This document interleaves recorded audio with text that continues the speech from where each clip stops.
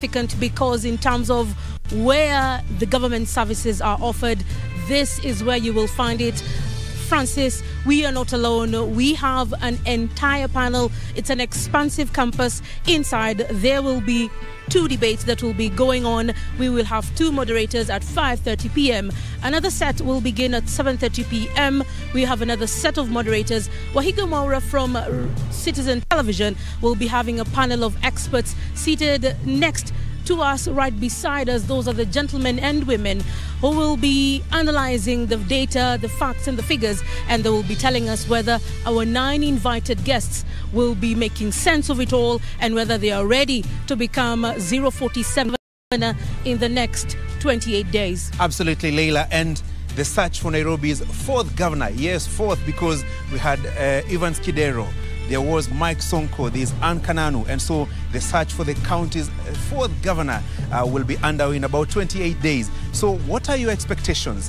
What are your views? What are your aspirations? What do you want the governor candidates to discuss tonight? You have an opportunity to participate in this discussion online, on TV, on radio. Uh, join us as we uh, get underway in this debate. And it's a county of significance, as we say, as we told you earlier, because this is a power. And more than that, uh, this is a county where the ex executive sits, that state house. This is where Harambee House is. This is where the judiciary is, the headquarters of the judiciary. This is where parliament, the two chambers of parliament sit. So Nairobi County is no doubt a county of great significance and importance. And that's why we want to make sense of the nine men and women who want to be the fourth governor of Nairobi. And we are not alone again. Our colleagues Frederick Mwitereri and Beatrice Gatonye wako upande ule mwingine. Kiswahili ndio mdomo wao sasa. mm -hmm. Naam. Beatrice and Fred, uh, hamjambo. Najua siku hii ni nzito sana kwenyu. Uh, tuelezeni ni yapi ambayo wapiga kura katika kaunti hii sufuri nne saba wanatarajiwa kuyahisia, wale ambao ni wageni waalikwa wataweza kuzungumzia baadaye katika siku hii. Shukran sana Leila muhammed mkiwa na Francis Gashuri wote wa NTV na Citizen TV. Mie naitwa Frederick Mwitiriri kutoka stesheni inayokuwa kwa kasi zaidi humu nchini TV 47. Karibu sana, lakini kabla sijasema sana kwenye mazungumzo haya, nimkaribishe mwenzangu Beatrice ajiseme ni wa kutoka kituo kipi, kisha tuendelee na matangazo haya. Bila shaka mwenzangu, asante sana. Jina langu ni Beatrice Gatonya Ngetich kutoka shirika la utangazaji humu nchini Kenya KBC, na kama jinsi ambavyo umesikia kutoka kwa wenzetu uh, E, tuko hapa kama vyombo vya habari nchini Kenya kuhakikisha kwamba tukuletea uh, kipindi hiki maalum ama mjadala huu maalum ambao bila shaka wagombeaji kiti cha ugavana hapa jijini Nairobi wanapata fursa ya kwanza kabisa kutoka vyombo vya habari humu nchini Kenya kuja kujielezea ama kuelezea wakazi wa kaunti hii yale ambayo wangependa kuwafanyia na matarajio uh, ama azimio zao kama viongozi wa kaunti hii yale ambayo wangependa kufanya. Kama jinsi ambavyo wenzetu wamesema kaunti ya Nairobi uh, bila shaka ni kitovu cha nchi hii, kwani hapa ndipo makao makuu ya serikali ya Kenya. Uh, na kulingana na sensa ya mwaka 2019 kaunti hii iko na watu uh, milioni 4.3, lakini kulingana na uh, ripoti nyinginezo ambazo zimefanywa na mashirika mbalimbali zinaonyesha kwamba uh, nambari hii ya wakazi wa, uh, wakazi wa Nairobi inaendelea kuongezeka kila kuchao. Kaunti ya Nairobi, mtazamaji, ni kueleze tu kwa uduchu. Kaunti hii na kaunti nyinginezo ikiwemo kaunti ya Machakos, kaunti ya Kiambu pamoja na kaunti uh, ya Kajiado. Na kulingana na IEBC, kaunti hii ina wapiga kura takriban milioni mbili uh, nukta nne kwa sasa ikilinganishwa na mwaka wa elfu mbili na kumi na saba kwenye uchaguzi uliopita. Uh, uchaguzi huo wapigaji kura nchini na, uh, katika kaunti ya Nairobi walikuwa takriban milioni mbili nukta mbili kumaanisha kwamba zaidi ya wakazi uh, milioni uh, laki mbili wameongezeka ambao watakuwa wakipiga kura uh, wakati huu mm -hmm. na kama jinsi uh, Mwitiriri ambavyo tunaona ni kaunti ambayo imewavutia wanawake pamoja na wanaume takriban tisa ambao wangependa kuiongoza kaunti hii baada ya Kidero pamoja na uh, Sonko. Mike Sonko pamoja na Kanonu kama jinsi ambavyo Gashuri ametuelezea. Hebu tueleze majina haya ni akina nani hawa ambao sasa wanataka kuchukua fursa hii uh, ili kuweza kumridhi Kananu na kuendeleza maendeleo hapa katika kaunti ya Nairobi. Shukran sana Beatrice Gatonye kutoka shirika la KBC.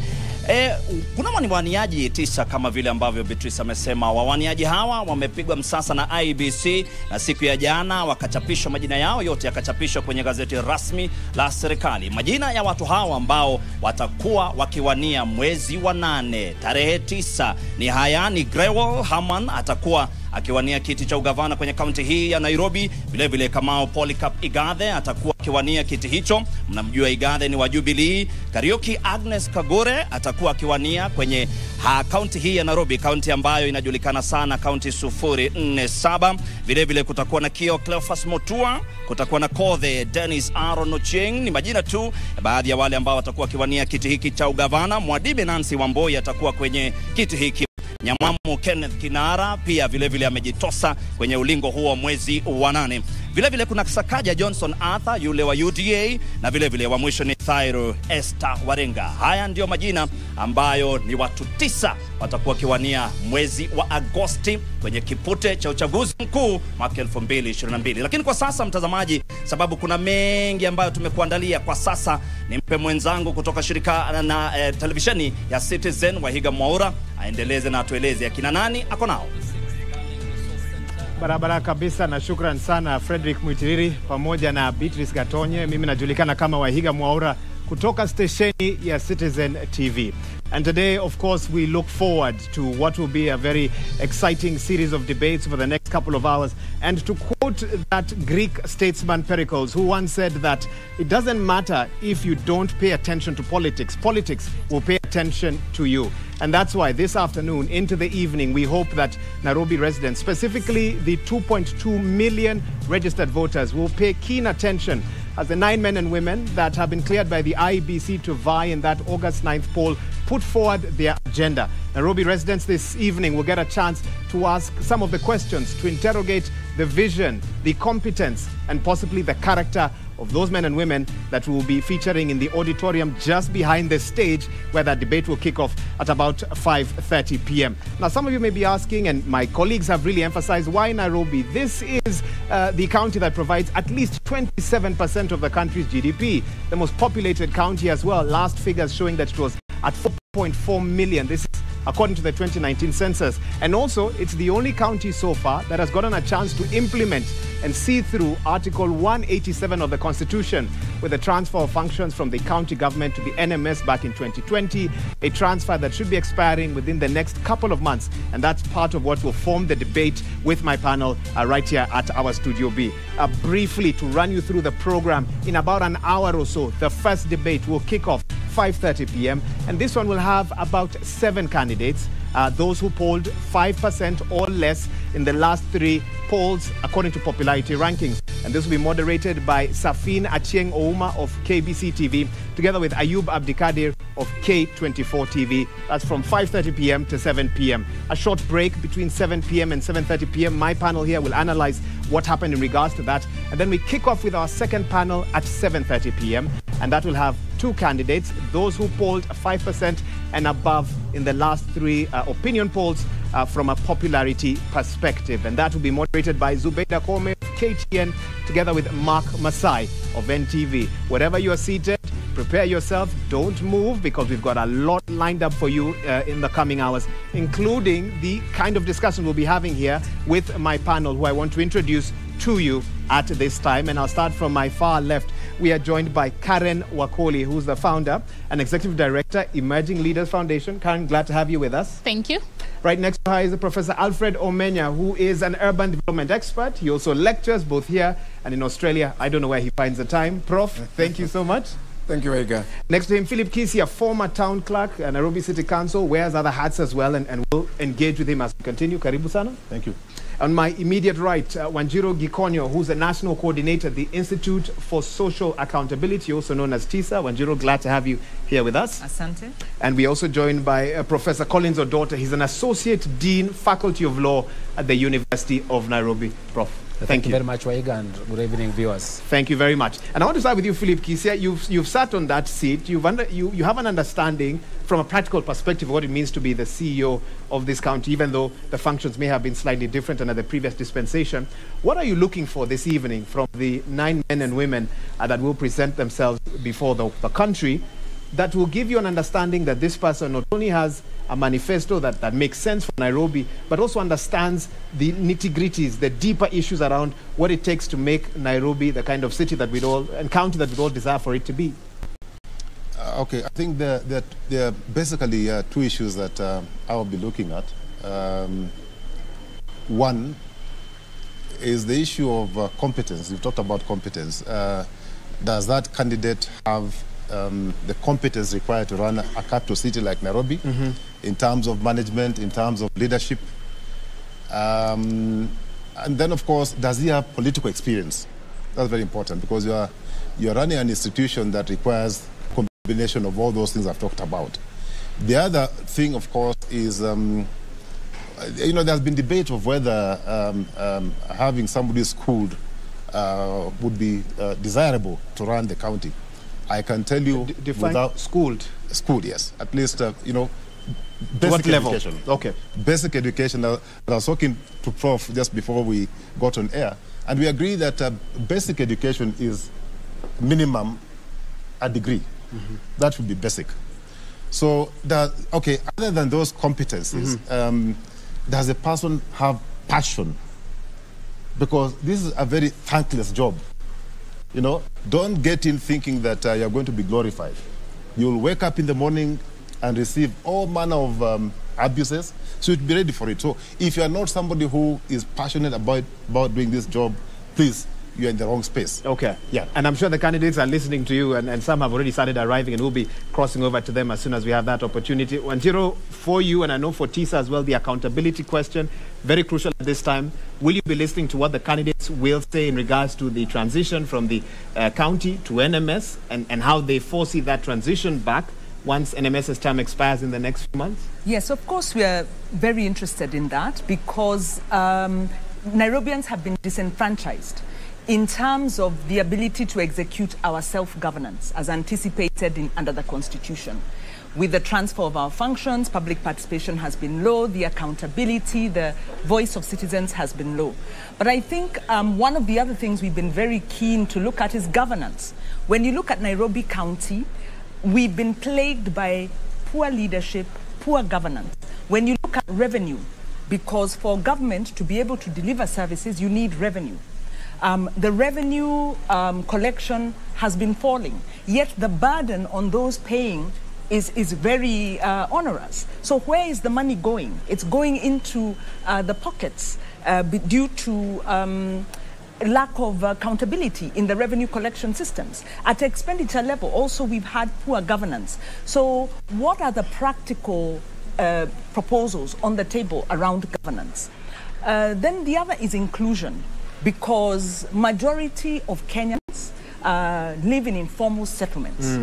Um, a majority of Kenyans work in the informal sector. Yet we look at uh, Nairobi as the seat of government. Uh, we are talking about big business. But where are the majority of, of, of uh, Nairobians in the plans of the governor? So these are some of the things we want to hear so that we can have an inclusive, accountable, human rights based form of government that really creates transformation uh, in Nairobi. I'm glad you brought up the, the issue of housing because I know that's a, a pet uh, topic of Professor Alfred Omenya, who's obviously a, an urban uh, development expert. What are you hoping to hear, Prof, um, in, in terms of how the candidates will tackle two sticky issues? One, what some have described as an unjust transport system that many Nairobians have to bear with on a day-to-day basis, and also an unequal housing system as well. Very few can, can, can own their own homes, I think under 10%, and majority rent in one form or the other. And that really is the reality of living in Nairobi County. Yeah, thank you very much, Wahiga. I think uh, um, you're spot on there that uh, uh, this is one city that is very clear that both national and, uh, and county governments don't understand.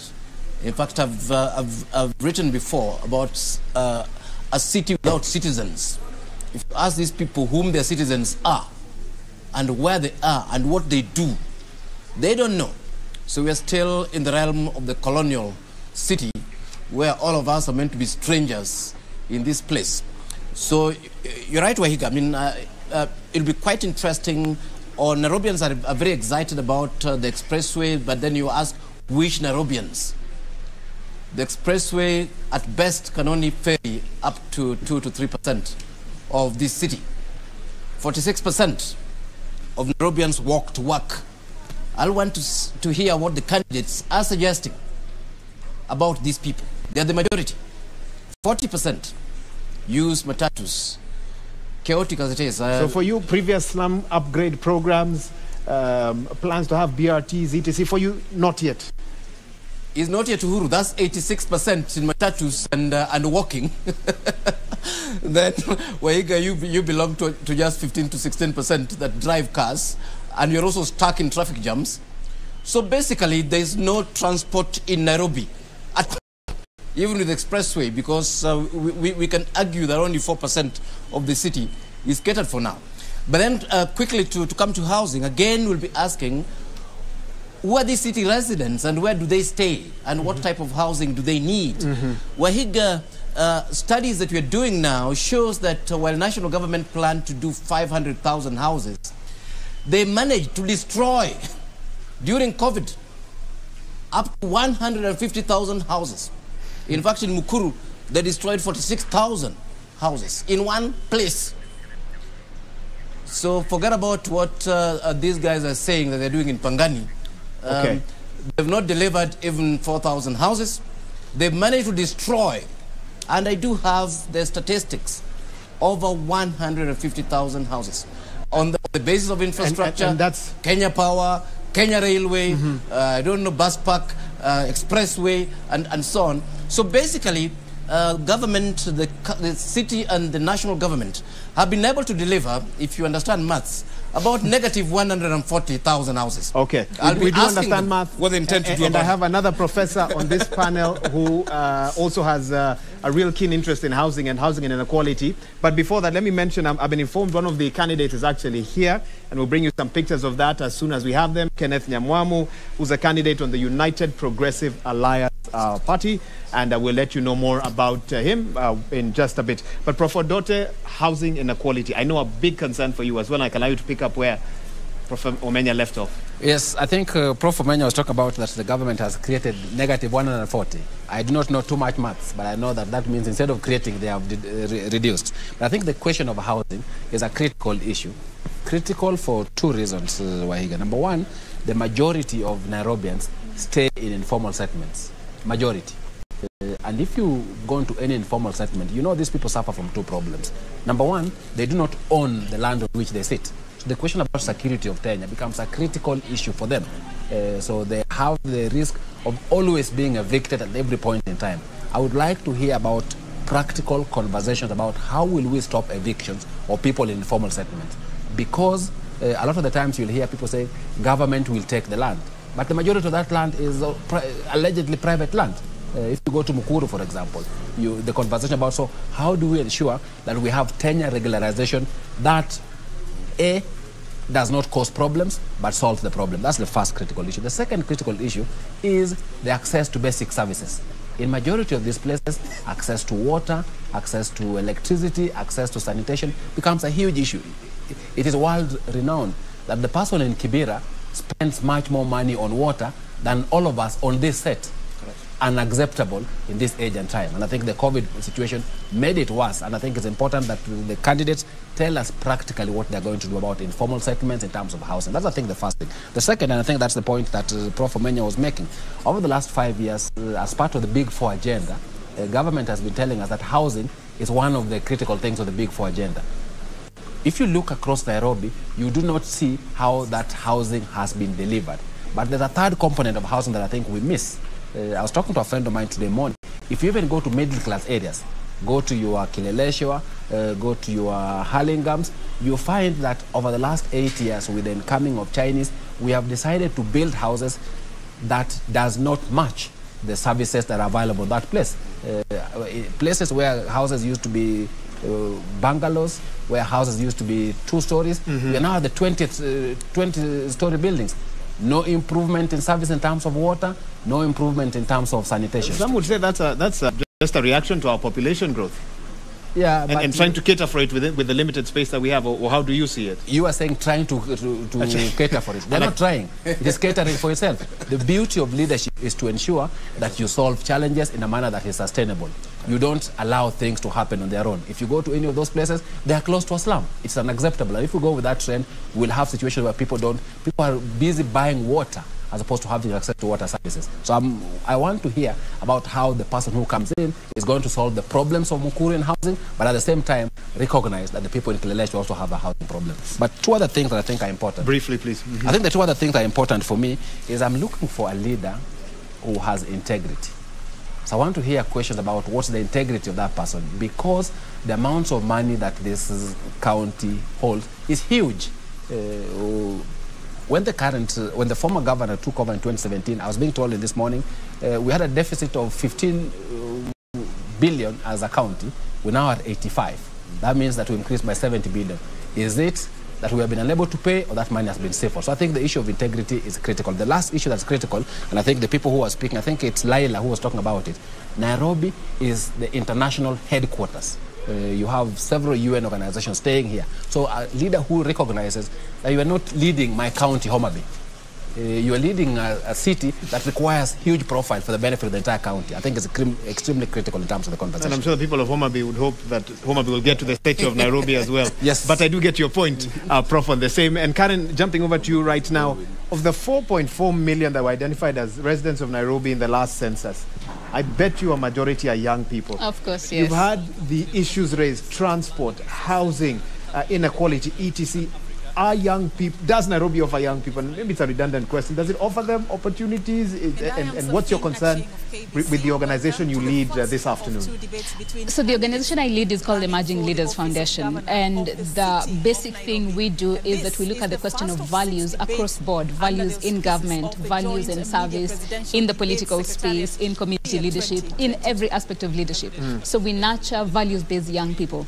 And so this evening I'll be looking to see are these individuals presenting themselves to be elected individuals of values? Are they leaders of integrity, like Dr. Odote put it across? Because then integrity and values would actually translate to the quality of their leadership.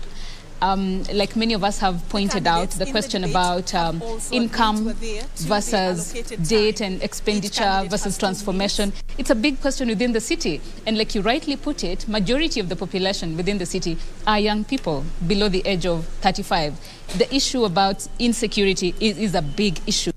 Um, the question about livelihoods, the question about the widening gap between the rich and the poor what is the agenda of these individuals in terms of reducing that gap and it, raising up families and individuals from the poverty line, you know, to be able to live lives of dignity. So those are some of the things that are really, really keen for me. Okay. Yeah. Uh, at this moment, I now want to get the thoughts of my panel on the first uh, debate, the one that will kick off in the next hour or so. And of course, this is the seven candidates uh, who polled 5% or less in the most recent polls. And uh, Wanjiru, I want to start with you on this one and get a sense. Uh, when I did my own unofficial poll before we started with my panel here, some of you were not aware of some of the names on that list. So what do you do as a candidate this evening when you come for a debate like this? Maybe you're known to some within your spheres of influence, maybe you're not known at all. What do you do to create impact across all TV and radio stations at a moment like this? Right. I think, uh, first of all, it's great that we have many uh, candidates because that shows that our democracy is working. It shows that people have put themselves forward. What we'd like to see from the alternative candidates, if I can call them that, is I the agenda. Many would protest at, at that. They uh, might. They might protest. Let me be very careful. Let me be very careful. From the candidates who will be speaking today, is agenda setting because anytime you have a public platform, more so a platform as um, esteemed as the gubernatorial, you know, being a gubernatorial aspirant, you have a platform. So you have the opportunity to shape the discussion. So we want to see how well do they understand the real problems of, of Nairobians, or of Nairobi as a county, as have been espoused here. Because there tends to be um, a discussion about Nairobi in legal terms, for instance, the NMS conversation. It was very unfortunate that an unconstitutional action that was supported by the head of state and the head of the county government uh, brought, put Nairobi in this situation. An unconstitutional action signed by the current governor. It, it was. It was unconstitutional. we went to So court on it. can- We went to court on it. The court was, you know, gave our ruling that uh, gave government the opportunity to regularize the process. But With it was Senate done. Legally, it was done uh, unconstitutionally without public participation. Now, how well do these candidates understand these dynamics? How well do they understand devolution?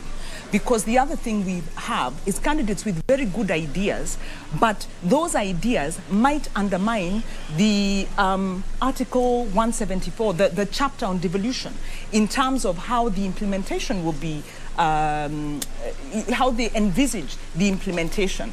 Um, they have an opportunity to frame difficult conversations, especially around accountability. Once you've taken the platform, it's my hope that these candidates will continue to engage and will become a point of accountability because obviously if your numbers are very low, if you're not on a leading it shows our democracy maybe is not yet mature enough for an independent candidate or for a candidate from a smaller party to win the big numbers. Okay. But we are heading there. We, we remember during the Moi uh, regime, the opposition had to fight to be profiled nationally, but eventually they made it. So it's to encourage these candidates to say you are breaking ground for us, but please make use of the platform you have beyond um, maybe just profiling yourself. Stay in the space. Okay. Let us know who you are and um, have a long-term view. Let me pick up with what you've said with Philip Kisia, who's actually worn the politician's hat before, in in addition to being a technocrat. And I'm sure you had the chance in 2013 and 2017 to watch previous debates. How much do these debates sway the views of the electorate, in your view? Wahiga, let me be very candid. That- That's a great way to begin a statement. All right? Yeah. I think Very. I, I, I can tell you. Proceed. let me tell you, it has no value. It has No, no, very- then, then what are we doing here? Wahiga, Philip Kisia. Wahiga, You're telling no, me I these said- men and women have I gathered Said, I'll, I'll be. I said what? I'll be candid. So Okay. Don't get, have the diplomatic license don't to get be candid. offended. But just for today. But I'm saying that it adds little value. Why am I saying this? There are three fundamental issues that determine who becomes what in the political space in this country. Unfortunately, don't say that I prescribe to what people think, but number one is your tribe. People in this country vote Talk about Nairobi. even Nairobi. Even Nairobi. I am talking about Nairobi. People look at the tribe. Which tribe are you coming from? Because eventually, when the voter goes to the booth, he'll be voting a tribe, unfortunately. Number two, linked to the tribe is the political party. Which political party is controlling who? Because most of these political parties are not based on any ideology. They're tribal parties. Let me tell you, they are a group of uh, from different uh, regions and they formed a, a, a party or a coalition of parties. Okay? Number three, it's not about ideology, I said. Very unfortunately, number three, right, Wahiga? I, I am. I am. money. So if you get into this space and you don't have sufficient um, financial resources to roll out your campaign, you'll be in trouble. Because corporates, people in this country do not invest in politics. They don't give you a time, they don't give you a management information system, they don't give you anything. So they wait until you've crossed the line, then they pick up a discussion with you. But before you cross that line, you are nobody. I so think those, those, those three. I'm telling you, Wahiga. Let me get Prof's reaction to this. unfortunate, but that's the reality. I'm going to come back to you because it sounds like you have a personal story or two behind reality. those. I wouldn't be surprised. If, if Philip Kise says to be believed, to be the next governor of a county like Nairobi or any of the other 46 as well, you need to be from the right tribe, Right. aligned with the right political party, Right. and have money. Nothing that he has spoken to alludes to all the other things you good folks have mentioned to me this afternoon. Oh, they need to have understanding of this. I want them to articulate. None of that has come up in terms of that success formula. I, I think generally, um, I will not agree with with, with, with Philip on this one. Uh, I think um, Nairobi and uh, I've just I'm just from Mombasa uh, the other day and so on. Kenya is becoming way more complex than you'd like to accept. Of course, uh, if you look at Sonko's story last time, I mean, if it was tribe, then Peter Kenneth should have won the previous elections. but, but then, of course, Sonko had many. So, so we don't know which parameter plays what. But I think, uh, um, um, number one, uh, some of these are starting to get overrated. There are some fringe candidates in this country that are making a big impact regardless of, the tribe. I mean, let's mention Wajackoyah, for example, with his uh, unusual uh, sort of campaigns. Uh, and, and, and, and people in Mombasa are saying, look, I mean, uh, we'd rather lose with this guy than all these other fellows who've taken us for ride. So I think it's, it's actually quite complex. Um, yes, money plays a big role. The political party does play a big role, I agree. Uh, but uh, but this city, um, this city actually has ways of communicating that are very, very interesting. Sorry to bring use this example, but uh, for example, Kenyans on Twitter, when we complained about uh, the French fries from some country, uh, you know, and it's our children who eat there. Uh, KFC started sourcing locally. So let's not under, underrate, uh, uh, you, you know, the, the space and the platform. Yeah. But having said that, I think um, for me, uh, I, I, I've, I've had a chance to address the EU Parliament. I've had a chance to address fringe parties in Europe and so on. Uh, I, would, I, would, I would like to say, and uh, this in relation to the candidates, that really uh, politics is not always about winning. Uh, sometimes we get into politics to put a particular agenda on the table. And the politics may not necessarily even be about winning the gubernatorial race. You could put the correct candidate in uh, um, you know, that, that, that is pushing some local agenda. And like they say, all politics is local. That's where it starts. And, and, and to me, this is the encouragement to all those uh, gentlemen and ladies who are running that if you do actually have an agenda, put it on the, on the table. Do not be afraid. It doesn't matter whether you end up just winning, uh, you know, 2% of the vote and so on. If it's an important agenda for the city, put it on the table. Okay, that, that's a good uh, message to them. So for you, you're looking at two things: who would sort of come out on top, but also whose agenda will come out quite clearly. Prof. Odote, I'll come to you shortly. But Karen, I want us to talk about this money tribe political party. You are yearning for more and more young people to get into elective offices. When you hear what Philip Kisia's has to, to, to say, and he said he's just being honest. He's, he's been out there. I, I don't know who else might have tried to vie on this. I don't know if anyone else has given it a shot, but he has. And he says this is the reality on the ground. Unless Karen, you're also uh, I have been in, in politics before, but I put it aside to then do the work I'm doing now. Hmm. But let me also be very honest. Such a debate is a really, really powerful platform for accountability. I have seen communities around the city organizing their own small aspirant, bringing together aspirants and asking the questions and asking them to sign to peace, to sign to doing certain things once they get elected to office. And there's accountability when it comes to that through, let's say, civil society organizations, communities, and young people. And I do not refute the fact that money plays a big part uh, in who gets elected.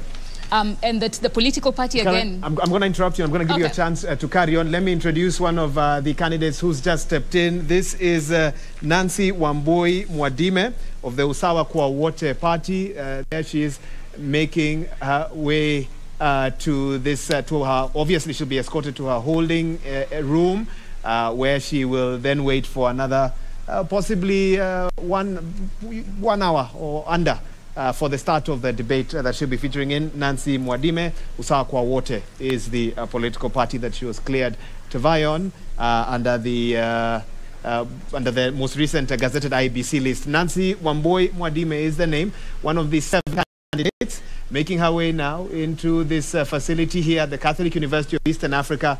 The debate will be taking place at the Pope, uh, jo- Pope John Paul VI uh, Education and Learning Center.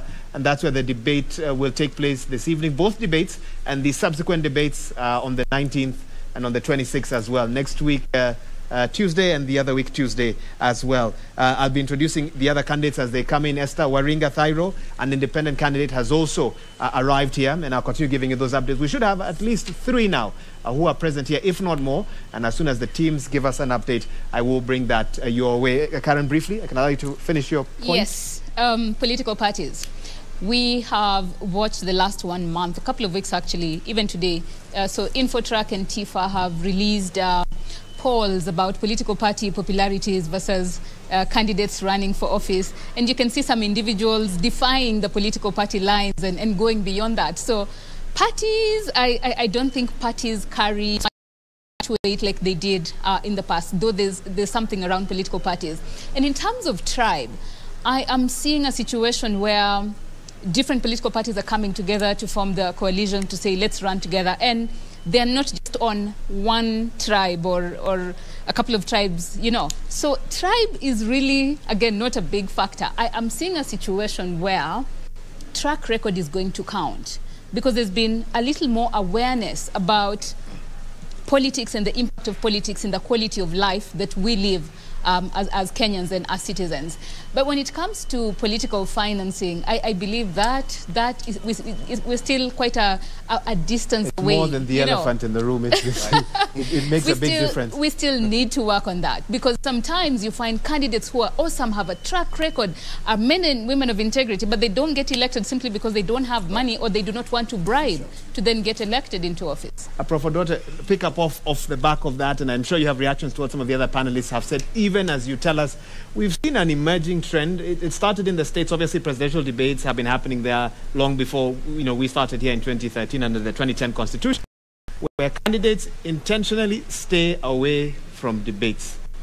Is that a strategy? Does it work? Does it matter? I think it does for those who stay away because you assess yourself and determine this is not my strong point. Uh, I do not want to make my bad situation worse. I do not want to ensure that I, uh, or I don't want to give preference to my opponent. I think my opponent is a better debater. My opponent has a better track record. So I don't want to expose myself. That's the reason why people stay away. So they stay away because of strategy. But I think your original question to us was the people who are coming between 530 to 730, those who are below 5%. Uh, is it, uh, what is, should be their strategy for this debate? And I think the people who are coming between 530 and 730, from the numbers, uh, I think they cannot run the campaign as those above 5%. Because those above 5%, then the factors that, especially the first two factors that Philip spoke about, becomes critical for them. Uh, the, the, the factor of the tribe uh, gives you recognition. Uh, the factor of the political party gives you recognition.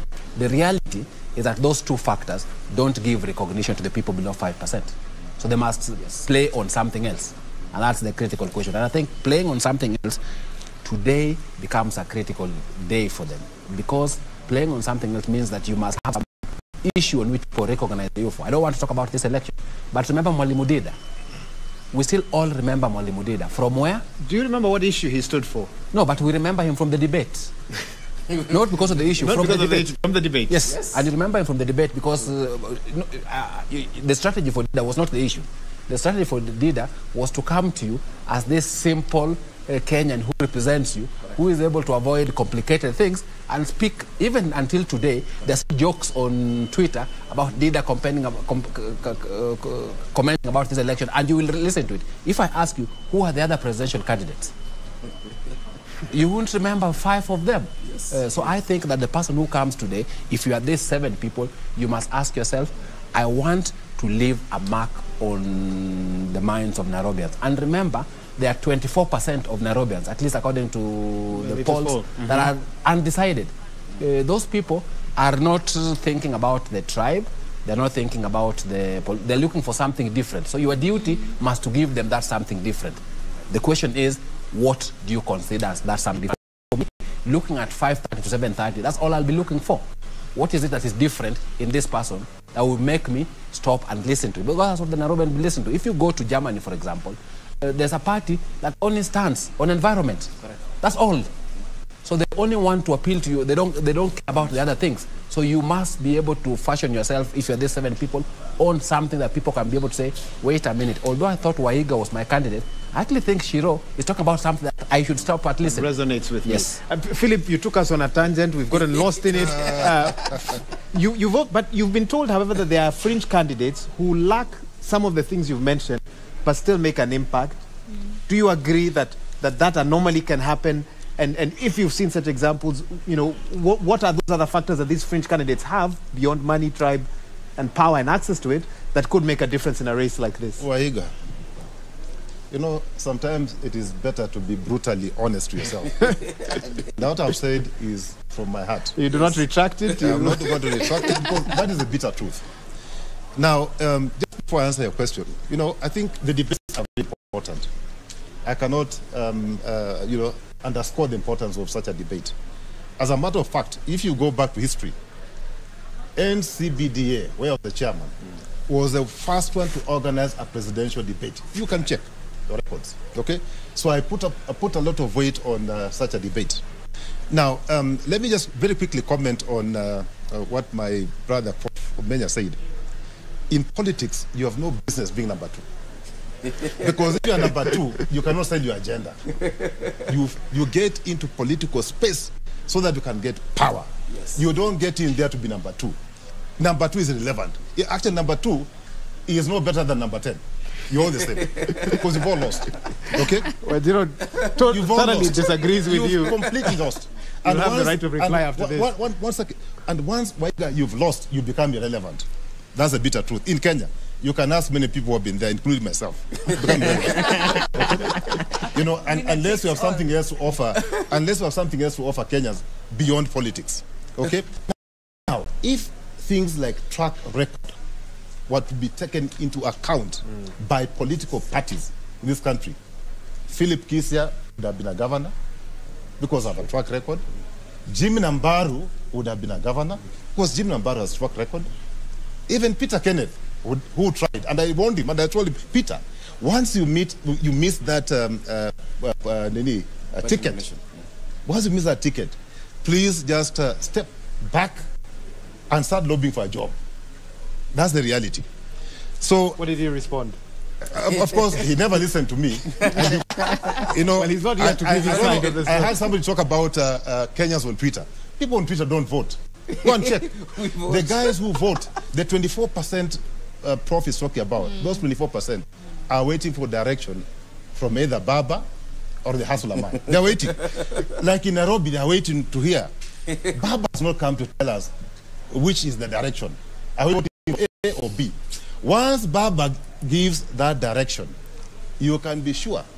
You can be sure because if you look at the two candidates, if you look at the two candidates, talk about the two that if you look the, the, the, two, the two that are appalling beyond five percent, Right. if you look at if you analyze that data that we have, you'll find that 20 percent of people supporting Raila in Nairobi have are not supporting the Azimio candidate.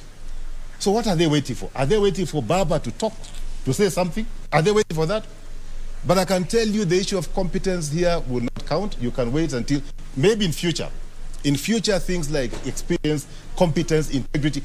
In fact, when you look at integrity, Yes. integrity is about, about number 10. Eh, eh, Go and check. Infotrack, go and check on TIFA. People don't care about integrity. In fact, Actually, their, biggest concern most, most of the times, is now most of the of times, most of the times, if you've stolen public funds, you become a fan of the people. If you've stolen public funds, because then you're able to do what? To deal with their stomachs. Tumbo policy. Remember what Moi said? The Moi. So if you can, you know, and the voter will tell you. You know, when when I was going around the Westlands, the Yes. voter would, would Uh, tell this me. is your final example oh, for wait, this one. My, my personal example. Yes. They will tell you, no, uh, uh, we've had you. We know you're competent. What are you giving us now? Yeah. Forget about talking. Weka kitu kwa meza sahi.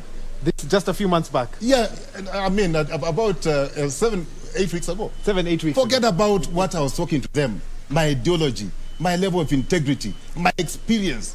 All those put in one basket to them didn't make sense. What made sense is how much Kiongozi, and when they tell you Kiongozi, we've not seen you on the ground, it does not mean, it does not mean that they have not seen you. It means they have not tested your money. Go and ask Jimnah Mbaru. Go and ask Jimnah Mbaru what happened to him, how many votes he got, and he's a billionaire. I'm not a billionaire. He's a billionaire.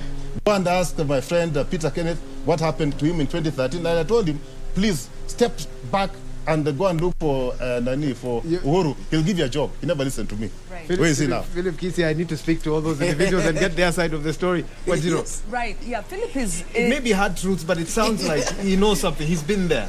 he, he has been there. He, he has been there.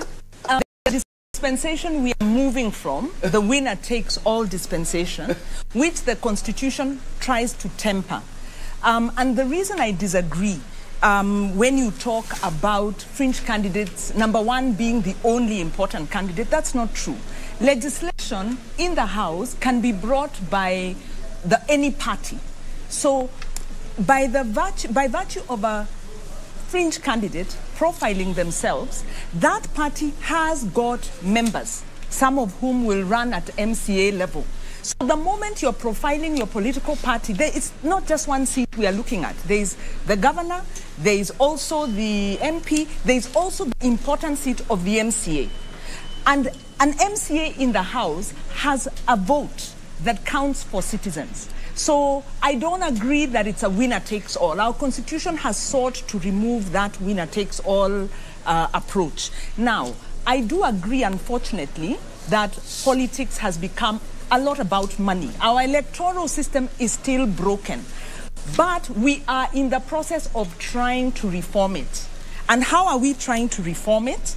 Um, when you have candidates putting forward an agenda that they can then popularize with the public, you put pressure on whoever will get into that seat. And I think the last point I want to make is the Constitution envisages a consultative, cooperative approach of government. Now, it's, it's, our Constitution isn't perfect, our political framework is not perfect, but it is not a winner takes all. You have seen decisions of the president being countermanded, whether it's by the courts, whether, you know, in fact, court action taken by civil society institutions or individuals like uh, Omtatah can go to court and hold the president to account. So every political space counts. We are no longer in the winner takes all dispensation, and we must encourage Kenyans to be bold. Stand up, but also know that you've got a lot of political clout that you can pull from very many corners. So it's not just the governor. One of the challenges the governors have faced, and this is where I agree in our this uh, our kind of very poor political is the role of the MCA. So much as a governor is going to come and give us a political promise, they then have to deal with the politics of running the county, the civil, uh, the public service, but also the, the county assembly. And this has been a real weak link in terms of devolution. So fringe candidates are like the main candidates of the larger parties operating in a very imperfect system but we have the opportunity to set agendas. Even as civil society, we also set agendas. We have passed policies. We have gotten um, uh, laws passed, even in this county. And we do it with, um, in some cases, with nominated members. And I think for you, So- setting the agenda is, is so crucial, sometimes even more crucial than winning. more crucial than winning, the gap we have Yes. is implementation. The non implementation is a challenge that plagues all. And so we still need to push with accountability. So, no, fringe candidates have a role. There's a lot of opportunities for power and pushing.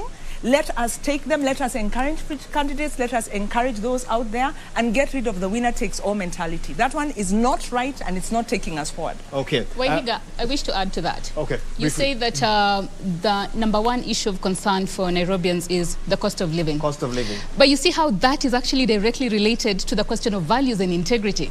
So right now, as candidates are busy campaigning, people are saying, give me something for me to listen to you, for me to listen to what you have to offer.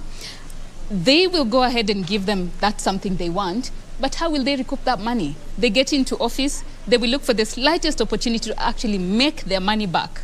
So it's, it's more now about self not the interest of the public at heart. So again, it brings us back to the question of values that integrity actually counts. It's, it's the cornerstone and it, it determines the question about whether people live in dignity or not. And, and Philip Kisia says he's never been asked about integrity questions when he goes on the campaign trail. It's a different question altogether. And you rated integrity very high. In fact, I think you are the first one on this panel to say, "Ah, that's what I'll be listening out for.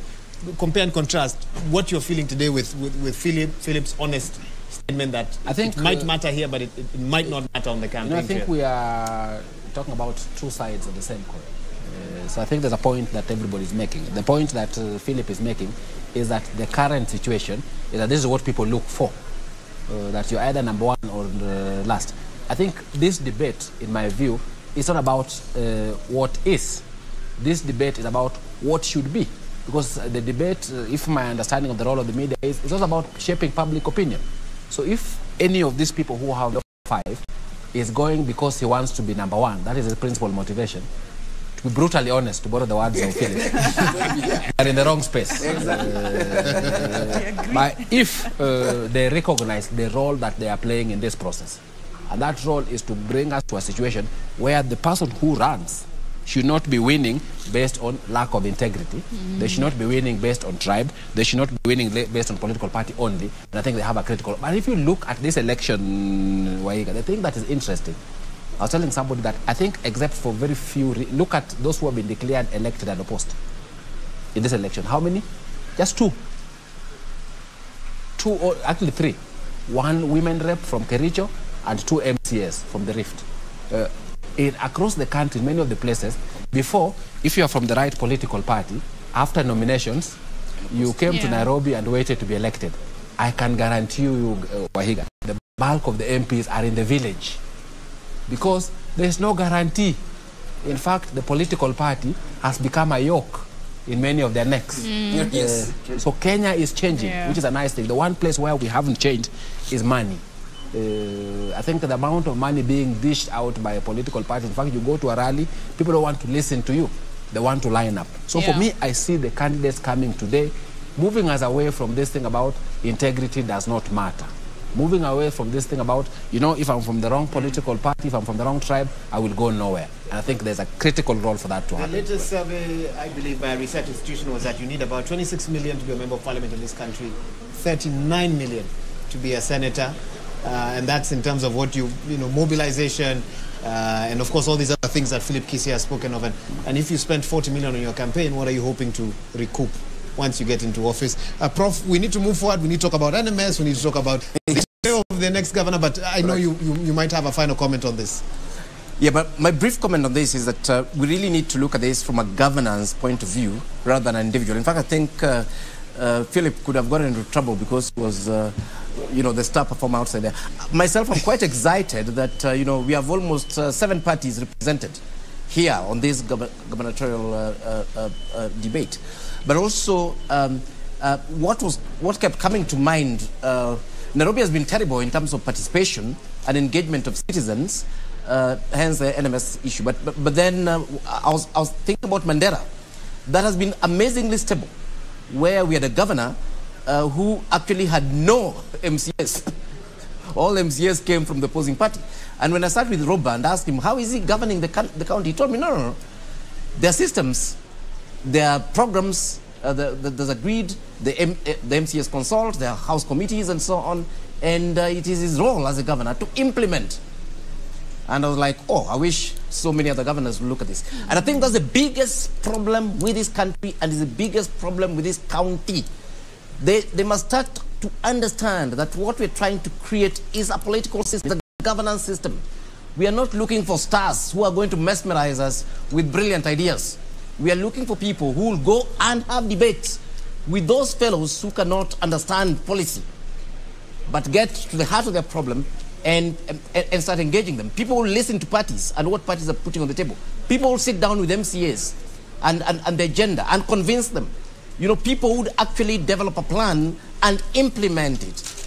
Not these useless um, buffoons, you know, wearing gold dog chains and, and, and, and entertaining people. Uh, you know, uh, those people have no space in governance. The future belong to them. I think I will, we will leave it there for now. Let's switch gears. Let's talk NMS a little bit because you cannot talk about Nairobi County for the last five years without referencing NMS, its record, what you what worked in your view, what didn't work as well. Wanjiru already made her, her, her, her feelings uh, quite clear, so I'll, I'll come back to you shortly. Let me hear first from you, Philip Kisia. Uh, when, when the history books are written of the tenure of the NMS, what will they say about NMS in your view? What did NMS get right? What did it get wrong? Even as we discuss how it got into office. Now, I think um, uh, our sister, uh, um, Wanjiru, made it very clear that uh, the route that the government took to um, put uh, NMS in, in place may have had uh, some faults. It was maybe, for lack of a better word, it was illegal. Because it did not involve the, the people who are being governed. But that aside, was it necessary? Given the time that uh, uh, this presidency had left, he had two, uh, I think, two or three years left in office, and Nairobi being the capital, he had to take action. So maybe, other than blaming the person who took action, we probably need to look at relook at the um, the uh, the, um, the act that governs um, uh, uh, counties. How fast can we remove a governor who is not performing? Because the the, the, the process is too tedious. It takes time. By, by the time you remove him, his time is over. So back to NMS. NMS, of course, I think if um, in terms of short term, there's something that you can see. There are roads that have been fixed. There are pe- pedestrian walkways that you can see. There are hospitals, dispensaries which have been built, but I'm told there's no medicine. But at least there's something. So they've done something. But I can tell you, from where I sit, they could have done much given the resources that have been deployed to NMS. Okay, and that's why I'll interrupt you because I'm Yeah. told we have an update we need to give, but I'll come back to you as we dig deeper into those four functions that were allocated to the NMS health, uh, transport, public works, and planning as well, and development services. But first things first, we continue to, and of course, my colleagues are across this campus here at the Catholic University of Eastern Africa, really trying to get you updates as and when we have them. Let's now hear from Leila Mohammed and uh, Francis Gachuri as more candidates continue to stream in. Leila and Gachuri? Thank, thank you very much, Waihiga. Indeed, the hour is nigh. In the next 30 minutes or so, we are expecting the main event to begin proper. Quite uh, a convincing panel that you have there, and they're articulating matters to the 2.5 million registered voters in this county of Nairobi. Many have spoken about unemployment.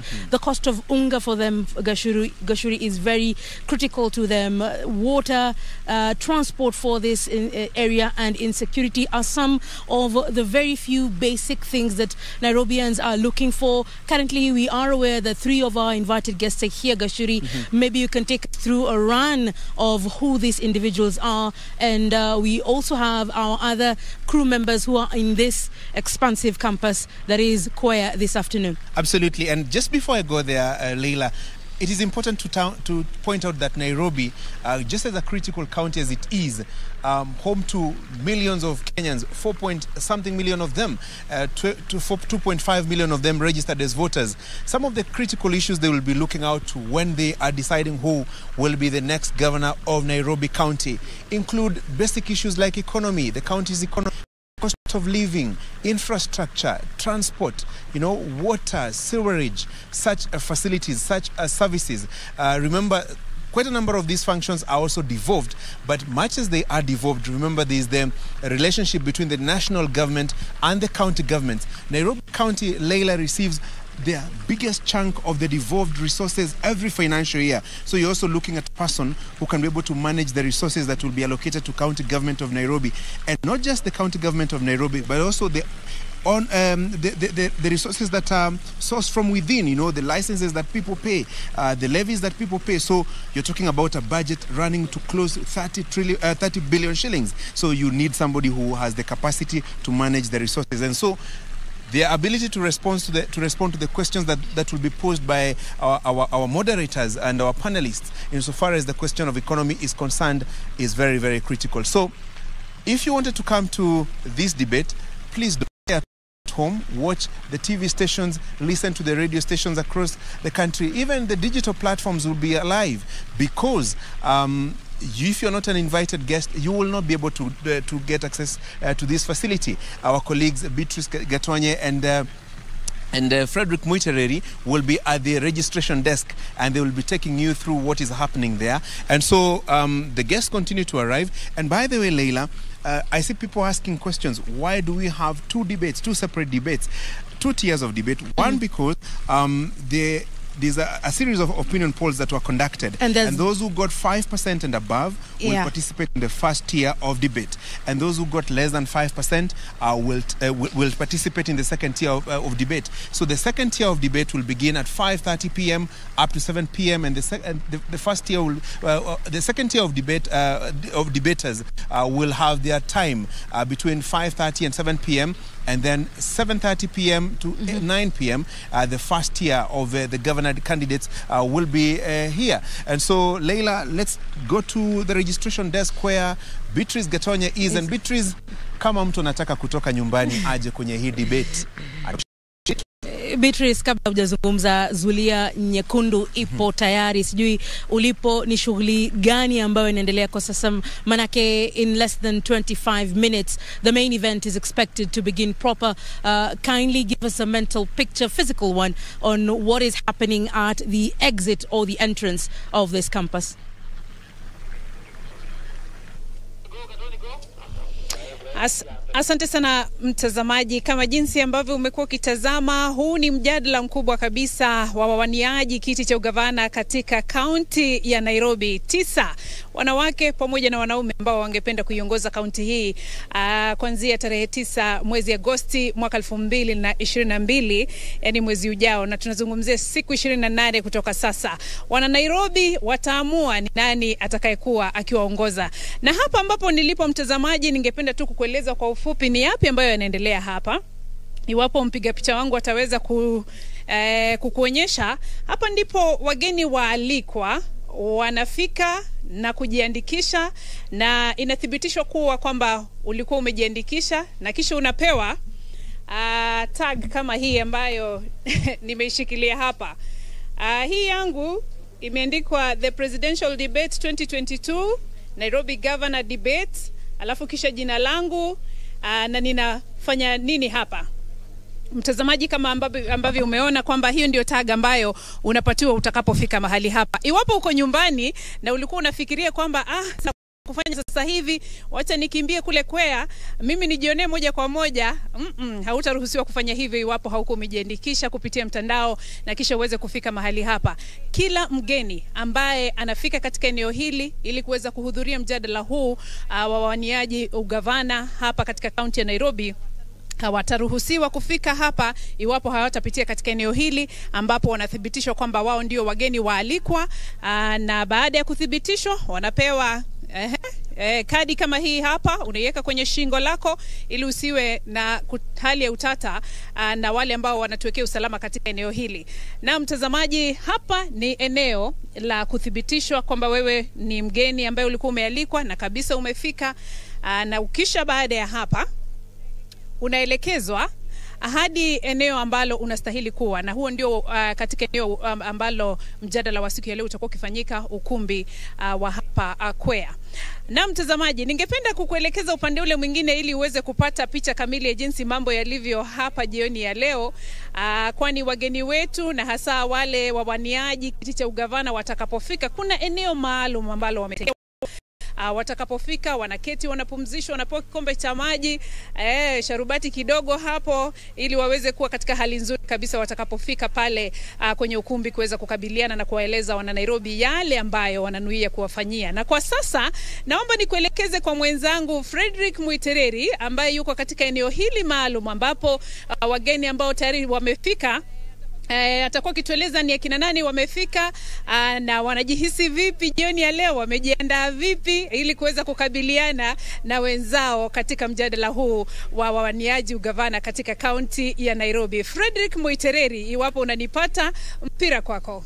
Shukran sana Beatrice Gatonye kutoka shirika la KBC. Mtazamaji, jinsi ambavyo ulielezwa hapo awali ni kwamba matangazo haya yanakujia kwako kupitia televisheni zote humu nchini, vilevile redio zote za kitaifa na redio zote za mashinani, zaidi ya redio na televisheni 85 kufikia jana walikuwa wamesema watakuwa wakipeperusha matangazo haya. Na kwa vile vile aa, kuna wale wenye kwenye mitandao ya kijamii vile vile tuko pale. Kwa hivyo mtazamaji, tunashukuru sana wewe ambao umetuenzi na kuendelea kutazama televisheni yako ambayo unaipenda ni Frederick Mitiriri kutoka kituo kinachokuwa kwa kasi zaidi humu nchini TV 47 hapa mahali ambapo nilipo mtazamaji ni mahali ambapo ni muhimu sana, ni kituo cha kwanza. Wanapofika kutoka pale ambapo Beatrice Gatonye yupo, wanafika hapa, wanakuja hapa, wanapewa mankuli kidogo, kitu kidogo, unaona zuria tu, ni tamu sana ile ambayo iko mahali hapa. Wageni waheshimiwa ambao tulikuwa tunasubiria wako mahali hapa, nitakuwa nikisemezana nao. Baadaye baadaye baadaye. Mtazamaji tu nikueleze, tutakuwa tukipiga kura. Kama mpiga picha wangu atakuonyesha, tutakuwa tukipiga kura baadaye tu ili kukuonyesha e, mtazamaji wetu, hivi ndivyo tutakuwa tumesimama hapa, lakini baadaye muda wa dakika kama ishirini hivi ama kumi hivi kutoka sasa. Lakini kwa sasa mtazamaji, sababu hapa ndipo tunaita kwa kimombo holding area, mahali wale gavana mwezi wa Agosti tarehe tisa wapo hapa. Nizungumze na wawili watatu ambao wamefika hapa, wanieleze wanahisi kiwewe ndani yao au wanasema kwamba wako tayari. Nianze na Harman ambaye ni kijana mdogo sana, miaka 25 ambaye atakuwa akiwania ugavana kwenye kaunti ya Nairobi. Asante sana. Thank you so much for coming today. How are you feeling today? Um, thanks so much for having me today. Um, feeling good, uh, very confident. Uh, right now, we're just waiting for the debate to start, and I'm taking this time to prepare, meditate, collect my thoughts, and uh, I'll relish the opportunity to brief the nation on my manifesto and my plans on how to help Nairobi. Thank you so very much. Unamsikia anasema kwamba hapa najitayarisha pole pole, sababu mjadala utakuwa ukianza. Kumbuka kuna mijadala miwili siku ya leo. Kuna mjadala wa kwanza ambao unastahili stahili kuanza mwendo wa saa kumi na moja dakika 30 hivi tha, dakika 30 uh, kutoka sasa ama ni dakika 20 hivi, mtazamaji. Vile vile hayuko peke yake Haman, tuko naye uh, Esther Warenga. Asante sana na karibu katika matangazo yetu ya siku ya leo. Unajihisi vipi?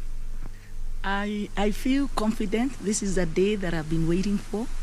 And I'm happy that uh, it has come. Mm. It's today. Mm. -hmm. So I'm confident of this day. And I thank God for everything that He has brought me this far. Thank you very much. Did you come with your family? No, I came with friends. My families, they are not here. They are in the U.S. So I came with uh, friends, uh, many of them.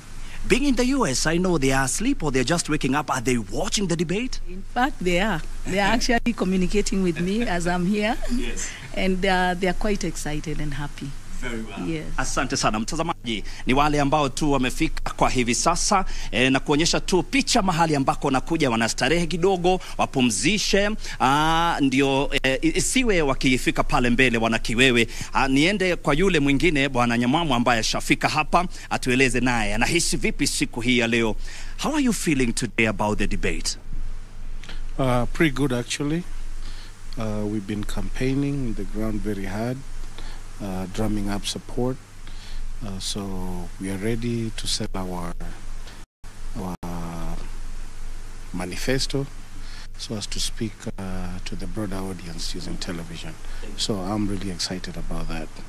Thank you very much. Asante sana mtazamaji. Alikuwa mtu wa kwanza au mwaniaji wa kwanza ambaye alifika mahali hapa, kwa hivyo yuko tayari, anasema kuhakikisha kwamba wale wakazi wa mji wa Nairobi wanamsikiza siku ya leo, na wewe mtazamaji ukiwa hapa jijini Nairobi namsikiza na uweze ikiwa utampa kura zako. Kutoka hapa nitakuwa nikirejea baadaye baadaye ili kupiga kura hiyo ambayo nimekueleza hapa. Tutakuwa na wawaniaji saba kwenye kipute cha kwanza, kisha kipute cha pili nitakuwa nikikueleza. Kwa sasa nimpe Wahiga Mwaura aendeleze matangazo yetu.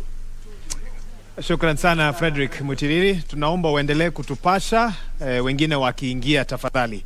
Uh, and of course we'll continue to give you more updates. Uh, we know that when there's quorum there, a ballot process will take place to allow the uh, respective candidates uh, to go through this process. A very important one because it determines where they'll stand on that stage. All seven candidates, it's not uh, you know randomly chosen. Rather, the ballot will determine where they'll stand, the speaking order.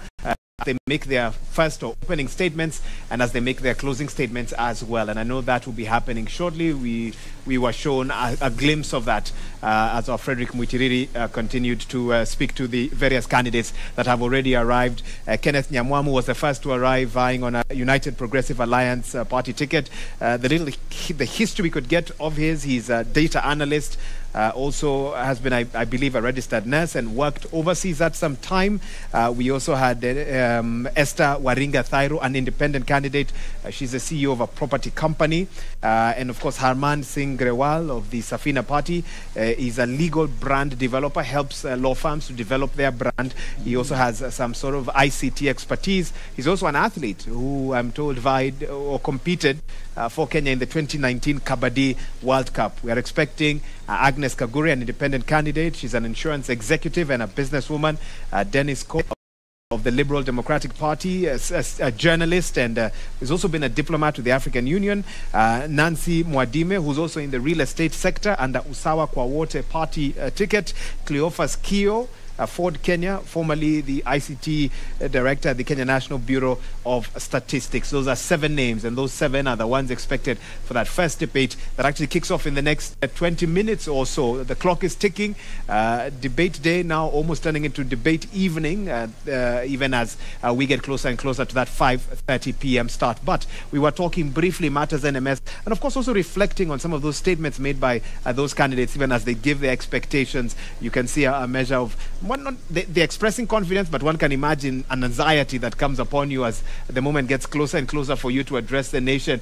Philip, you said you organized the first one was NC, NCBDA. NCBDA. You are an organizer though for that one. Yes. Yes. And uh, what what came out of it? I mean, it was uh, you people built on what we started, and that's why I say that I also believe in debates because when we started there was no interest. The interest level was very low. But I'm happy now, uh, you know, um, out of, uh, I think, seven or uh, nine candidates on uh, this race have offered themselves and they're here. So the interest level is, is growing. And like the other panelists said, that, I mean, who knows? Five, ten years from today, these debates will mean a lot. Correct. They will mean a lot. Because then people start looking at issues and not sh short-term gain. But for the time being, for another maybe five or ten years, short-term gain is what is really selling the candidates. And when we were offline, I was talking to Prof, and he said, yeah, I mean, he agrees, but maybe he may not want to say it uh, on air. but money, money, I'm telling There's you. an online money, version and an offline but version. Let us get back to NMS. you had asked whether they have done well. I've said, of course, they've done well, uh, considering where they took the, country, uh, the county from. Would you have better have the governor who was elected, who probably was not doing a very good job, he sees or rather have NMS who have done something. But I can tell you, uh, no, I mean, you can shake your head. This is a reality. You're shake referring to Waziri, not me. no, let, let my sister shake her head very hard. But that's the reality. Because it's about results. And if you're not getting results, are you going to waste your time with this character who's not uh, producing the desired results? Because if you do waste your time, the blame will shift to you. And in this case, the blame was going to shift to one Uhuru Muigai Kenyatta, who gave us Mike Sonko. Okay? Mm. Now, NMS. Where could NMS have done better? Briefly. We have um, uh, the, the, new plan, Nairobi, uh, Nairobi Integrated Urban Development Master Plan. Mm. Okay? It's very simple. This is a document that was produced by Nairobians. I have not seen them make reference to this plan. If they were making reference to this plan, we would not have seen the green terminus where it is. My brother is a, is a planner. How can you say you want to decongest CBD and smack into CBD you bring a terminus with, a, I think, a thousand vehicles per day? What logic was behind um, um, you know, um, uh, that particular project? Was it just um, uh, space or opportunity for people to make money? I'm yet to get answers because I've consulted planners in this country and they've told, they've told me clearly they were not part of that plan. So there are certain things that um, they, they would have done better with the money that they have received from the national government. And I can tell you when I was running the city, the highest transfer I got from the national government was 2.9 billion for a year. So in my three years, I got 6 billion from the national government. NMS, I think, in the last few years, I've got what? Almost 70 billion? Almost 70 billion. They've handled almost over a billion. We must be seeing that 70 billion, not just in infrastructure, like health centers that have been built. We must see health centers that are equipped, that have um, uh, medical doctors, that have nurses.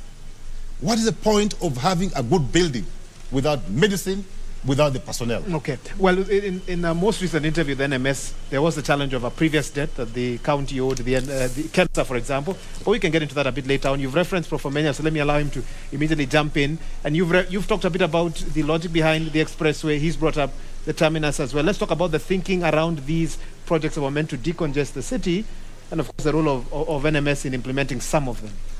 Yes, thank, thanks, Waigan, and I agree fully on this one with, with my brother here, that uh, there are two issues here. I mean, uh, in our law, it's quite clear that um, uh, expenditure, public expenditure, must be done according to a plan, not Prof, it's, outside it's of only plan. on a panel like this when I can interrupt a professor. In ordinary life, it Right. wouldn't be allowed. The balloting is happening. Let me immediately take our problem. viewers there, Yeah. where we'll get to determine the order in which they will stand at that auditorium. Frederick Mutiriri. Shukran sana Wahiga Mwaura, jinsi ambavyo umesema ni vizuri sana. Ni kwamba kitu ambacho tunaenda kufanya wakati huu ni kwamba tutakuwa tukipiga kura. Tuko na wawaniaji wane ambao wamefika kwa hivi sasa, wale wengine watatu tutawasubiria wakifika. Iwapo wakati ambapo wataingia, tutapiga kura nyingine, lakini kwa sasa sababu tuna waniaji wanne, hao ndio tutaanza nao. Watafika hapa, watachukua nambari hivi, ile ambayo wataichukua, hapo ndipo mahali ambapo watakuwa wakisimama. Tutaanza naye Haman, if you can come. You can pick num a number in here and then show us. Very well, you can show the camera. Show the camera. Show the- camera. Show the camera. Amechukua nambari tatu, kwa hivyo nambari tatu imeondoka. You can have your seat. Thank you very much. Ma'am, asante sana. Chukua nambari kisha utuonyeshe. Amechukua nambari moja, kwa hivyo atakuwa akisimama pale akiwa nambari ya kwanza. Asante sana, thank you very much. Please if you can come, Mr. Nyamwamu. Asante. Chukua nambari pale kisha tuonyeshe Mtazamaji, tunafanya matangazo haya kwa uwazi kweli. Amechukua nambari ya pili. Asante sana, thank you. You can have your seat, sir. We appreciate. Mam, karibu sana. Tunapiga kura jinsi ambavyo watasimama wakiingia kwenye mjadala. Anafungua kwa sasa, mtazamaji amechukua nambari ya nne. Asante sana, tunashukuru sana. Hao ndio watakuwa wakiingia hivi sasa. Nilikueleza kwamba mjadala utakuwa ukianza mwendo wa saa 11 dakika 30, ni dakika kama kumi hivi kutoka sasa. Tuko naye Haman ambaye yuko eneo hili ambaye atakuwa akiingia pale ndani. Vile vile tuko naye Esther Waringa ambaye yuko hapa ndani, Nyamwamu yuko hapa ndani, kisha tuko naye eh, candidate wanne ambaye yuko hapa ndani. Hao wote wanne watakuwa wakiingia pale ndani na kisha watakuwa wakianza mjadala wakiwa wote wanne. Tulikuwa tunatarajia saba, lakini watatu wakiingia, sababu Nairobi huijui. Watatu wakishaingia, tutakuwa wakiingia pale mbele. Kwa hivi sasa tutakuwa tukirejesha matangazo haya kwake Wahiga Mwaura, kisha atatuelekeza tutaenda kwapi. Well, the clock is ticking indeed. The debate starting in the next 11 minutes or so. Four candidates here, waiting for another three more. But time waits for no man, no woman, no candidate. And the debate will kick off on time. Of course, our moderators are on standby for that, and we'll be getting to that shortly. Uh, but let me get one or two final thoughts from my uh, guests who are here, uh, still with us. Prof, I, I, I interrupted you. Let me apologize once more, and then allow you to make your statement. Yes, no problem. I just wanted to add a little bit on to what uh, my brother Kisia here was suggesting. Uh, if you look at our law, um, the Public Finance Management Act, uh, County Government Act, uh, Urban Areas and Cities Act, and, and, and others, um, use, the law is clear that uh, um, expenditure must happen according to a plan, and planning has to be integrated. And planning is participatory, so it's meant to be a mechanism of accountability. So I know that people were saying uh, um, NMS uh, built an hospital or built a road. The question is, what plan were they implementing? Were they implementing the county integrated plan? Uh, were they implementing an annual development plan from the county assembly and so on? Because the way that was structured was that the, the participatory space was left for MCAs and with no budget.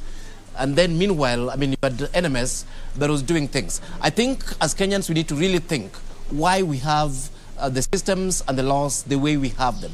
Uh, particularly the, o- o- on the matter of um, accountability, um, not just through the systems that we have, but also accountability to the population. I don't care if you gave me a good dictator who's the roads and so on. Who told them I need a road? That's, that's the question I'll ask. Uh, and, again, it goes back to, to what I was saying there, that this is a city without citizens. We are not treated as citizens of this city. Nobody listens to us. Badi and his people wake up in the morning and create those ridiculous things that uh, uh, uh, uh, Philip was talking about.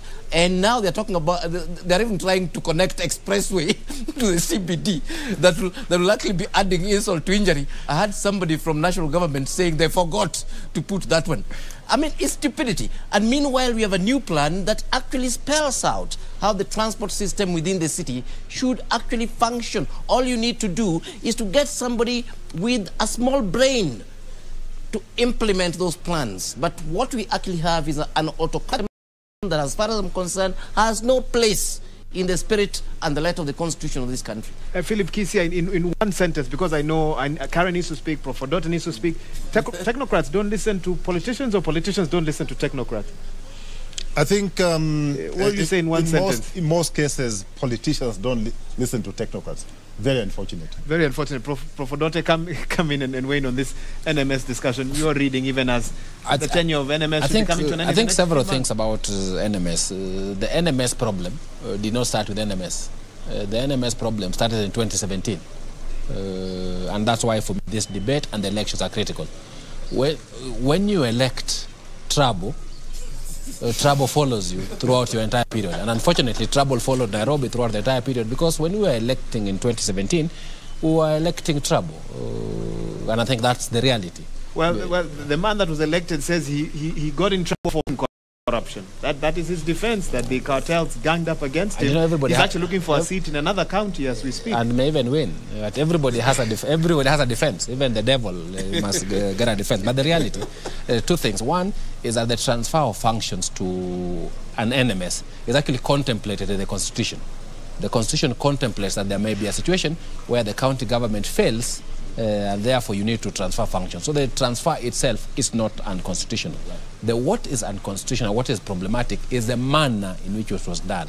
The manner in which it was done has demonstrated the troubles you see in Green Park. Uh, that eventually, if you look at uh, NMS performance in terms of the hardware, Mm. they've actually delivered in terms of hardware. And I think on that, Philip is right. In terms of the software, we have suffered. Uh, and the Constitution recognizes that you don't need one and not the other.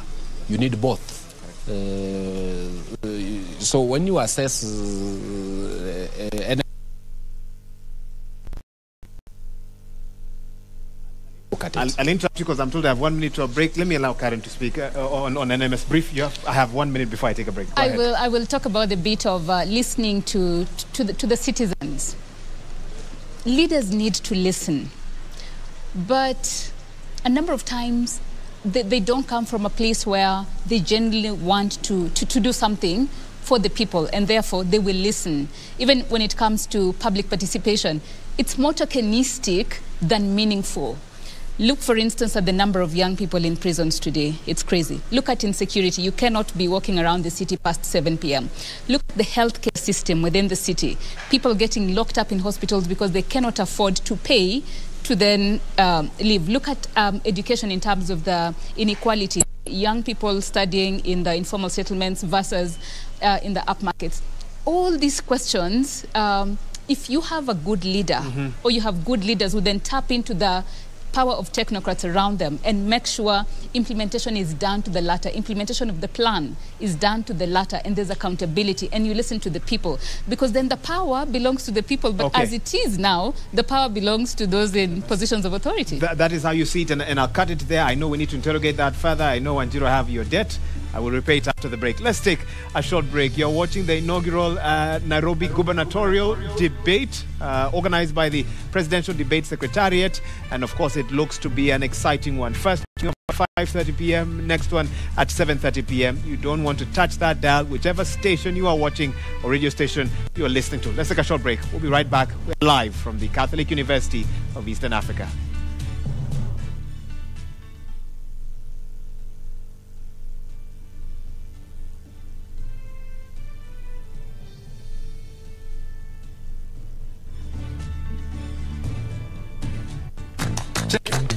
Let's talk about banking.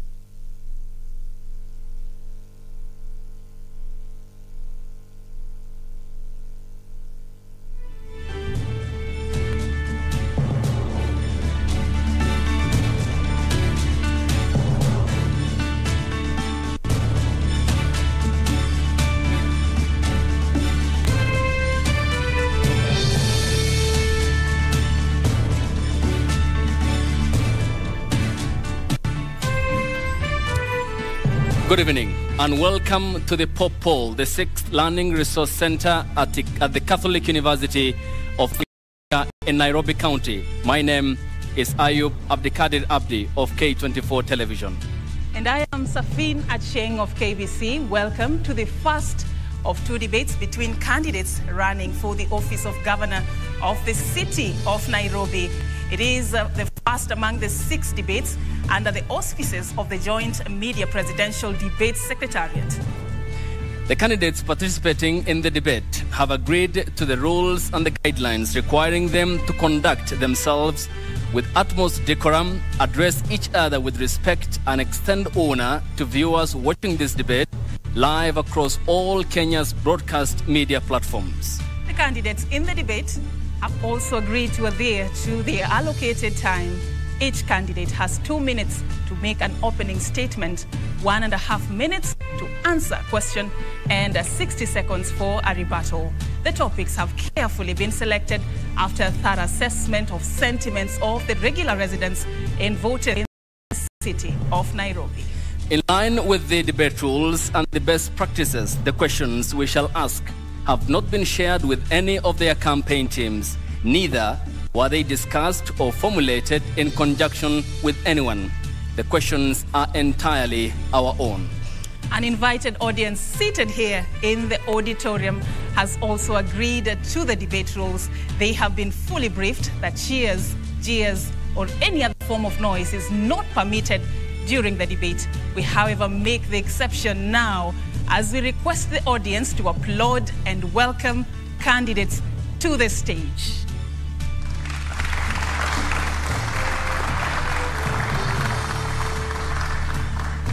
And we begin with the first candidate who will take the first podium in this debate. I call on to the stage Esther Waringa Thairu, an independent candidate. You can give them a round of applause.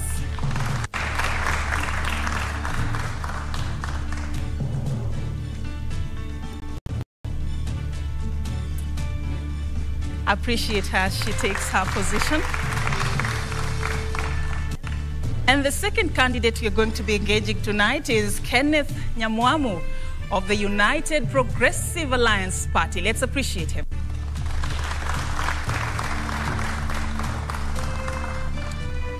The third candidate for this debate is Harman Singh Grewal of the Safina Party.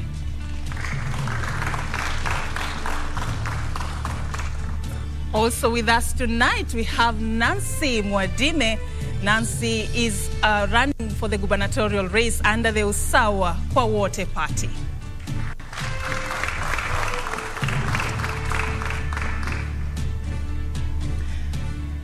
And here are the topics for this debate governance domain in the city of Nairobi, leadership and integrity, which is a key ingredient in the 2010 Constitution of the Republic of Kenya. We'll also be addressing transport issues, and utmost important and of importance, we'll also be talking about the living standards in the city of Nairobi. And uh, we begin this debate by just giving you a chance to tell Nairobians who you are and what your vision for the city is. I'll begin with you, Esther Waruga, in order of the ballot that was just done a few minutes ago. You're the first candidate to have your two minutes to tell the city who are you and what is your vision for Nairobi residents. Thank you so much. Um, my name's uh, Esther Waringa Thairu. First of all, I would uh, ask you to allow me to give thanks to God for who He is and to give thanks to God for the plans He has for us as a nation, and also to give thanks to God for raising men and women who have taken this bold step uh, to be counted by Him. I thank all of you, uh, the viewers, and I thank those who are here with us. Special thanks goes to all social media services for giving us this opportunity to be able to present ourselves to the people so that the people can decide who they're going to vote for, who will be their leaders on August 9th. I begin by saying that um, if you look at Nairobi City right now, is a city that is, has its potential a city that has a vibrant uh, people who are willing to work, a city that has young youth, young men and women who are actually indulging into crimes in order to survive.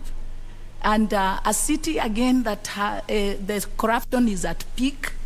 A city again that uh, has the looting being done by those who are, who are we, we are electing. It is a very sad situation to see that even our investors are taking businesses away from this country and um, taking them to other countries. So it's a sad uh, situation. And I'm here to say that once I've been elected, I'm going to give an authentic, transformative uh, leadership. And um, I was born and raised in Kawangware. Um, by then, it was known as a slum city. But I did not look at myself as a slum girl, but I saw myself as a, a girl in the slum. That made a lot of difference. And Okay. that is what Your- has kept me here. Your time is up. Thank you. And before I go to Harman Singh Grewal of the Safina Party, we like to state that one candidate of the Liberal Democratic Party, Dennis Kodhe, did decline to attend this debate in writing, while two other candidates who have been cleared by the poll body IEBC did not communicate. Harman, to you in two minutes. What's your vision for Nairobi County and your priority areas? Okay. My name is Harman Singh Grewal. I'm the Safina candidate for Nairobi County Governor. One of the reasons I've been back is because uh, I have a huge uh, background in IT. I was born in Nairobi, I've studied in Nairobi, and uh, I've worked in Nairobi. Uh, initially, I was a lawyer. Uh, after that, I, on the side, I used to practice as an engineer, and we used to do fabrication with my family. After that, I began doing charity work, and I moved into starting my own IT company. Company founded the first uh, AI lawyer in Africa, and from that, we, be- we began innovating other tech solutions for leading social issues in Kenya. If you'd like to read uh, some of the, the eight point manifesto I have, you can log on 47.com, spelled H A R M A N 47.com, and you can download my manifesto in English or Swahili, and we'll detail that uh, in the course of tonight. Um, in my manifesto, you'll see me speaking on how I plan to provide free education, free healthcare, employment to the people of Kenya. Um, I speak on the hybrid economic model. That is something that I will detail further on today. And it's a well structured plan that circulates heavily on IT and launching Nairobi into the next generation where we can revolutionize how we operate as a country. Thank you. Thank you so much. All right, and we move to the next candidate, Nancy. Nancy Mwadime, you get the opportunity to tell Nairobians who you are and what your vision for the city is. You have two minutes. My name is Nancy Wambui Mwadime, uh, a girl who was born in Murang'a and grew up, went to school to Murang'a, Mugoiri Girls, and later went to school in Senior Chief Koinange, and thereafter I went to India for further studies. And as I stand here, I want to stand for many of us who who's uh, grow up in up country, then they come to Nairobi, they work in Nairobi, they do business in Nairobi, and they make Nairobi a home for them. And I want to encourage many of us that when the time comes for political leadership, should not be going back to the village, but you should stay here and make Nairobi a better place. So, my, as I said, I'm Nancy Wambui. I, I stand uh, with Usawa Party kwa wote. Usawa Party kwa wote for all, from up to down. And we, are, we stand for the family to make sure that we make Nairobi a, a place where we can call our home for all of us. We stand for each and every Na- Nairobians and want to say that it's a right for every Nairobian to eat. It's right for every Nairobian to have water. And therefore, I want to say when I become the governor of Nairobi, I would want to make Nairobi a home for all of us who are here, who are born here, or those who grew up in our country, they came to Nairobi, they made Nairobi their home. I've been here for 30 years. Currently, I am I'm in business, and I've been in business for the last 15 years. And for the years I've been in business, I can understand as a business person. A businesswoman present an employer, present a mother, and present a Nairobi Nairobian.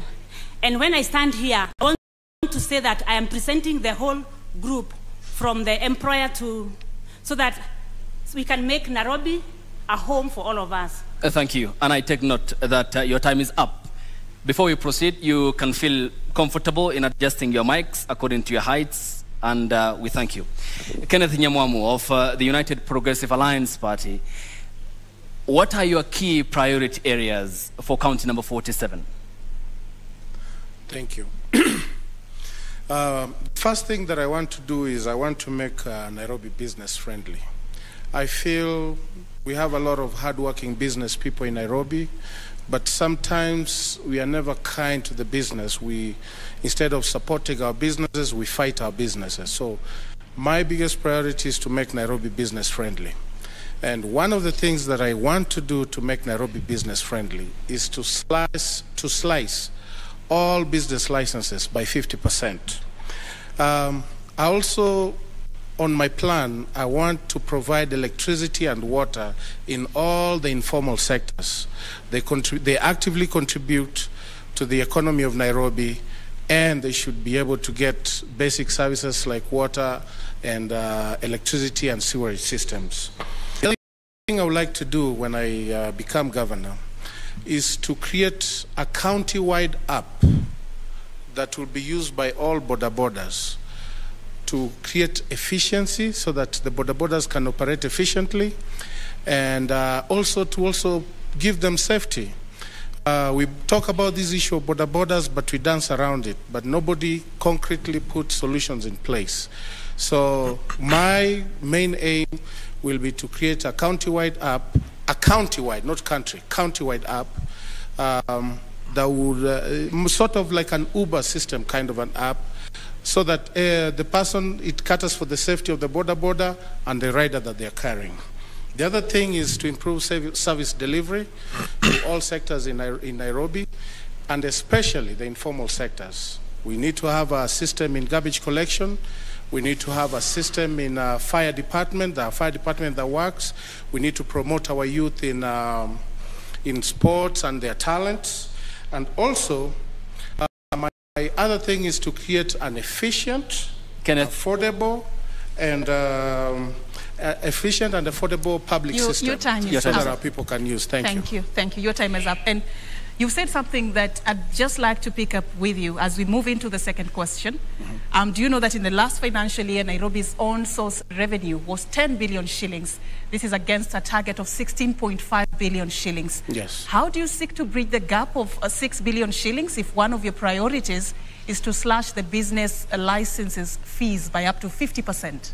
So, my, my, uh, the argument behind that is uh, uh, when people start businesses in Nairobi, number one, the average life of a business in Nairobi is three and a half years, which is very sad. Two, when they start a business, they pay all their licenses up front uh, because they have to. Uh, to pay licenses before they start the business. But after that, nobody is able to renew because the rent is very high, uh, the cost of doing business is very high. So you get that a lot of people are not really paying business licenses. So instead of charging them expensively, why don't we slice the licenses by half and increase the pool of So, so the revenue you, reception? how do you seek to bridge the gap of 6 billion? That's, that, that is the question. Well, you, ask it, you asked it in reference to me slicing the business licenses. So that's how I'm asking, I'm answering and saying, if we increase the pool of people, if we increase the pool of people who are paying these licenses, then we'll have the six billion. But if we don't, then you know we have money getting lost uh, through the enforcement where they go and they harass our business. Thank you so much. Your time is up. Thank you so much. And uh, I come to Harman. When you talk about finances, they are key because under the devolved system of governance, funds do follow functions. And according to the Commission of Revenue Allocation 2019, the county can easily collect 78 billion Kenya shillings potentially, but only manage 11 billion. I mean, this is a big loophole. How will you seal it? Um, so I think we need to reflect on how there are many revenue streams that do come to us in Nairobi County. It's a question of is that 10 billion an actual figure? Or uh, is the actual figure a lot higher and a lot is lost? So I think something we need to concentrate on is um, regulating the corruption that does take place. And uh, this is why a huge part of my manifesto dictates how we should digitize uh, the payments coming to Nairobi County Council. There should be no point where we're receiving cash for any payments because it's very difficult to track uh, cash payments. Also, I spoke on uh, how we need to have better revenue generation streams for Nairobi County. Business permits aren't the only way we can generate money as a county. Um, something that has frustrated me is that if you look at Kenya's parastatals, a lot of them have struggled to raise revenue for uh, the government um, uh, operations. And I feel that also if we tap into parastatals and we create new parastatals in Kenya, we can generate revenue.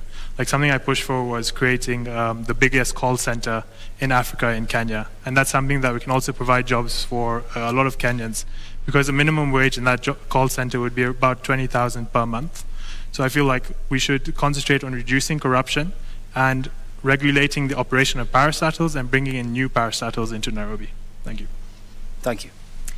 And we move to you, Nancy Mwadime. You spoke very passionately about making Nairobi home, and uh, that was part of what uh, you wanted to do if elected governor on the 9th of August. I want to understand from you how you seek to bridge the gap of h- how much money Nairobi uh, generates vis-a-vis what it potentially can, can, can generate. Um, how to make Nairobi a better home. And the first thing we need to do is take care of the business people to make sure that they're able to do their business without any harassment. And uh, especially, I'll give an example of uh, the hawkers. The hawkers, they go in the evening to do the hawking business. So when I'm the governor, I'll make sure that the hawkers are not harassed. In the evening from 5 p.m., we'll have some roads closed and allow the hawkers to do their business without any harassment. On the other hand, we'll also take care of the, the, the business, the business sector, like the, the industry. We shall have dialogue with the business owners and we see how we can improve the business or how we can make their work easier. On the other hand, we'll also work together with the industry owners to see how we can engage or how we can put some of our unemployed into work for the, those industries. And uh, apart from that, we are also going, I'm also going to make sure that uh, there, is, there is water. Water dis- dis- distribution is, is, uh, is taken care of. Because when we have water, we can encourage uh, the Nairobi people even to do the, the family farming or the balcony farming. So with that, we are able to get some food available. Your time is up, but I'll add you 30 seconds just to come clear on something. You said you're going to work on um, making sure that hawkers are not harassed. And uh, you know that some hawkers uh, operate without the necessary requirements. Some dodge, you know, the procedures that they ought to be going through to be able to operate a business lawfully within Nairobi. How are you seeking to make sure that they are not harassed, yet a, a, a big percentage of, of, of them uh, you know, operate without the licenses that are required, without paying any dues to the county? How are you planning to make this organized? I do believe with dialogue, everything is possible. I'll have dialogue with hawkers, and we see how we can stay together in the city of Nairobi, how they can do their businesses and they make money, they support their families, and how we can also charge a little fee which is affordable for them. Okay, thank you for your time. I I come to you, Esther Waringa Thairu. On governance, it has underneath a lot of thematic areas. And the question of corruption comes up when you mention money in the city of Nairobi. And it seems endemic. What will be your approach? Well, um, with corruption, um, I know it's an issue uh, that is big. Uh, I'm looking at when I become a governor, I'll be in partnership with some bodies like DCI, uh, EACC, where anybody who is employed, before they get the employment, they are vetted, and we, they, are, they should be people of integrity. I'm also looking at uh, cutting down the loopholes of cartels. The cartels that, um, um, that are done that affect this city. One, we know that uh, in the lands, um, Ministry of Land, uh, I mean, land issue, it's an issue, especially when uh, it comes to land that is allocated to um, to the county. Uh, I would also look at um, the functions of um, what is happening, especially with the land in leasing. Of the land's uh, lease expires in 99 years, and we find that there are some places that they don't pay. They don't pay any lease because they were not, the leases were not renewed.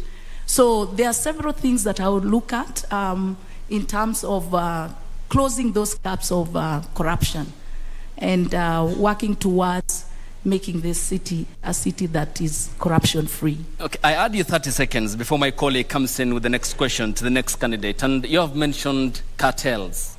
Seems this is a cliche. Who are they by definition?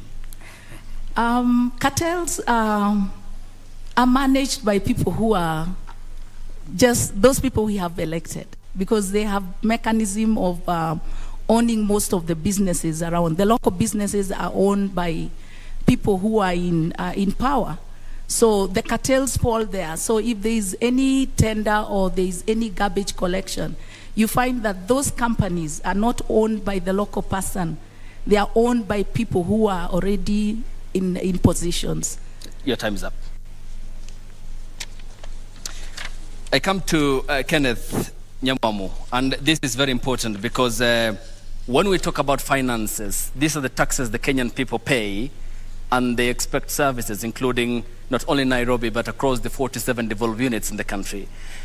Do you understand the regulations and the finance management in terms of managing the resources in Nairobi County?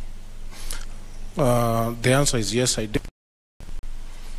Um, so, I mean, if I may get you correctly, you're trying to ask me if we understand to the way to manage finances. Correct. I know, I do, because I am a business owner, and uh, I've run my business successfully for the last two years.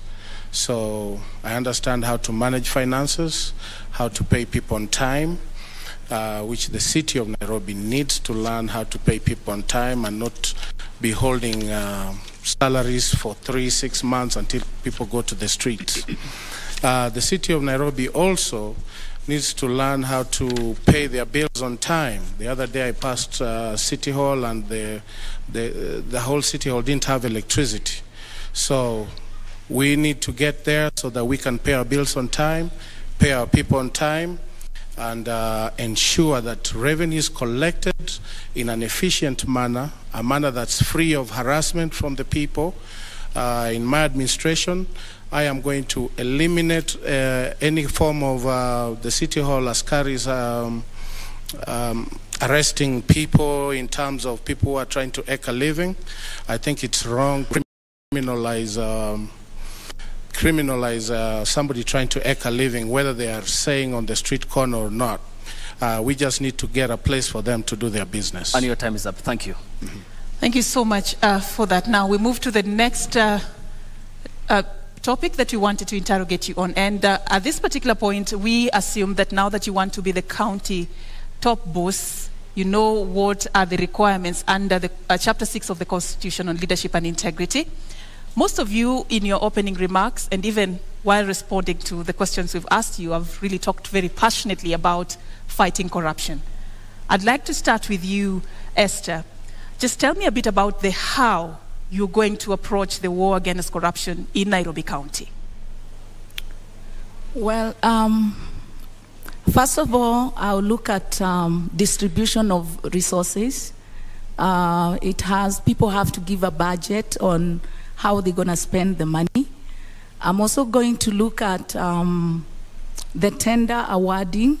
It should be something that should be open and transparent, where you gazette every uh, every project that is going to be undertaken by the county government and uh, communicate the social media.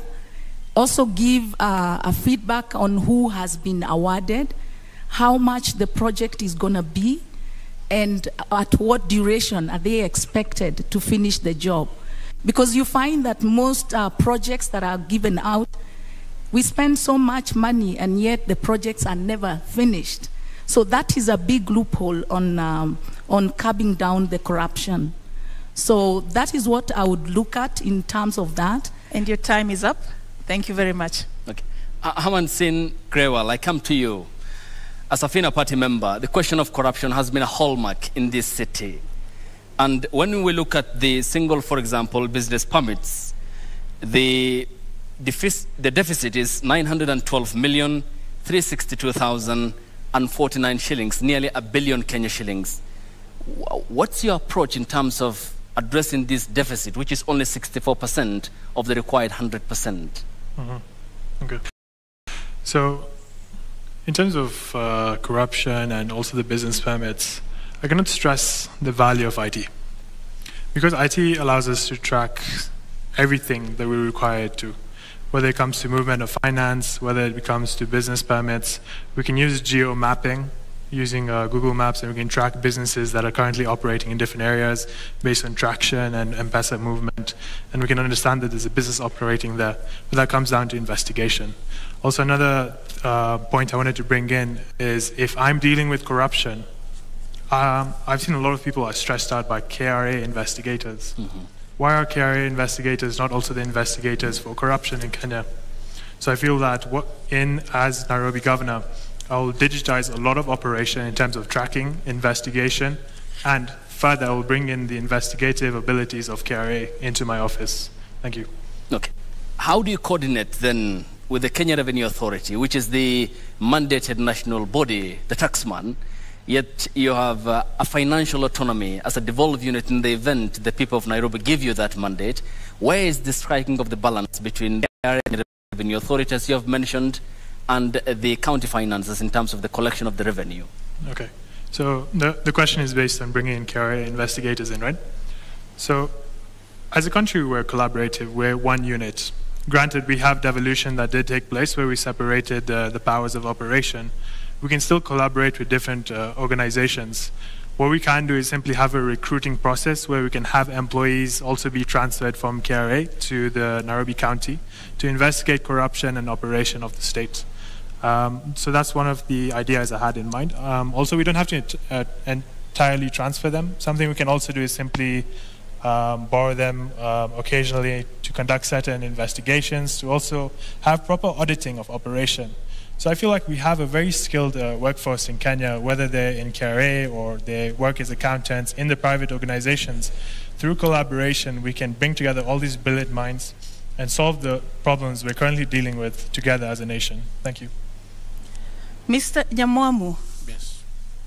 Corruption has been something that has tainted the image of Nairobi County, which many see as something that should be the city under the sun. That is how, ideally, that is the space that Nairobi should be occupying. But that is not the case, partially because of issues such as corruption. As you seek this mandate, what loopholes have you identified, and how do you seek to seal?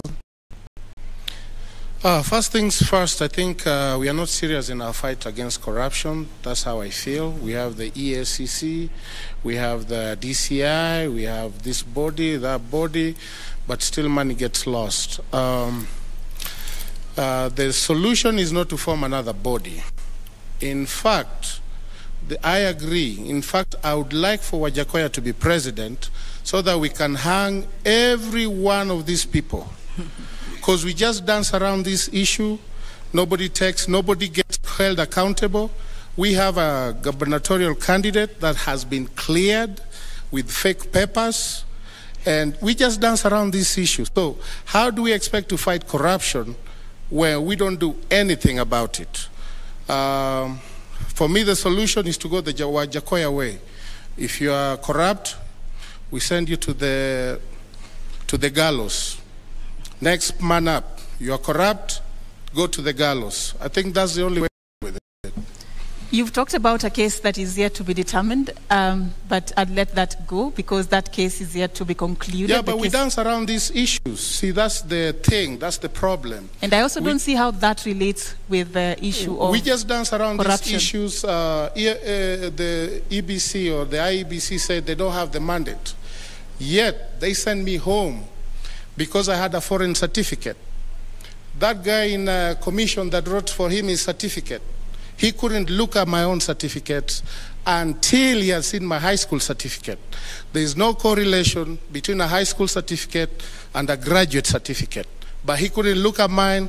Yet we have a gubernatorial candidate who has been cleared by the same commission. So, anyway, the issue I'm saying is we dance around this issue of corruption, but nobody wants to take affirmative action. I just want to uh, st- stay on that matter for a bit before we move. So you mean, as governor, you will be helpless just because institutions are not working? So you cannot do anything to fight corruption? That is what you're saying tonight. No, that's not what I'm saying. As governor, I'll do my part. What will you do? That was the I question. Will not I will not appoint anybody in my in my government who has been implicated or who has a case pending or who has been alleged been implicated in a corruption scandal. If you don't do that, people are just going to go to court because the mantra is you are innocent until proven guilty, and then they just dance around that issue, and that issue is not solved. So, on my part, I will not appoint anybody who, who's tainted. I will only work with people with clean hands. Uh, let the EACC dance until the day they decide to work. Okay. Thank you. Ms. Nancy Wambui Mwadime, what then will be your approach in effectively sealing the loopholes of financial malfeasance in Nairobi County? My approach is that uh, when I get to Just, the- just. Jeanette, Sorry, to just, just pull your- mic. yeah. You can So we adjust your microphone uh, at your place of comfort. Feel free. Yes, go ahead. Yeah, the approach I want to give is that in the county government, government management, I am going to work with every place in Nairobi. Like in Nairobi, we have the Somalis, we have the Indians, we have even the white people who are citizens of Kenya, and they are also in Nairobi.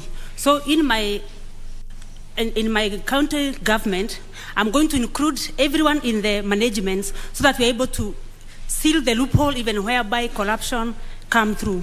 Because uh, corruption cases, you, it, it's done by not one by one person, by two people who come together and agree. So when you put every lace in the management, we are able, like, not to agree on the long things, especially the corruption. And as uh, I would want to say is that myself, I'm not corrupt, and therefore anyone who will work under me Your time is and up. And I, I, I add you 30 seconds, but on clarity basis, Ms. Nancy Mwadime, when you talk about the ethnicities, in this case, appreciating the cocktail nature of this county, which is a reflection of the country entirely, is the problem inclusion or governance in your view in addressing the question I posed? um, when I include everybody in the management, I believe that we are able to, to, to do, to coordinate, even in the area of the finances, we are getting all the revenue coming in in the county government. Is it about the color of your skin or about your character? No, the it's issue not of about the color. Uh-huh. So why talk about race? Why talk about including all the people in your management? It's not about the race. It's saying that Nairobi, we are, we, we, all of us, we are Nairobians, Indians, white people. Like, I think if I'm not wrong, I'm not seeing white people in, in the county government, and we have, we have them as citizens. So that's what I'm trying to say that in my government, I'll have a good number of white people, a good number of Indians, a good number of and all of us together. Is their absence the reason why we have huge corruption cases at the Kenya's capital? The absence of uh, certain races in the management of the county, the reason why corruption still exists in Nairobi. I believe the corruption still exists because when you put the same people of same, then they are able to agree together and uh, agree that they can do ABC and they're able to accomplish. But when Thank you for your time. And uh, when we get back from this break, the debate continues, and we thank you for your time and responding to the questions and also the thematic areas that are yet to be exhausted. And will continue after the break. The debate continues.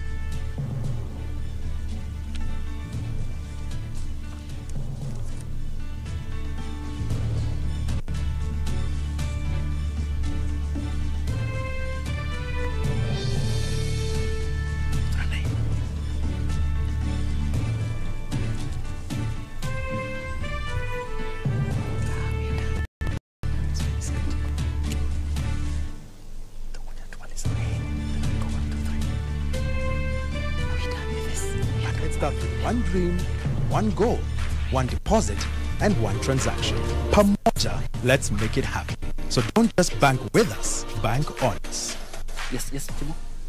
Enroll at Catholic University of Eastern Africa for courses in nursing, law, business, economics, computer science, education, community health and development, actuarial science, international relations, counseling psychology, regional integration, and theology. September intake ongoing at Langata and Eldoret campuses. Email admissions at cuea.edu or visit cuea.edu. CUEA for innovative, marketable graduates. I think the most important quality of a leader is wisdom, so that the decisions that are being made now, he knows how. You know, it's like a chess player who sees things ahead. Unajua wakati ambapo mlipa ushuru, mlipa ushuru analipa ushuru wake, anataka aone angalau kazi ya pesa yake ambayo anailipia. Hii pesa tunaamini kuwa zinaishia kwa mifuko za watu binafsi. I think it's important that wealth is declared frequently, and if people have found ways to uh, accumulate wealth very quickly, um, absolutely good for them, as long as, of course, that is done honestly and ethically. We need leaders who are well educated to understand uh, the challenges that we face in the modern world. Kwa mfano mtu mwenye amesomea ukandarasi wa barabara, mkiwa, mkiwa na kiongozi ambaye ames, ana, ana, amesomea hiyo taaluma, una uhakika kwamba barabara za eneo lako zitakuwa zina usimamizi mzuri.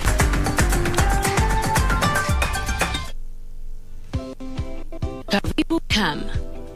By offering market linkages, networking opportunities, and technical assistance, Kenya Association of Manufacturers assists its members to grow and scale up their businesses.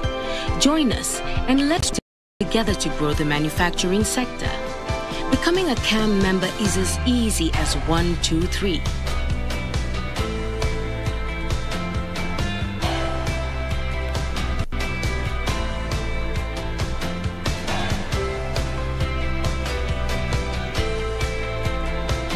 Association of Manufacturers, driving global competitiveness. What is a secondary school in Kenya? It ranges from 106 high cost national schools educating 3% of the learners, where you find ultra modern libraries and laboratories, the most experienced principals and teachers, and the best teacher student ratios. Then we have 7,019, some barely established, understaffed, lacking basic facilities, sub county schools, educating over 60% of learners. Given that KCSE is the most consequential examination in our education system, isn't it fair that we level the ground for all learners to excel by narrowing the capacity gaps between the worst and best schools to deliver quality education? Usawa Agenda calls for a sub county schools upgrading program and a change from the capitation model to enable small schools to grow. Without these, SDG 4 is a false promise to most Kenyan children.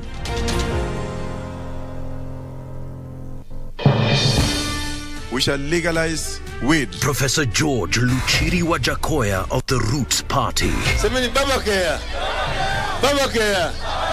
Semeni Babakea. Babakea. Raila Amolo Odinga of the Azimio la Umoja One Kenya Party. Unajua mimi sina pesa ya serikali ama ya cashback. David Mwaure Waihiga of the Agano Party. And Tunasema kazi ni nini?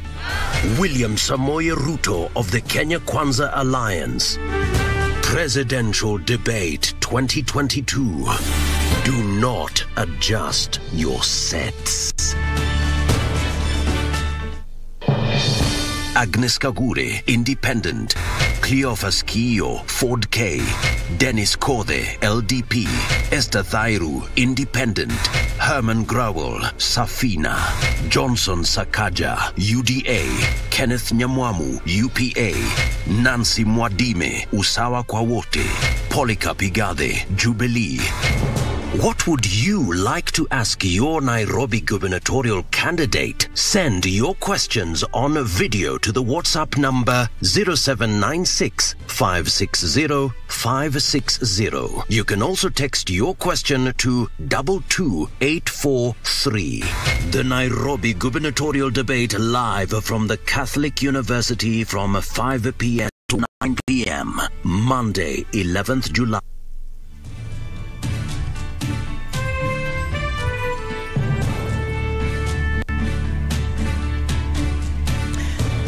Welcome back. You're watching the Nairobi gubernatorial debate live coming to you from the Catholic University of Eastern Africa in the county of Nairobi. And we are with Esther Waringa Thairu, who is an independent candidate seeking the top job in the county. We also have Harman Singh Grewal, who is a member of the Safina Party. We also have uh, Kenneth Nyamwamu, who is a member of the United Progressive Alliance Party, and Nancy Wambui Mwadime. All right, we'd also wish to remind you that we extended invitations to all the nine candidates who are vying for the Nairobi top seat. And of course, we have with us four of them for the first debate lined up for the night.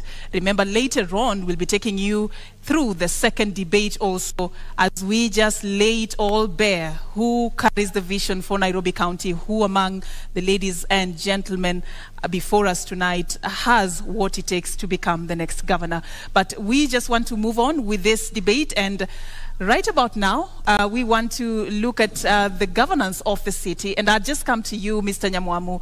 Uh, the extension of deed of transfer of functions that was signed between the Nairobi City County and the national government elapses on the 24th of August, of course, preceded by a three-month extension period to tackle what is called the transition. If elected governor, how do you plan on handling this transition, and also how do you seek to sustain the relationship between the national government and the county government, and which areas will you be doing that on? Is this in relation to the NMS? Yes. Uh, first of all, we shouldn't be having NMS running Nairobi County to begin with. Uh, that's not how our democracy was set up. Uh, democ- uh, we're supposed to be ruled it's supposed to be by the people. It's the people supposed to decide. They elect somebody, and that person runs. They give the person the mandate to run, to run the county. Now we have NMS, and um, my hope is when I get in, we'll have a transition for them to. We'll have a lay down transition for them to exit and let the Nairobi County be run by the elected officials. Um, it had a lot to do with the previous governor, but now when we get in, we are making sure that the NMS will hand over the function to the county government so that it's, la- it's run by the duly elected officials. That's how our our democracy is set up, and that's how we are going Your to time work. is up, but I'll add you 30 seconds. Mhm. Nairobi is Kenya's capital, Yes. and also it is uh, like the headquarter. yes. Do you want to tell me it's not important to have a relationship between these two levels of government, the national government and the county government, considering the fact that it is the capital of the entire country? The county has its own. Um, we, they have their own um, uh, responsibilities. Uh, why should Nairobi be partly run by the NMS while Kisumu, which is also another county, is fully run by a governor? I don't think that's fair. Our mandate dictates that you let the county be ran by the person that's been duly elected. Um, I understand why the NMS was there, but that's not how our democracy is set up. Why should Nairobi be chosen to be run by NMS and not uh, Your time is Migori, up. for example? Okay, your time is up. Uh, Harman Grewal, the law under Article 187 anticipates cooperation between the national government and the county government. And we have spoken about the NMS and how it came about. Would you have done what the ex governor did in handing over four key functions to the national government? Well, if you look at the history of NMS and why it was created, first of all, I would like to thank um, His Excellency Uhuru Kenyatta for pushing for the creation of NMS because he saw that Nairobi was in, in a state of chaos. And it was the sort of emergency response we needed. I'm sure all of you can agree if you look at the success of NMS, it's something that we can be proud of. NMS has accomplished what the governor is to accomplish. And he, NMS was a substitute for the governor, meaning that we, we need to move back into our normal state of operation. And we had the separation of powers so that we can allow elected leaders for certain areas be in charge of those areas. If we elect someone for a county, it would not be fair, just, or constitutional to have the president be running that county entirely. There must be collaboration, and we will transition in a peaceful and uh, positive way. Okay, your time is up, but I add you 30 seconds for clarity. And uh, there seems to be no response to my question, and I need clarity on this. If accorded the mandate by the people of Nairobi County, would you have done what the former governor did at State House in February 2020? I feel that um, given the situation we were in at the time, it did make sense, but it did happen because of who the governor's actions. So I feel that if I'm responsible as a governor, I wouldn't allow us to reach that state. But if we are in that state, we must be responsible as leaders and say, I've made a mistake. I'm not delivering as a leader. So that our country can prosper. Thank you. Thank you. All right, Miss uh, Nancy Mwadime, how do you plan on sustaining the relationship between the two levels of government, considering the fact that uh, you're vying on an Usawa kwa wote party ticket, assuming uh, uh, the government uh, is taken over by somebody who, uh, a, a party that is not uh, in your political camp? What will you do and how will you sustain this relationship?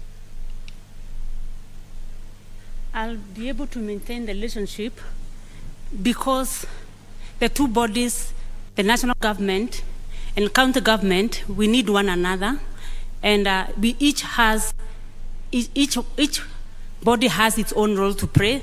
The national government, the county government, because even some of the the assignment which are done by the, the county government work in relation with the national government. So what I would say is that I'll maintain the relationship and uh, where and where necessary, work together. Or and at times, for example, with NMS, I would say that the, the county government, with a good leader, we have all what we need in the county government. We have workers from top, from the engineers to the accountant, to the officers. So what I would say that with good leadership, the county government Thank can be able to manage. Thank you. Your time is up. Okay.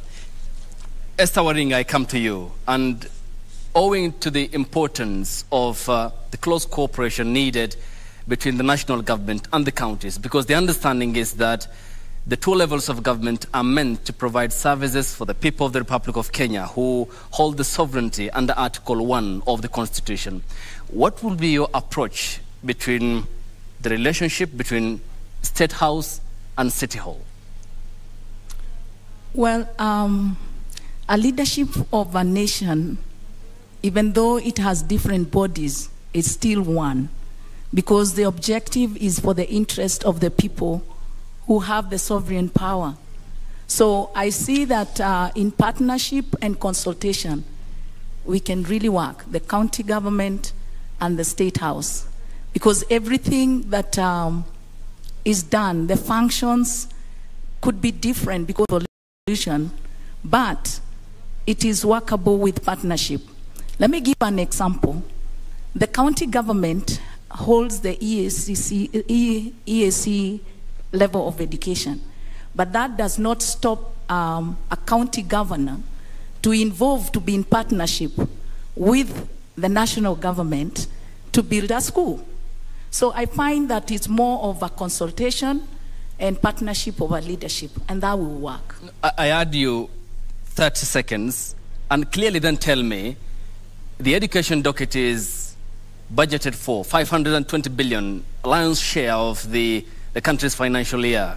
There are some roles which are devolved, others aren't. How do you draw that very thin line as to what you will accomplish in terms of education? You see, if we have plans uh, that involves uh, the people, the partnership to be also drilled down to the people, the NGOs, and even stakeholders.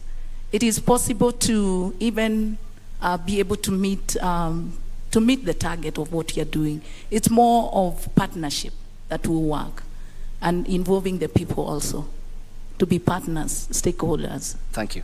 Yes. All right, so we want to move this forward to the issue of uh, living and working conditions for the residents of Nairobi. Mr. Nyamwamu, I see you have an issue you want to raise. Yes. I'll give you 30 seconds to address that. Uh, I just want to talk about this NMS county government thing. Uh, NMS is being headed by a military guy. Uh, now, the government should act as an oversight on the.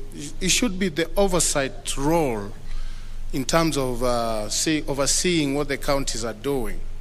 But devolution was there to bring services closer to the people, and that's why we have devolution. So when we bring the government to come and actually get involved in the devolution functions, we are treading a very dangerous line. When Hilton started, he started very nicely. He delivered services to the people. Over time, it has been shown military rule takes over and they suppress. Your, your, is up, but taking you back to when this happened on the 25th of February 2020, Mhm. vying for this position, I want to believe you understand where the county was and the state at which it was being operated at that time. What would you have done different? What would you have done different aside from just signing that uh, deed of transfer of functions? Well, first of all, it starts from the governor that was elected and the deputy governor that's seeking a gubernatorial position right now, who was part of that system, and the senator who was supposed to be overseeing. They all failed. So then the government has to be like Nairobi's in a mess.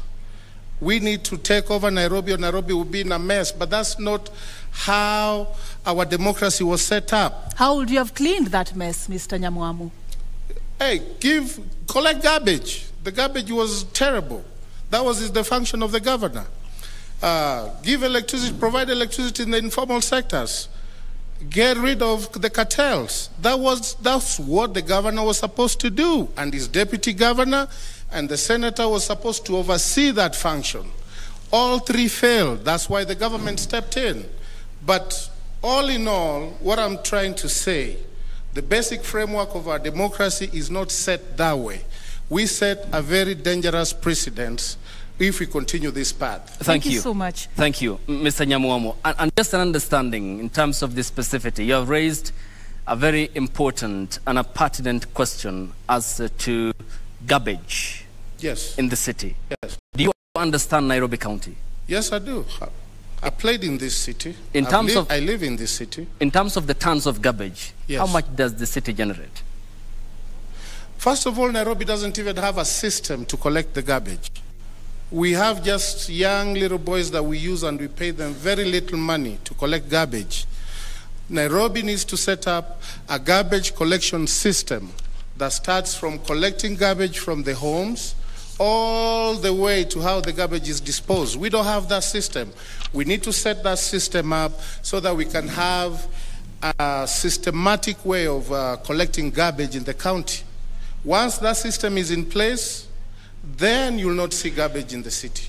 But we cannot have uh, self-help groups, young boys collecting garbage in an unsanitary manner, and we, collect that, we call that garbage collection. We need to have a system set in place with the county government, and that's what I'll do when I become governor. Mr. Harman Grewal, Nairobi County generates about 2,500 tons of garbage in a day. Out of this, only 1,800 is collected and transported. About 700 tons cannot be accounted for. You can, can guess where that ends up. If elected governor, how do you seek to fix this problem? Okay. Um, so this mostly comes to how are we managing resources. So resources would be goods and even waste. So when we talk of goods, are we managing a system that allows for the collection and recycling of the waste? Secondly, we look at the waste generated. How is it, how is it ending up in the dump sites, for example? Is all of it ended up in the dump sites? So it's simply about now tracking how much garbage generated from certain areas, how much needs to be handled, what is the success rate of the systems we have put in place. Because when I was reflecting on garbage, it was one of the major aspects of my manifesto because to work in any place, whether it's an office or in a county, you shouldn't have garbage everywhere, you shouldn't have sewages open. Because I've also walked through several slums in uh, Nairobi and I don't understand how we have the funding for something simple such as manual, which is minimum wage, which is all that's required to co- collect garbage in certain areas, and then now move it to a recycling plant. Thank you that's so why, much. That's why I spoke on how we need to partner. So even with recycling plants, we can export shredded Thank you. Your plastic time to is other up, countries. Mr. Grewal. Your time is up. Thanks. Ms. Nancy Wambui Mwadime, the issue you have talked about is very important. What's your easy, immediate fix to garbage problem in the city? Uh, about the garbage issue, one thing I want to, to say that uh, people have complained that at times leaders give manifesto and they are not able to fulfill what they have said. Especially the issue of the garbage. I would say this is something I need to get to that office and sit with the other parties and we see the way forward on how to handle the issue because it's a big problem at hand. Which is the way forward? As I've said, there are some issues one would need to get to that office and sit and look all around and see how to solve. And the garbage is one of the, the issue one would need to go and get to the office and sit with the bodies related and see the way forward. And, and how, how does th- that way forward formula look like? Because the people of Nairobi watching this debate want clarity to the questions that we are asking you. What's the approach? How? Uh, I start by saying that uh, we need to start by educating our people. Because the issue of garbage starts by dropping it everywhere. So we need first to have the feeling that you cannot go dropping a peel of a banana everywhere. Your time is up, uh, Ms. Uh, Mwadime, but just 30 seconds for some clarity on something you said. You want to get to that house, sit down with some people to get Yeah. solutions. The people of Nairobi want somebody, a leader who already has solutions. What level of assurance can you give residents who are watching you tonight that you have the solutions to the problems that they are facing in Kenya's capital? I have solution for many issues facing the Nairobians. Is, and I'll is garbage one of them? Garbage is one of them. So, how do you sort to fix the challenges we are facing with the garbage issue in the city? We can go to the, the old, now we are calling it county government. Years back, we called, we called it city council. By then, we had lorries, which used to go round collecting the garbage. And there was a plant area where the garbage used to be taken, and from there it was managed. So, what I'm trying to say is that we can get back to the Nairobi, which was there some years back, and the county government provide those services to the citizen, correcting the garbage and knowing where the garbage should go and knowing Thank how you. the garbage will be managed. Thank you. Esther Waring, 30% of garbage in the city is disposed of by a private company. This is a lion's share, and uh, it's clearly a private affair. Yet the county is supposed to be offering services to the people. It's public dominated. How will you turn this around? You see, uh, garbage looked in a more positive way. It's money generating. If you look at it that way, then you'll have a solution on how you can tap from garbage collection into the recycling and uh, generate some money. So, what I would really do is to have the county government deal with the garbage disposals, where the garbage uh, installation, um, collection bins are placed in every estate, in every slum area, every at the, on the streets, and then that garbage collection is done uh, by the city government and um, is uh, we, we, we build some uh, collection uh, dumping sites in level in ward level. And then after that we are able to partner with uh, with companies that do recycling and we'll ask them that uh, since we have brought the garbage to you to the dumping site, then we create uh, employment. We ask them to employ people who will sort that garbage out. And then Your after time is that, up. whatever profit they Your make, time is up, Ms. then it's able to, we ask them to Your give us time a is 30 up. Your time is up. But, but you. let me add you 30 seconds Yes. to be clear on that. Yes. When you say that you will procure companies, do you appreciate the importance of public participation under the current constitution? And what will be the way of bringing those companies on board since they are private? we have recycling companies. If we partner with them, and those are the things that they need, the, the recycling, uh, um, the, the garbage stuff that they can recycle. So I find it's easier because when you partner with them, you have made it easier. You've brought the garbage to a dumping site that is, is available for them to be able to collect it. That's how I would look at it. Yes. And your time is up. Thank you.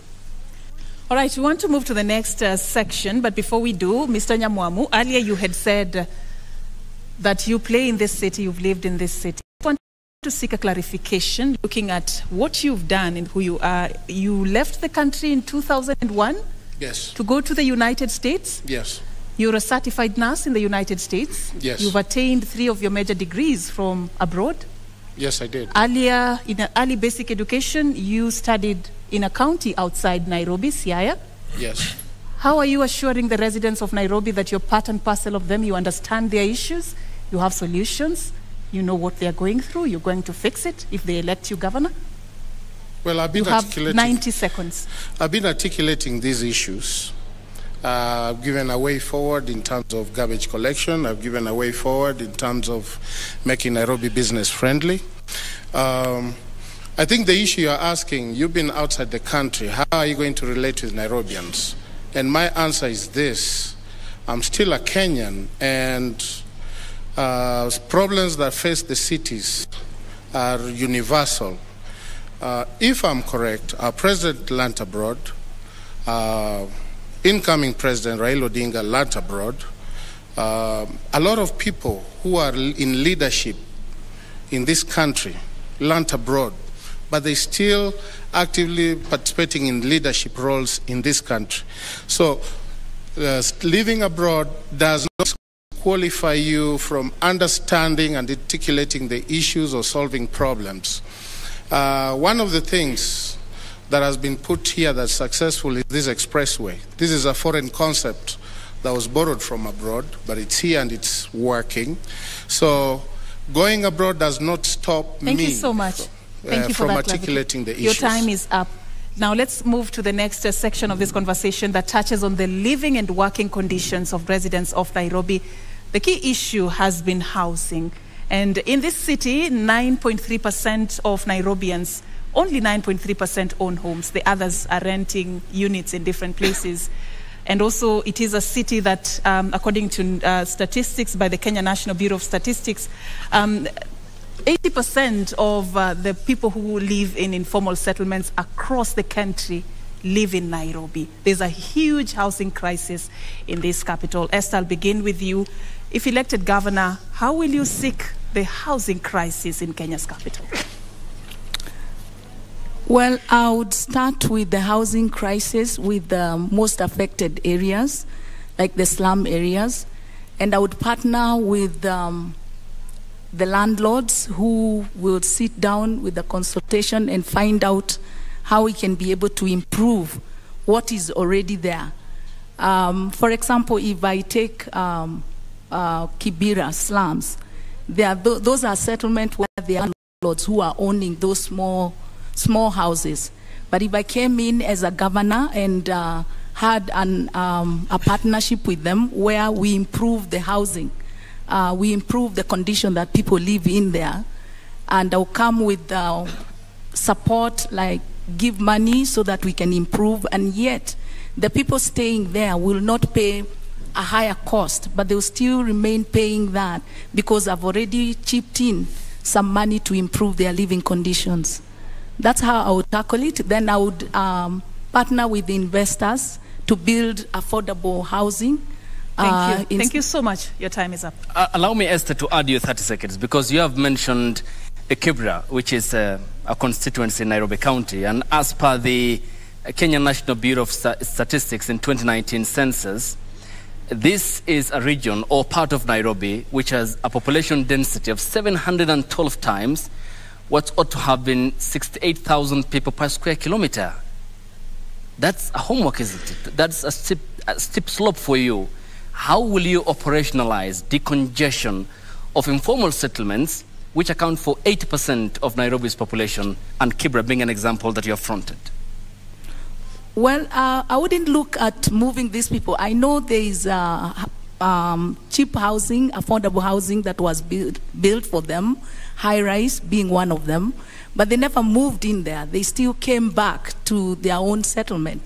So, what we look at is improving, not really moving them away because they are used to that place, they, they are comfortable in that place, but how best can I improve their living Thank you. uh, standard? and your time is up That's up. what I would focus on.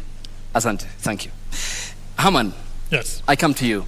Housing is a national government function, and therefore, again, another cooperation is needed between the county government and the national government. We already are short, falling short of the targeted 250,000 household units to be delivered.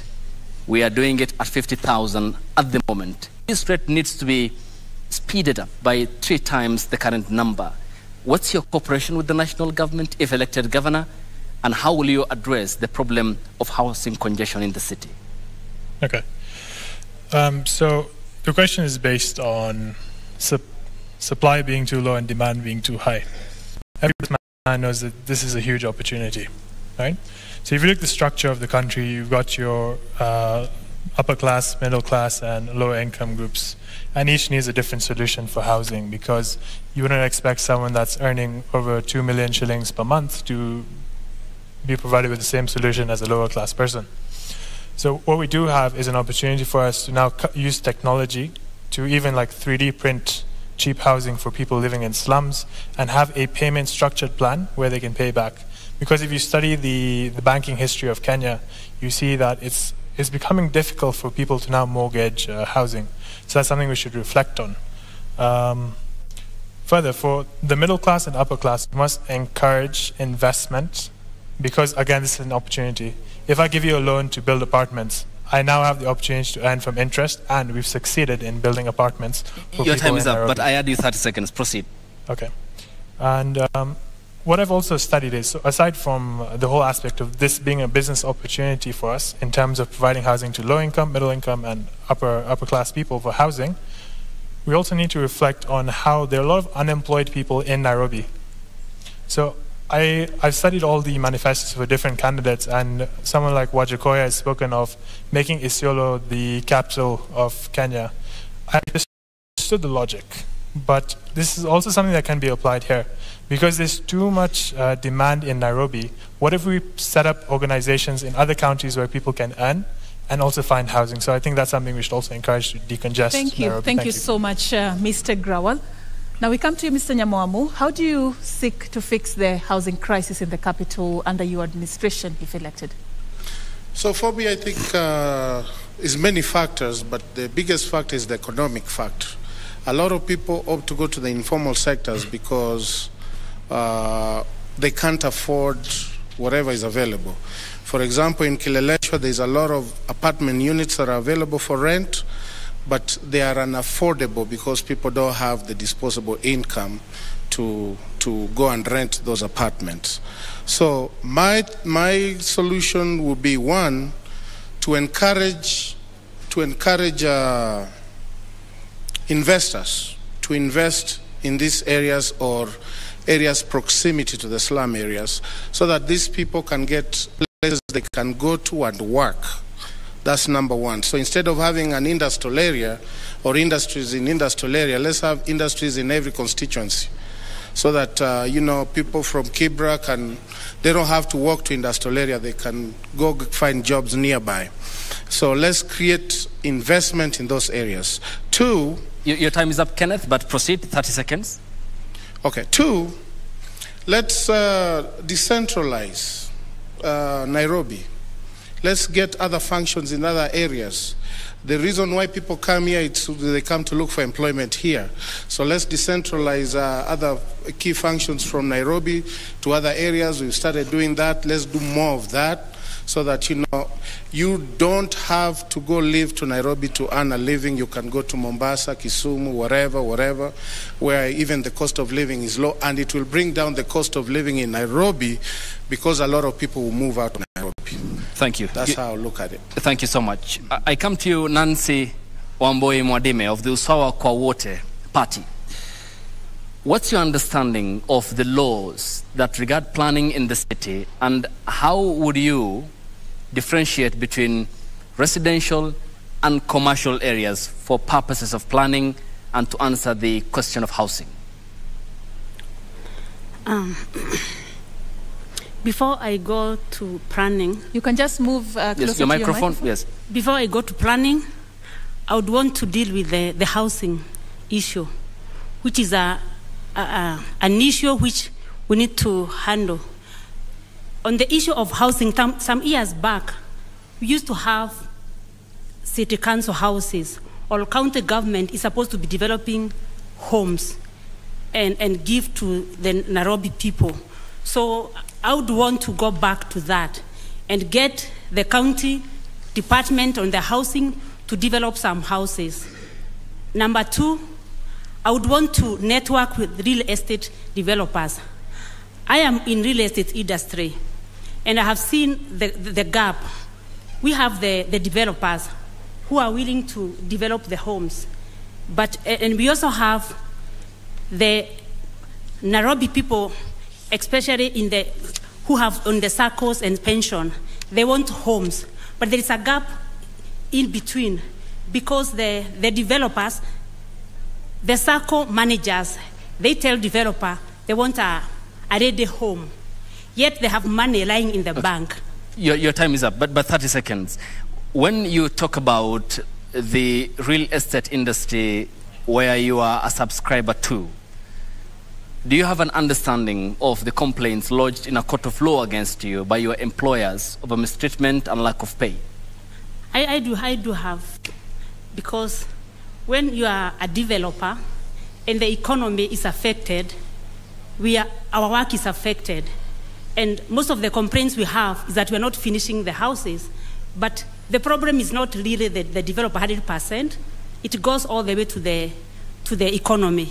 Because when we don't have an atmosphere for the business, as a developer, you start your development, and uh, because of the atmosphere, you are not able to receive the, the buyers for the homes, and you are not able to complete your development. But in this case, what I'm trying to say is that we can have a network between a developer Okay. and a circle whereby the developer will develop homes for a particular circle using the same fund lying in the bank. And in this case, the Nairobi citizen will, be, will pay only 10 to 15,000 to own a house Thank within you. 10 Ms. to Mwadime, 25 your years. time, Your time is, is up. up. Thank you. And at this point, uh, we also extended an opportunity to the residents of Nairobi to get a chance to ask uh, questions. And we just want to get uh, some of them so that our candidates can be able to respond.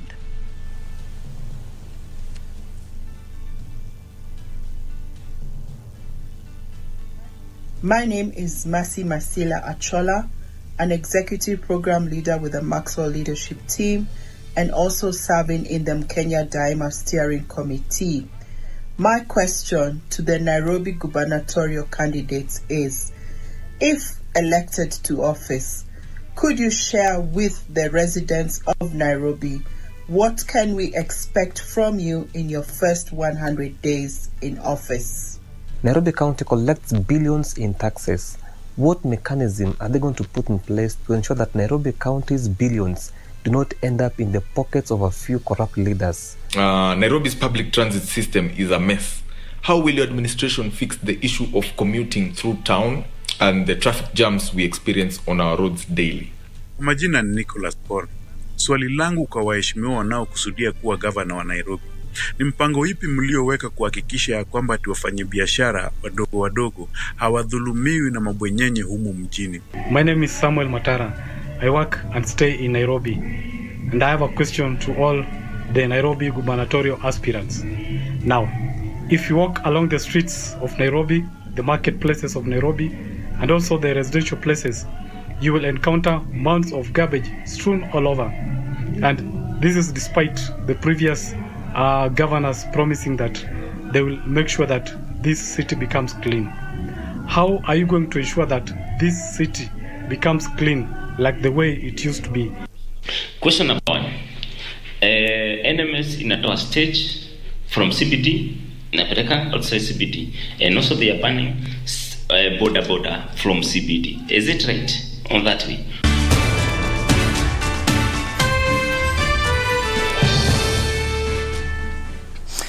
And those are the residents of uh, Nairobi who sampled messages that we did play here and we did engage them because they are very key and important since they hold the key to City Hall and in exercising Article 1 of the Constitution since the sovereignty of power lies with them as enshrined and envisioned in Article 1 of the Constitution 2010.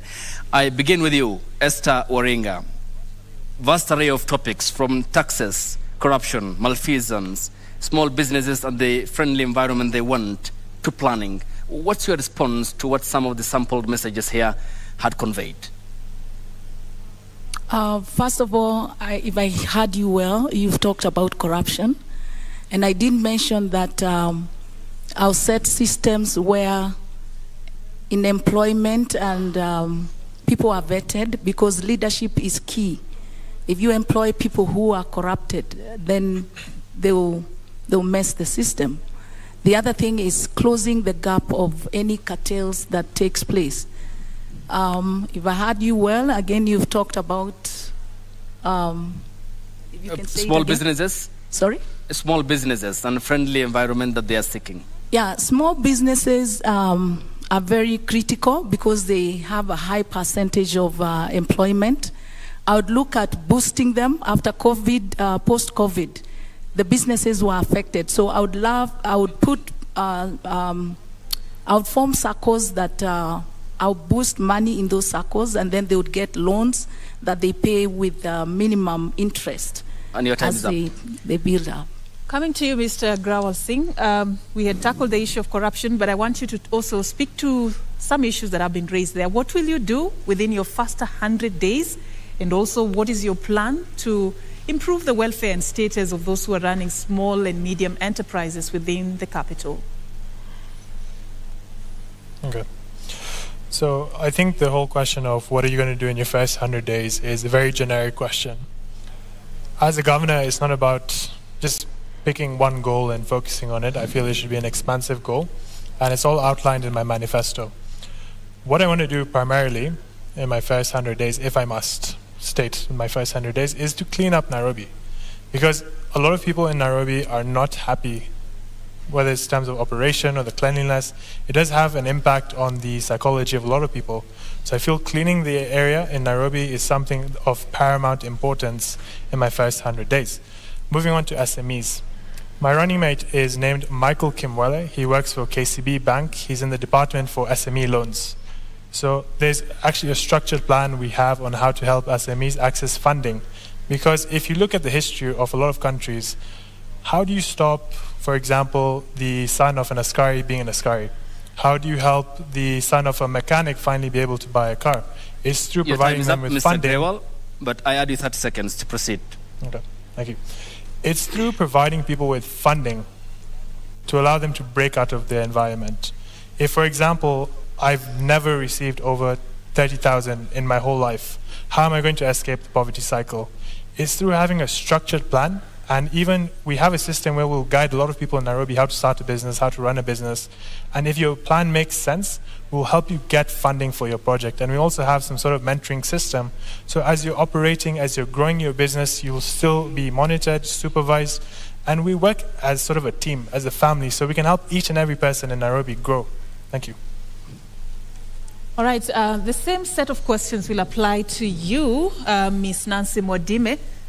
Within 100 days, uh, in case you're elected, what will you prioritize? And also, as you do that, you also talk on what you plan to do to improve the status and welfare of those running small businesses within Nairobi. You have one minute. So the first 100 days, I'll deal with the employment. We have kept on talking about employment on youth, but around this time we have unemployment, even from age gap between 30 and 40 and even 50. And with this group, I would provide training, free training, and uh, when they are done with the training, we provide them with tools. For example, if you are trained as a mechanic, we release you with uh, tools for being a mechanic. If you train as a trailer, we release you with a drilling machine. Uh, for the youth, I would encourage a good number of the youth to further their studies. When they go, the, the, the, the county government under my management will pay their school fees abroad. When they go out there to, they'll get visa to further their education. And uh, we'll take care of the fees and our accommodation. But while they're there, they'll be able to work. And your time is up, but why abroad? Why not within the borders of this country? Don't we have what it takes to do that? I, I was uh, I was to come to that, but I'm saying I'll encourage a number because when I encourage a number of them, I'll have to I'll kill two birds. One, they'll get employment. The second, they'll be able to work for few hours. And those who are wise, they'll work and send money back home and they support their their parent. And uh, for the local the local youth, I'll also get them to workshop and training.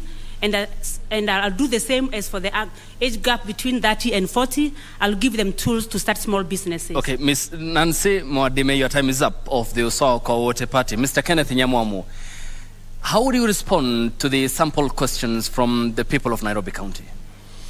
So, first things first, let's make Nairobi business friendly. Let's invite international uh, investors. Let's promote local investors. Let's um, not criminalize people who are making a living. Uh, if we bring international investors and have them in every constituency, people will have jobs and that will improve our lives of living. Um, let's reduce our business licenses by 50% so that whatever businesses we have, they are not, the cost of doing business is a little lower and they are able to do business uh, effectively in Nairobi. And the other thing is, uh, especially the issue of garbage, uh, let's set up a garbage collection system where we have days where the and let the city council buy trucks if they are not able to buy trucks let them uh, lease those trucks let them lease from companies partner with companies to bring trucks to collect to have collection days and take them to collection centers Your time and is those up, Mr. Nyamwamu. uh, can i have a little bit so i finish Proceed, 30 seconds added, Sorry. granted. So let's employ, let's get these uh, people who are, these young boys who are uh, picking up garbage, let's train them, empower them, show them the sanitary way to collect garbage. Uh, so that when the system is there, these boys can be incorporated in the county and then the garbage can be taken to the collection centers. Uh, the other thing is uh, the, when I'm governor, I'm going to fight with uh, uh, KEMSA. KEMSA is diverting uh, medication from uh, county hospitals. Your time is up, Mr. Kenneth Thank. Nyamwamu. That is uh, another government agency which is national. We appreciate is the source point of pharmaceuticals to the counties, and that is uh, a topic we can discuss another day. All right, so um, there is a question that was also asked. I deliberately left it because this is what actually ushers us into the next section. And we're going to be looking into your vision for the transport sector in Nairobi County. One of the residents of Nairobi County was, is concerned actually about the traffic jams that we witness each and every day if you live in the capital. Um, Esther, what is your plan to end the perennial traffic jam menace if elected? Thank you so much. Um, about uh, transport, um, I would say that if we have proper and efficient transport system that uh, will, will, will work, it's good. Uh, if I'm elected, I would think of uh, having to refurbish uh, trains, have ra- tra- uh, rails, train bringing people to town. Uh, that would decongest the traffic. I'd also have um, to have a consultation with the Matatu people and see how best we can have um, the public transport organized. Uh, I would also uh, look at uh, having um, designated uh, lanes on the road where any any buses or a car that has more than three people can use that lane so that it's more faster to have them Um, your, your time is up, uh, uh, but but are, are those? I'll add you 30 seconds. Uh, are those not efforts that have been tried before? We've seen that in the capital already. Is there anything that you offer as an alternative for the residents of Nairobi? If you can ask the question again. I just want to inform you that those are things that the, the previous administrations have tried uh, using trains um, and also consultations with those who are operating in the public service sector. And of course, you know, is there something that you plan to do that will be different to fix the perennial problem of traffic jams? Uh, well, um, it's to encourage people to do carpooling uh, if they are going the same direction. And if we had um, institutions like schools that are properly equipped and people take their kids to school where they stay, it's much better than crossing across to take a child to Nairobi Primary School where they, when they live in Dandora. So I would reinforce that, that method of having the schools at their ward levels Mm. so that we can ease the congestion of traffic. Your time is up. Esther Waringa, Independent Party. Harman Grewal, what's your approach to traffic snarl-up and the menace in the city? Okay. So transport is a is a fairly complex issue. Um, I'll try to speak on it in one minute, but uh, generally it cannot be resolved in this much time. Once again, we break it down. Um, we have three classes of people. We have the lower, middle, and upper class uh, individuals, and each desire a different level of transport solutions. What often happens is, uh, through my research, is I found when international guests come to Nairobi, how, how many of them are comfortable using a system such as matatus? How many of them understand how matatus work? It's, it's not a large percentage. So I reflected on it, I came up with three solutions. I hope I have the time to touch on them. Number one, the solution to traffic is not creating more roads. Because if we look at the history of Kenya, look at Thika Highway, for example, that was the more road solution. What we need is, because of the expanding population in Nairobi, we need to have structured mass transport systems that are of quality, that would, de- that would fairly reduce transport. If I had a solution for me to come from Westlands to Karen, for example, that's quality public transport, I would use that. Your time is up, but I add you 30 seconds. Proceed. All right. I would use that. So we need to have quality mass transport. Something like bringing in double decker buses into Nairobi would reduce the cost of transport even for the government, for individuals, and achieve the same thing. Um, we can digitize the operation of matatus. Someone with a smartphone, the driver, I can track his phone. And as a user, I can see how far my matatu is and how long it will take. I link my account with that matatu, and then we can also have promotions for students. And lastly, we can also have a digital carpooling system where if I have a saloon car, for example, other people coming to Karen can simply share the cost of transport with me. And now this touches on the different classes we have that's lower, middle, and upper class. Your time is up. All right, um, we move to you, um, Nancy Mwadime. Just your strategy of solving the traffic jams in Nairobi County. Uh, before I would think of solving the issue of the transport, uh, I would start by having everyone in Nairobi be able to access the transport, especially the people with special need. I would want us to introduce bus which are accessible to the person with a, a wheelchair. He can just driving and lifted to the to the bus and stay in the wheelchair, and when he get to his destination, just is walk out, so that we can also protect their, their dignity. Uh, about the issue of the traffic jam, this is something which has always been discussed again and again. And at times I look at it, the people who discuss are not even the people who are using public transport. Because wh- when you put the bus stage so far from town, then we expect people to walk that distance. I find that very unfair. For me, I would say I would want to come up with a solution before I get the stage out. Your- But, your- but your time before I get to that, Your, your time is up. Okay, I add you 30 seconds, but again, clarity. So before, before I get to the solution, I would advise that we, we have buses whereby they, they come across. For example, from if the buses are coming from Grobo, they, they come closing over to the other side. We have designated road whereby the, the traffic, the, the vehicles will come and close to the other side without saying that the, the, the bus, bus stop or the stage will be at Grobo and then people have to walk all the way to town. All right, and uh, just uh, to come to you, Mr. Nyamwamu, as well on the same issue of the perennial traffic jams in this uh, country's capital, what is your solution? So first, let's expand the use of, the use of BRTs in our city. Number one. Number two, let's introduce shifts, working shifts. Let people don't not come at the same time and leave at the same time. Uh, services that don't need people to come at, to start work at eight, they can have shifts from uh, maybe 11 to I don't know, uh, add eight hours to that. But the concept is to have people come to work at different shifts.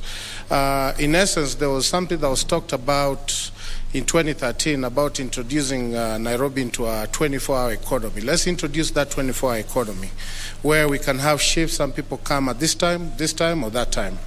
Another thing we can do about congestion is to have car holidays, days where, you know, we don't allow private cars or cars of particular uh, whatever to come into the city. Let everybody use the BRTs or whatever pl- public transportation is available to come to the city. Thank you. That will help with uh, decongestion. Your, your time is up. And uh, I start with uh, Esther Waring on podium number one. Your closing remarks, 30 seconds, and kindly adhere to the time.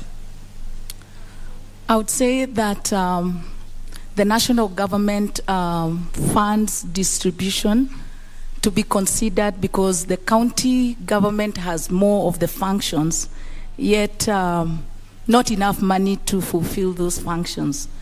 And uh, the other thing is that um, I would say is that um,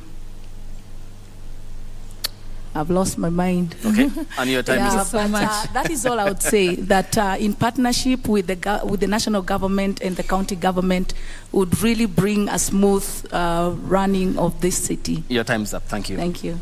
Mr. Harman Grewal? Okay. Closing remarks are normally a lot longer, but I'll try 30 seconds.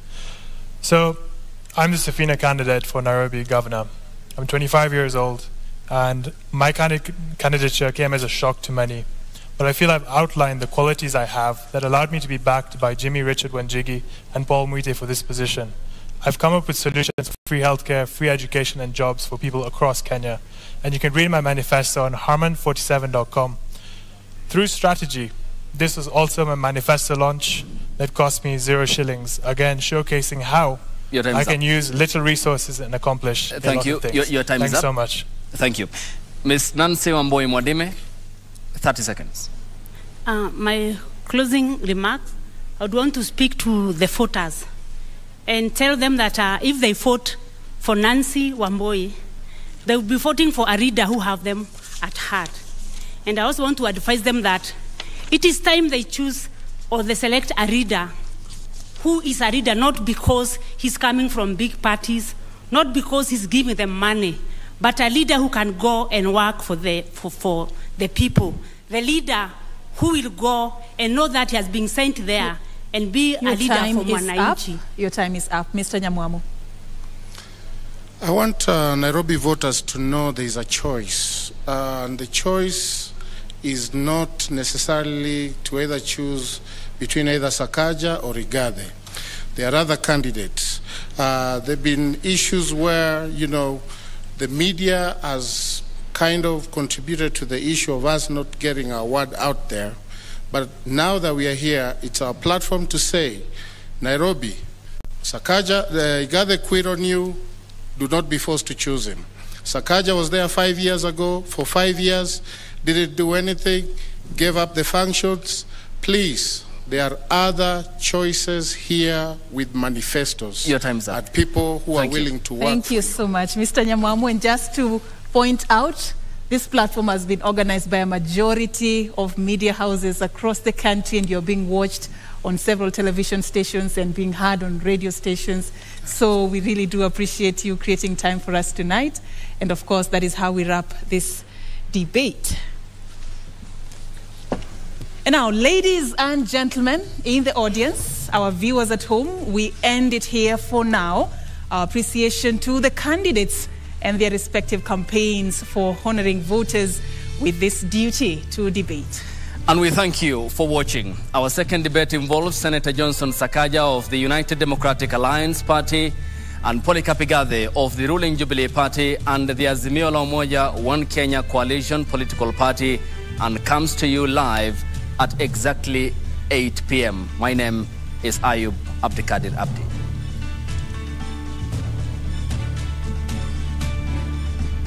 Check it. Let's talk about banking. Or let's talk about dreams and goals. Your dreams, your goals. If you're like Louise, you value doing biz with ease. Or maybe you're like Dan,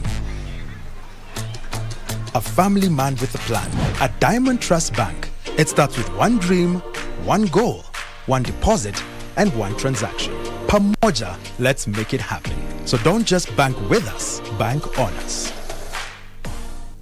Enroll at Catholic University of Eastern Africa for courses in nursing, law, business, economics, computer science, education, community health and development, actuarial science, international relations, counseling psychology, regional integration, and theology. September intake ongoing at Langata and Eldoret campuses. Email for innovative, marketable graduates.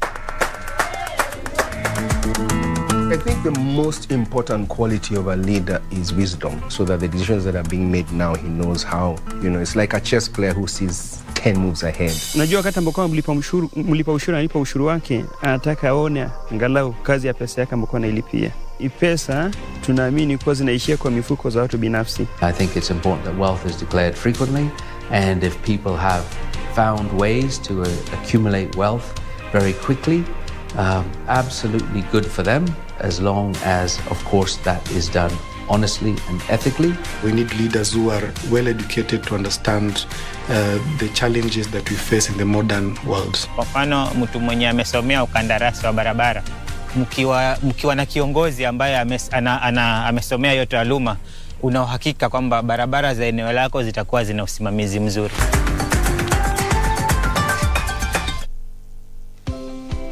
Karibu Pam. By offering market linkages, networking opportunities, and technical assistance, Kenya Association of Manufacturers assists its members to grow and scale up their businesses. Join us and let us work together to grow the manufacturing sector. Becoming a KAM member is as easy as one, two, three.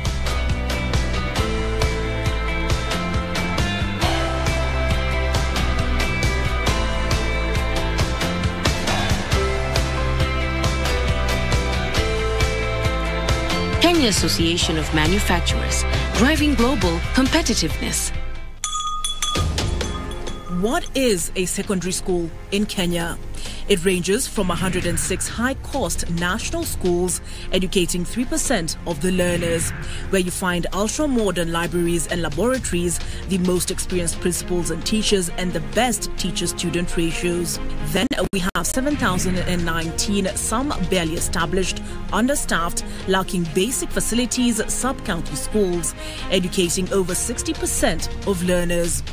Given that KCSE is the most consequential examination in our education system, isn't it fair that we level the ground for all learners to excel by narrowing the capacity gaps between the worst and best schools to deliver quality education? Usawa agenda calls for a sub-county schools upgrading program and a change from the capitation model to enable small schools to grow. Without these, SDG 4 is a false promise to most Kenyan children.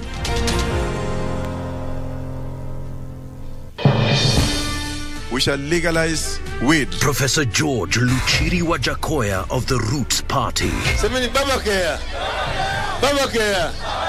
Baba kea. Raila Amolo Odinga of the Azimio la Umoja One Kenya Party. Unajua mimi sina pesa ya serikali ama ya kashfa. David Mwaure Wahiga of the Agano Party. And Tunasema kazi ni nini? William Samoei Ruto of the Kenya Kwanza Alliance. Presidential Debate 2022. Do not adjust your sets.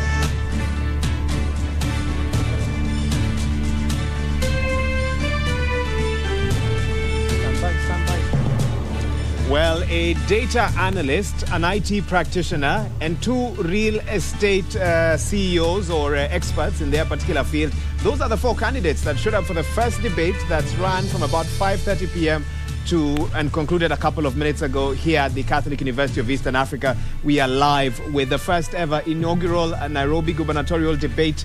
Uh, this coming just before the uh, deputy president's debate that will happen next week, and the presidential debate that will happen the week after. Many thanks for staying with us. We are live across uh, all TV platforms and radio platforms as well. Uh, my name is Wahiga Mwaura from Citizen TV at our Studio B, where my guests are on standby to analyze what has been a very interesting last hour and a half or so. Uh, who showed up here and who did not show up? I'll tell you who didn't show up. Dennis Kodhe didn't show up.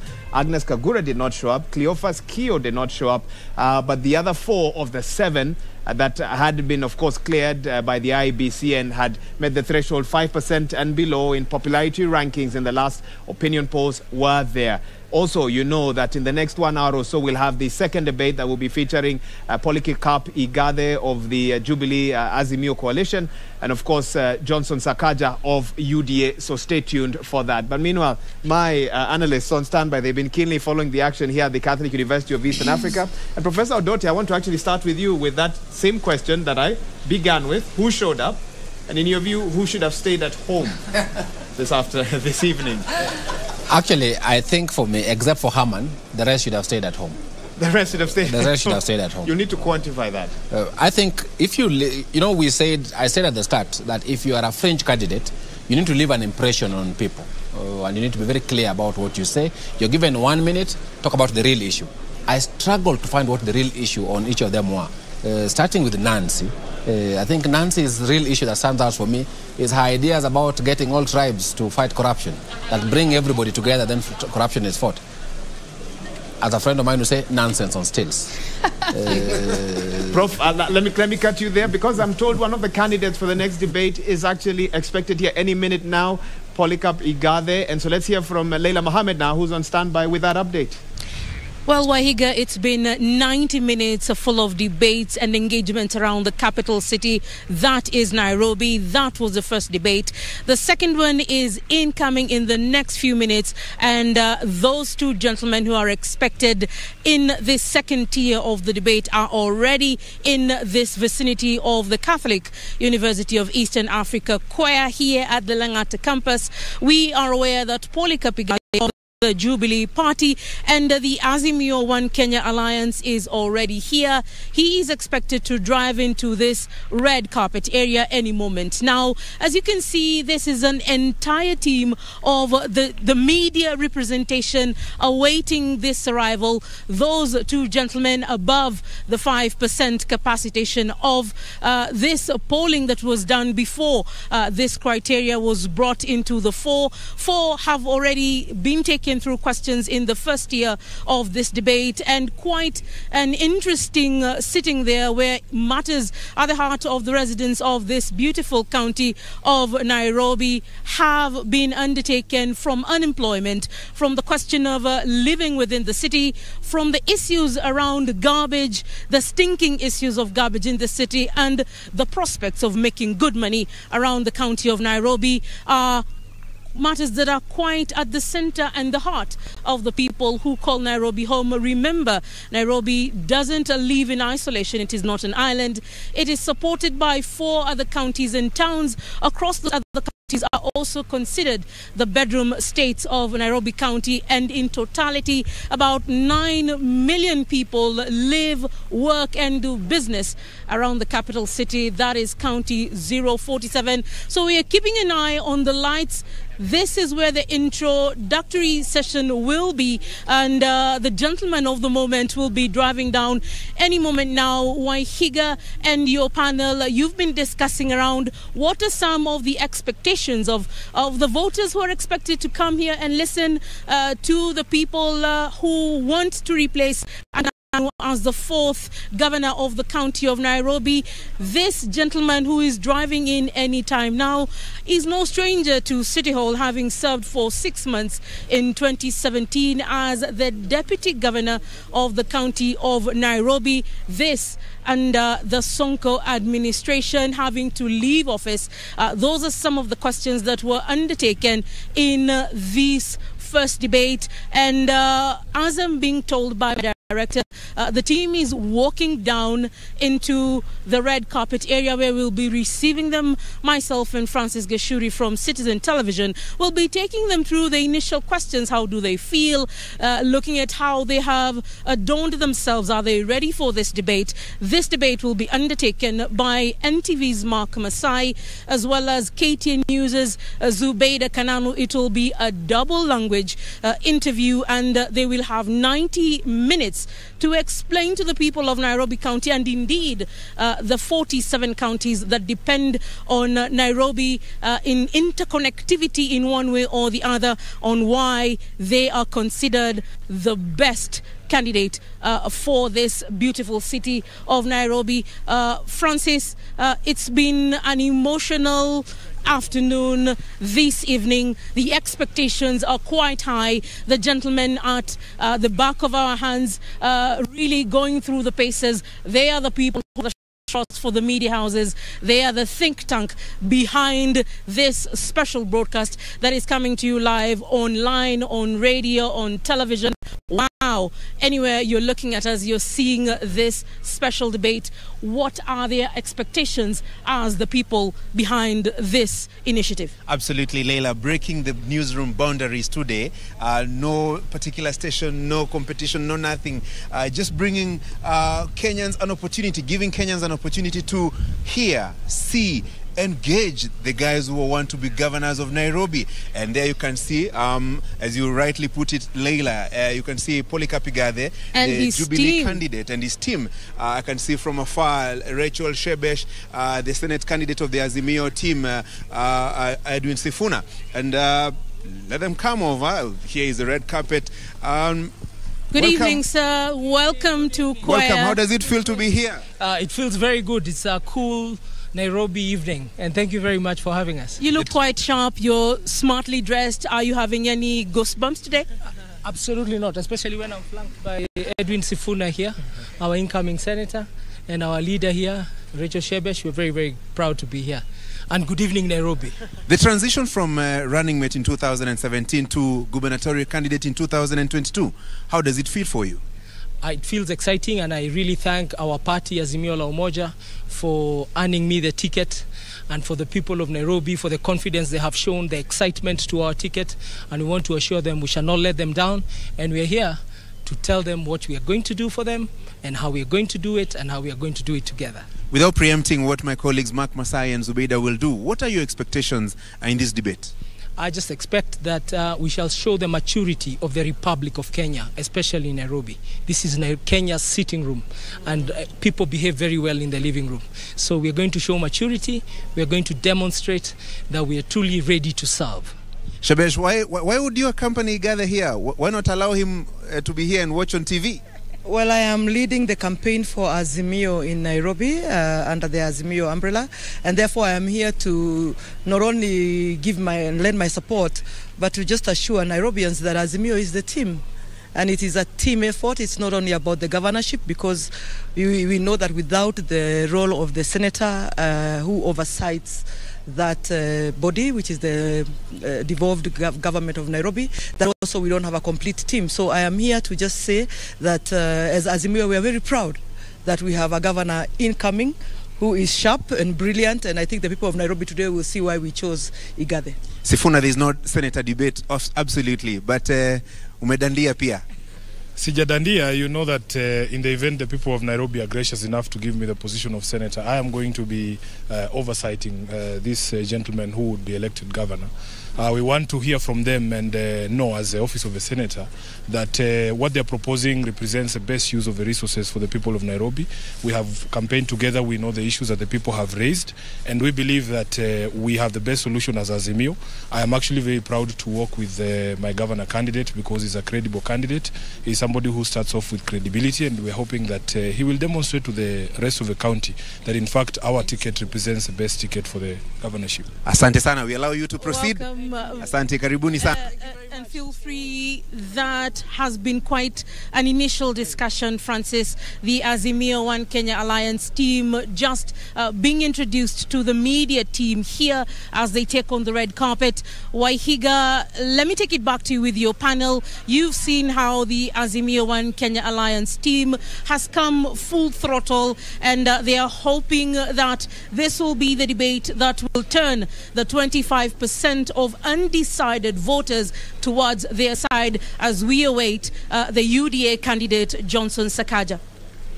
Indeed, Leila, I believe the term political entourage uh, was uh, exemplified there with the team that has flanked uh, Polycarp Igathe Azimio One Kenya candidate for the Nairobi gubernatorial seat. He had some interesting things to say about the kind of politics he's hoping for, mature, and we'll be discussing some of the statements that he made there together with his team, with my panel. But first things first, we've had another debate that's just ended.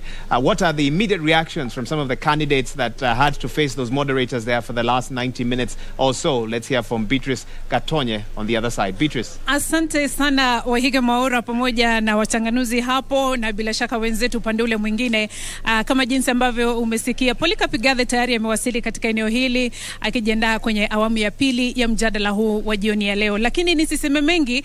Uh, kwenye mjadala wa kwanza wa wawaniaji ugavana katika kaunti ya Nairobi, mengi ya masuala yameweza kujitokeza katika uh, mjadala huo, huku masuala ya maji, masuala ya ufisadi, masuala ya nyumba, uh, masuala ya msongamano wa magari ni baadhi ya masuala ambayo yameweza kujitokeza, huku uh, hawa wawaniaji wakiwaelezea wakazi wa Nairobi jinsi wataweza kukabiliana na changamoto hizi ambazo uh, zinawakumba wakazi uh, hawa, na ningependa kuungana naye Kenneth Nyamwamu ambaye alikuwa hapo jioni ya leo uh,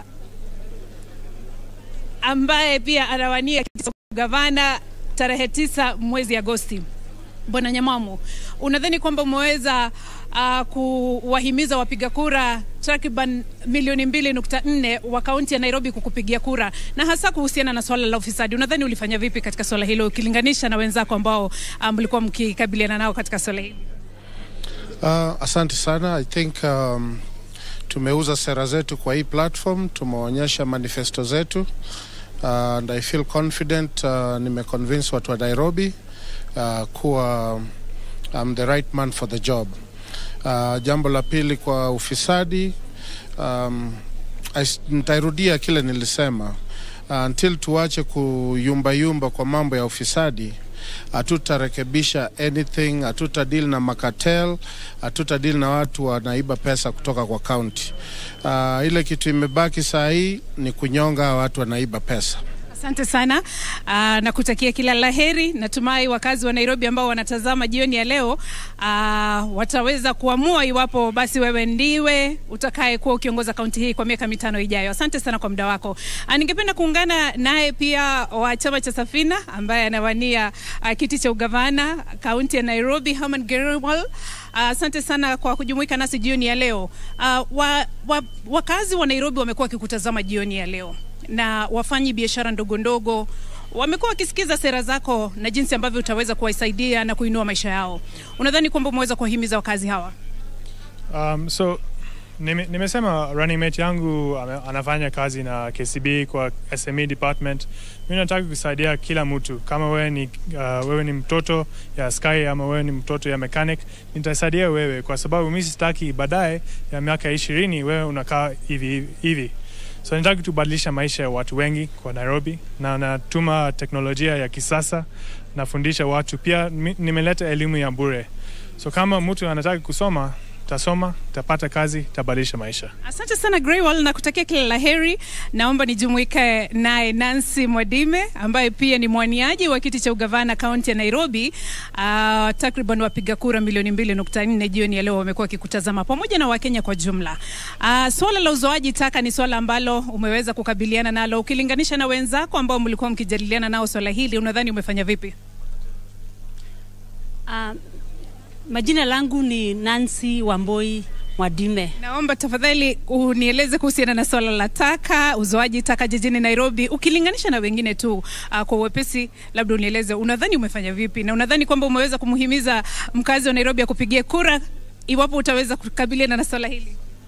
Uh, mimi naona nimefanya vizuri sana kwa sababu nataka kusema Nairobi kil, uh, kila mfanyi biashara mdogo mkubwa, sisi sote tuko Nairobi na tumekuja na tuko hapa tutafute na tufanye Nairobi ikuwe pahali tunaweza kaa pamoja na peace. Asante na kutakia kila la heri.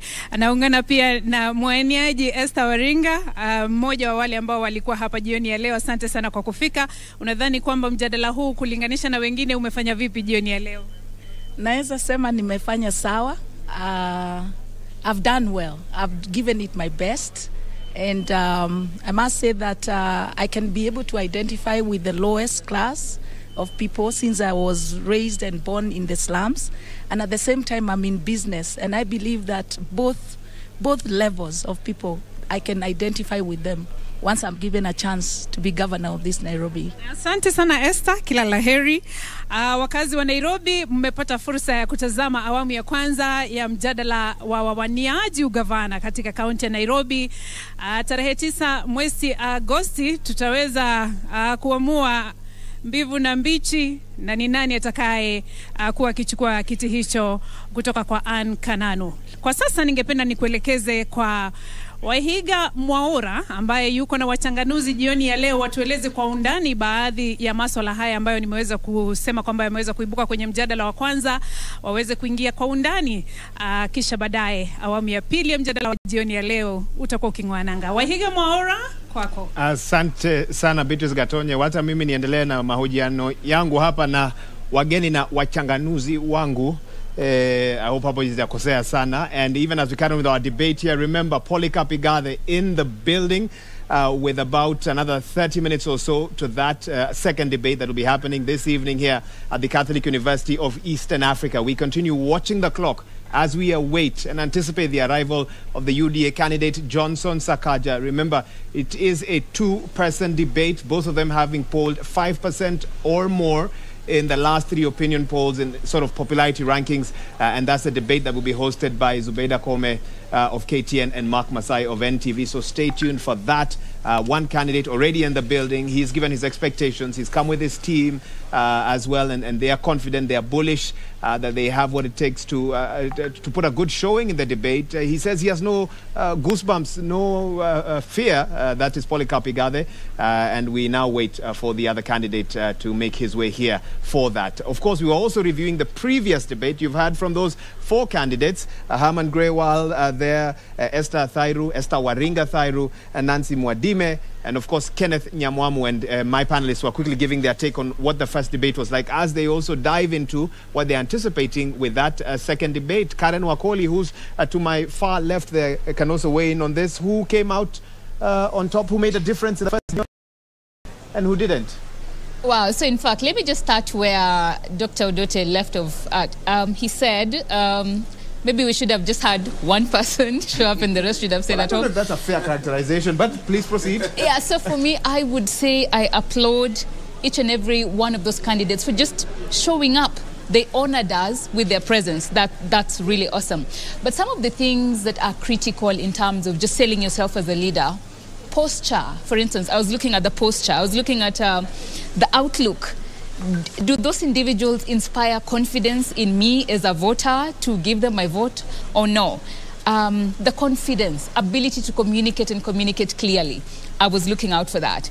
Uh, and a few things came out, you know, among all those four individuals. Like, If you, if you had a best communicator award this evening for the first debate, who would you give it to? you know what? I work for young people. I serve young people. This evening, I am so proud of young people. That Okay. When young people are given opportunity, they give their best. Harman did an awesome job. He's a great communicator. He seems to have thought through his ideas and his agenda uh, beforehand. He he was outstanding to me. I, I think practical steps in terms of uh, mentoring young people, starting um, funding mechanisms for young uh, entrepreneurs, digitizing the economy within Nairobi County government. Very practical, salient steps that he wants to take. So I think for me this evening, he stood out. Prof. Omenya, y- your, your reading of the overall quality of debate uh, that was had today. Of course, now, Kenya's not having watched a Nairobi gubernatorial debate at this level before, this being the first time, even as you respond to what the other panelists have had to say. Also, talk about the quality of the debate that you saw. Yeah, thank you, Waihiga. Um, of course, um, I'm professor, so I'm forced to mark, to issue marks. Uh, uh, Okay, let's declare that and- all the candidates failed, but uh, all actually. And All- I think, all uh, failed? all failed. What's your Uh, marking scheme? Some came very close. It's forty percent. I think I think Grewal and uh, and uh, uh, Nyamwamu um, scored over thirty-five, and uh, the other two ladies uh, di- did about twenty percent. Uh, this is an issue. I mean, on a serious note, I think I think um, none of the candidates thought about any serious issue affecting this city to good depth. Whether you are looking at transport, whether you are looking at housing, whether you're looking at small business, it was all very shallow, all very, very trivial. When it came to governance issues and even the politics of the city, relationship between national and county government, again, um, you could not see any candidate uh, understand how government runs, how the politics of the cities worked, and how they'll weave their way around it. Uh, but, the, but one of the reasons why I failed them is that uh, none of them came up came out with any, any interesting idea. They're, they're recycling old ideas and in a very, very shallow way across board. You don't think a boda boda app for the whole county And, three, and is- 3D printing of, uh, of homes to reduce costs. and I mean, uh, they're all. you see, uh, the, the truth of the matter is that uh, you ask yourself, what, from what planet do these people come from? Uh, my, my point is that um, we were hoping that at least, at least a candidate, we're, hoping that these are fringe candidates with very specific agendas from their parties, uh, be it agenda around youths, be it agenda around business, and so on.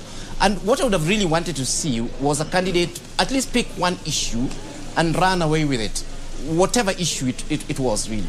Uh, and you and you did not see that. and, and ac- across board, I mean, I did not see anything, uh, be it from tr- transport, be it, be it uh, SMEs, be it uh, gen- revenue generation. And I- I don't- I don't- You didn't see even. No, none, No. Okay. Zero. Okay, Wow. F- Philip, before I come to you, uh, Wanjiru, can you really go deep in two minutes? I don't think, well. Are we being un- overly unfair? Well, I'm definitely not, not going to be as strict as Professor there. um, I come from a civil society perspective, an inclusion perspective, and my view is, is quite different. I think it's great that they put themselves forward. Um, I think uh, uh, Yeah. in time we are going to get more serious candidates, and I think it's a reflection on the parties in a way. I think in terms of um, Harman Grewal, uh, the ideas he put forward may, may not be necessarily new. I think in terms of technology, some very good ideas, maybe not new earth shattering, but that goes to show that we have an implementation gap because we have loads of good policies that aren't implemented. So don't blame the candidates for not having uh, new ideas because we are not lacking new ideas. What we wanted here is to have a more convincing um, kind of a, a manifesto. And I felt that Harman Grewal, uh, as a youth, presented himself very well. I think he executed his points very well. His closing was excellent. He brought in his party. He brought in his party leadership. And listening to him, I could see if he stays this course, the if, you can see a, a leader in the making. M- My, having said all that, I do think there is a need for candidates to, to, to start at a level that, you know, to find their level. You want to build your political uh, name and your capital MCA is a very valid position, and I just felt there were good ideas, good intent. It was more like a public participation session, and I was thinking it would be great if these people put themselves forward for MCA and show a commitment to political change. We, we That- invited them for a debate, not a public participation. no, in participation terms of session. But I, I, yes, the, the level of, of contribution was more of a public participation session, and I think the level of contribution also means they should start. You know, if I'm going into a job, I start at my entry level and build up. Okay. You don't go to the top without the credentials. So, so yes, a bit of reality. I think the last thing is, in terms of the no-shows, Agnes Kagure hasn't been doing too badly in terms of the polls. She may lose out by not showing up, and, and we may see Harman uh, Grewal really gain from, from being here. Um, and then, of course, the issue of skeletons. When you put yourself forward for political office, your skeletons will come will come out, and, and you could lose very badly, and it could affect even your private and personal life. So, yes, do do your homework on all on all fronts. Okay. Yeah. Uh, F- Philip, uh, let me allow you to win, but I'm, I'm told we'll also be hearing from our Francis Gachuri uh, shortly as well. Uh, but Bonakisia, was there any highlight for you this evening? Well, I think, um, first of all, let me uh, join my colleagues in congratulating those who turned up Okay, for the so debate. that's your I first think it's only fair highlight. yes. because you must be brave to present yourself Yeah. in such a uh, high-level debate. But uh, if you ask me, if I were to mark, I'm not a professor, but I mark exams. I would mark them three and a half out of ten. Okay? All of them? All of them. Three and a half out of ten. Some will get even one. uh, apart from, uh, I think it was Kenneth and Harman, they probably score about three, three and a half. All right? And just, uh, just as uh, Wanjiru said, I think you need to know where your place is. Okay. At a point, Philip, I may need to interrupt you for uh, a developing event here at the Catholic University of Eastern Africa. I'm told Johnson Sakaja is in the premises. And uh, there we go. Francis Gachuri has that update for us. We've been waiting for this, Gachuri. Absolutely, Wahiga, and good afternoon to you once again.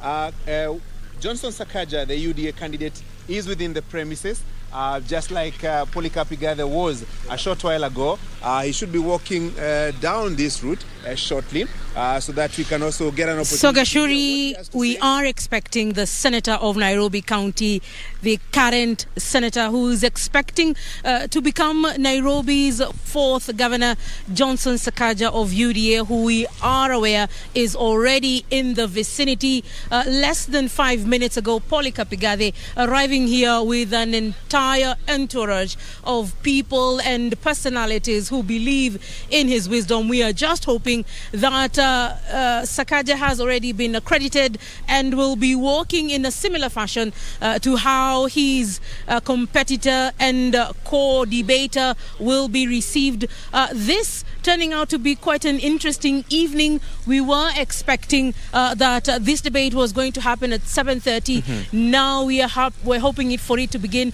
at 8 p.m. Uh, for another 90-minute round of questions and answers. Uh, some of the questions being undertaken in the first debate, uh, inclusive of insecurity, unemployment, the cost of unga, uh, traveling around the city. Uh, how does this city look like? Why is it important to this country that is Kenya? Uh, the, the gentleman expected to walk into into this red carpeted Mhm. area is no stranger to politics of Nairobi, having uh, served as a senator for the last five years. Absolutely. Uh, why is it important for him to be here today uh, to try and convince Nairobians as the best candidate for governor? Absolutely, Leila. And, and just a short while ago, uh, Professor Philip Kaloki, he's a running mate to Polycarp Igathe, just walked in. Uh, we're waiting to see Sakaja. As soon as we are able to do that, we'll be able to inform our viewers that uh, Sakaja is around. But the wait and see continues for now. Remember, he's been a nominated member of the National Assembly and senator for five years, uh, representing Nairobi County in the Senate, the bicameral parliament, the National Assembly and the Senate. So he has been a representative of Nairobi County in the Senate, county number 047. So, Wahiga, let me hand it back to you. As soon as we spot Sakaja, definitely we'll be able to tell our viewers and just get to hear what he has to say insofar as this debate is concerned. Back to you, Wahiga. Thanks so much, uh, Gachuri and Leila. I must uh, warn you, it's getting a bit chilly here in our Studio B, but that debate coming up in the next 30 minutes is expected to heat things up. Already in the building, Polycarp Igathe, the Azimio candidate with his team and his running mate, Professor Philip Kaloki. We're expecting Johnson Sakaja, the UDA candidate, uh, with his, uh, hopefully also with his running mate, uh, James Muchiri, uh, also to make their way here shortly. So in case I have to interrupt my guest to take you to that, I will do so so that you don't miss any of this action on this live coverage across all stations, both TV and radio as well. Bwana Kisia, you are giving us your marking scheme, and also feel free now to begin to wade into the next debate. Uh, everyone focused Yeah, on those yeah, two. Yeah, okay. Now, of, of course, my colleagues have said a lot about uh, the uh, the debate which, which has just ended, but I think the candidates who are here were very casual. They didn't seem to understand the issues. They didn't provide any solutions. Uh, they kept on repeating what we've heard before. There were no new ideas. And uh, if you ask me, I think uh, they should receive a bill. They should receive an invoice for consuming prime time. And here you are, you're saying I was harsh. For consuming prime time. Uh, and not giving us value. But not giving us value. They however, time, however, they may have engaged researchers. however, it's not see, easy. No, well, well, we, we must be brutal. Grewal We must be brutal. research. eh? So- so they i- knew they knew they were coming for debate. What are your expectations They then? knew they were coming for a debate. They should have done their homework. There was no homework that was done. They probably just thought they were coming here for child's play. I'm sorry. So they get three, some get, get some of them get one. But that is a warning shot to Honorable Sakaja, who is coming here. Yes. And Polycarp Igathe. I hope you're very prepared. Exactly. Otherwise, again, we'll mark you properly. How, how different do you anticipate, and tell me this briefly, the, the, the, the level of debate, the type of questions you now expect to hear in the next debate as compared to the Now, one we just came out You see, uh, I think this is it was chance, chance play. yeah? Now You don't need to now- belabor that point. These were adults the, who the, are- lev- the level now we are getting to, you know, it, we, we, we know we had tackles. We expect to deal with policy. We expect them to address the issue of strategy. We expect them to tell us how they are aligning Nairobi's vision and their tactics to Vision 2030. We expect them to tell us how they intend to do things given the manifestos their parties have delivered. Because, see, you are not going to work in a vacuum. Already, the country has Vision 2030. It has about seven, eight, eight years to go. Already, government has programmed itself for the next seven, eight, seven, eight, uh, seven to eight, eight years. So, if you don't align your, your thinking to the national government thinking to Vision 2030, you may lose a lot. And you're in the capital city. So I expect these two gentlemen to tell us very, very clearly how they have aligned their programs to the national government. How they, for example, intend to retire the debts. We are now at 75 billion. When I left office, I think it was about 14 billion. Now it's 75 billion. How are you going to finance projects, capital projects, when you are heavily indebted? So how are you going to deal with the issue of debt? How, are, you know, which areas are you going to prioritize in terms of, uh, in, in, in terms of um, service delivery? Um, of course, the biggest right now in terms of service delivery is the issue of solid waste management. Do you have a solution for solid waste management? I heard one of the candidates in the previous debate talk about, you know, uh, throwing litter. I mean, we churn out 3,000 tons of solid waste daily. How do you intend to deal with that? So it's not a question of It's telling not uh, about people uh, stop, littering. stop, stop it now. Yeah. That won't solve the problem overnight. But Professor Odote, for, for, for us to understand what sort of governors uh, Johnson Sakaja or Polycarp Igathe or any of the others would be, you have to look at their, their DNA and sort of where they've come from. Uh, you probably know a little bit about these two individuals. What would you say separates them uh, in terms of how they've come up, how Nairobians got to know about them as well? Just, just give us your analysis. Uh, thanks, uh, Wahiga. I think uh, if you look at uh, both of them, I think the and Philip is laughing. I don't know why he's laughing, but if you look at both of them, I think what uh, uh, separates them is in terms of their background. Uh, if you look at both of them are fairly young, so they aren't too old. So you expect modern thinking, which is a, a, a good thing. But if you look at the experience that they have, One has an experience in politics, uh, that's Johnson. Uh, Johnson has uh, experience in politics, having uh, found, founded TNA, having been uh, a nominated MP, having been a senator. So understands the politicals of the political aspect of running a government. The other one uh, understands management much more, having been in private sector for a long time. Having essentially his life is corporate. Uh, I think his experience with politics was just six uh, months. So I think the debate, and you know, there's been a huge debate in the past. What does county governments require? Do they require a manager or do they require a politician? And the answer is out there. Uh, I think in 2013, we thought you required a manager. Later on in 2017, we got to get largely politicians. And if you look at the performance of the governors, you can't say whether the manager is better than the politician or vice versa. So I think that's going to be the, a lot of the conversation going to take place. On the one instant, when you talk about do you have the experience, the question is going to be what kind of experience? Is it management experience or is it a political experience? That's going to be the, the, the critical issue that's going to stand up between the two of them, in my view. And the ve- very important point that you've raised, that I want to hear more from, from Karen on. Karen, when you look at where Nairobi is right now, uh, with NMS still very much involved in Nairobi affairs, uh, with the challenges that Nairobi faces, rapidly increasing population, under pressure from other capitals around the region who are seemingly uh, shining as well, garbage and transport and housing and so forth. Does Nairobi or would Nairobi fare better in the hands of a career politician or a, career professional? Is one of the debates I've been hearing out there, and I'd, I'd be keen to hear from you on, on, on where you think sort of is the best way forward. Nairobi would fare well in the hands of a leader, in the hands of a true leader, not a politician and not uh, whatever else you're talking about. But even if it's a politician, are they leaders? Do they have the ability to tap into the, the power of the resource of the people they have? Do they have a track record to be able to actually transform one thing to the other? Do they have a vision? Are they committed to that? Are they committed to listening to people and implementing policies to the latter? So it's about leadership. It's not about politics or management. They both have a track record. They have led, uh, Igathe has led a business and a number of businesses, been in Several businesses, actually. Several businesses. Um, Sakaja has been in the political space from student leadership at SONU in, at the University of Nairobi. So they both have a track record. But the question is, do they have the leadership ability to transform the county? That is the question. That's the big question Yeah. for you this evening. Professor Omenya, I'm going to put you in the shoes of the moderators this evening, and, and they have their own questions which they'll pose. But if you had a chance to pose a question to each candidate this evening, Johnson Sakaja on one end, Polycarp Igathe on the other, only one, which question or question, one for each, would you pose? I think I would pose um, two questions. Uh, You've added more than. No, no, you- there are two guys. Oh, so oh, one, one for each. So, so you can decide which one you take, uh, who, who takes what. I think one key question is really about what the position Nairobi occupies in the nation, in the region, and in the globe.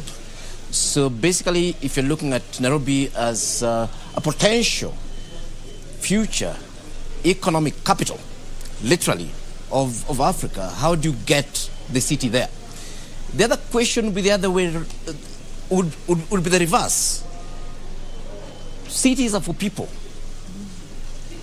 Cities are fundamentally for people. Mm-hmm. And currently, Nairobi is serving less than actually 10% of the citizens, largely corporates. And we are saying these invisible majorities that live in the slums, that contribute to the economy without getting a service, that you know have no place for their children to play, whose buildings collapse every day and die there, that walk to industrial area on a day-to-day basis. What are we going to do about them? Are we sending them to Sri Lanka, or will develop the city in a way that all the citizens prosper socially and economically? And what would they realistically do to deal with this dichotomy? The need to create a glitzy city with an expressway, and on the other hand, the need to ensure that this resident of the informal settlement, whose water has been increased today by 40%, who was already paying, you know, 40 shillings per jerrycan, now they'll be paying 60. that this person actually finds Nairobi livable. That, that's the issue that I would, I would, I would have really wanted them to, to pose to, to, to both of them. And, and, Right. and, and coming to you, Wanjiru, before I hear from, from Philip Kisia, and you can respond, obviously, on the wider topic of uh, sort of uh, any advice you'd have for the two uh, candidates that will be coming up next. As much as there's great contestation to lead the county of Nairobi, that seat is a hot one. The first two office holders, I believe, are still battling cases in court uh, at the moment over the same. What advice would you have for the next governor? You, you lead an accountability institution. What must they do uh, to ensure that uh, they tick the accountability box should Nairobians give them the mandate on the 9th of August? Well, yes, they should veer away from what has landed their predecessors into this problem. So it's more of what they should not do uh, in their individual capacity. Um, but I think the more crucial question is how do you transform the culture? Because Nairobi has a culture dating back many years of, of um, ingrained corruption, unfortunately. Um, and the issue of transformation is about changing systems. It's also about changing perspectives. It's about changing how we work and how we interact with each other. So, beyond the ideas, because Nairobi has good policies. We were talking during the break. We have the um, master plan, um, the Nairobi uh, Land Use Master Plan, that was developed in 2015. You know, we've got um, an integrated solid waste management plan that was developed for us by JICA and was, I think, enacted maybe in 2015 again. So we've got a public participation law. We, we, you know, we have the laws. We don't have the culture.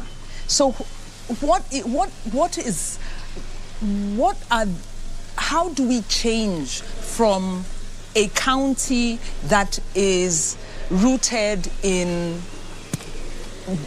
you know, violation of rule of law, you know, breaking rules. You know, you talk about politicians, you talk about public officers. How do you transform that culture? I think is the bigger thing.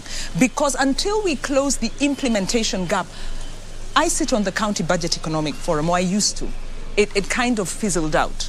This is a statutory body that allows citizens to engage in the public finance management system. Now, this body was set up by Evans Kidero and, uh, and, and kind of began working, but was always tokenistic, as you know, we were saying earlier. How do you move from that tokenism to real implementation? Because the things we saw as the forum were, were very disturbing. You, we could see revenue falling, especially around elections. It would begin to decline. And we'd ask if you are collecting licensing fee and the economy is improving, it wasn't due to low economic performance. How can you Why are explain the revenues going? It means that Mhm. money is being pocketed. And the county assembly would allow this to go on.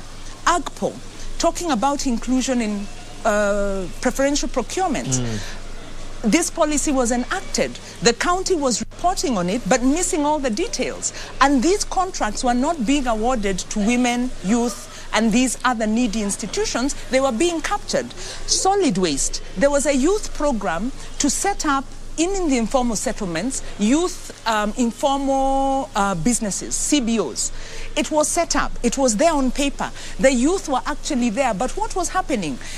Politically, the positions were being given politically. So you actually poison the ground where young people know if you're politically aligned, you will get into the government scheme.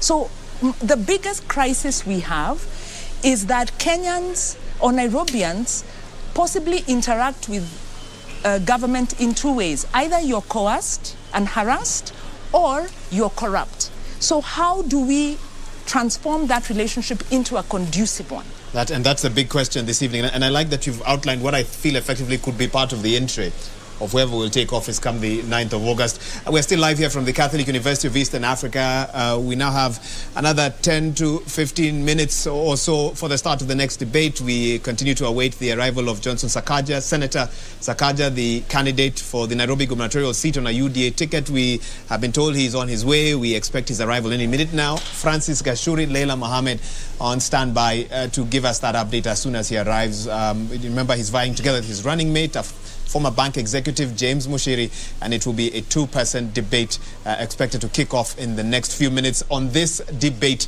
night. But of course, we're looking at a different, a couple of different scenarios with my panelists who are here. And Philip Kisia, I want to come to you. Uh, and at the very beginning, you made a statement that really set us off in a different direction when you said debates, in my view, they don't really matter.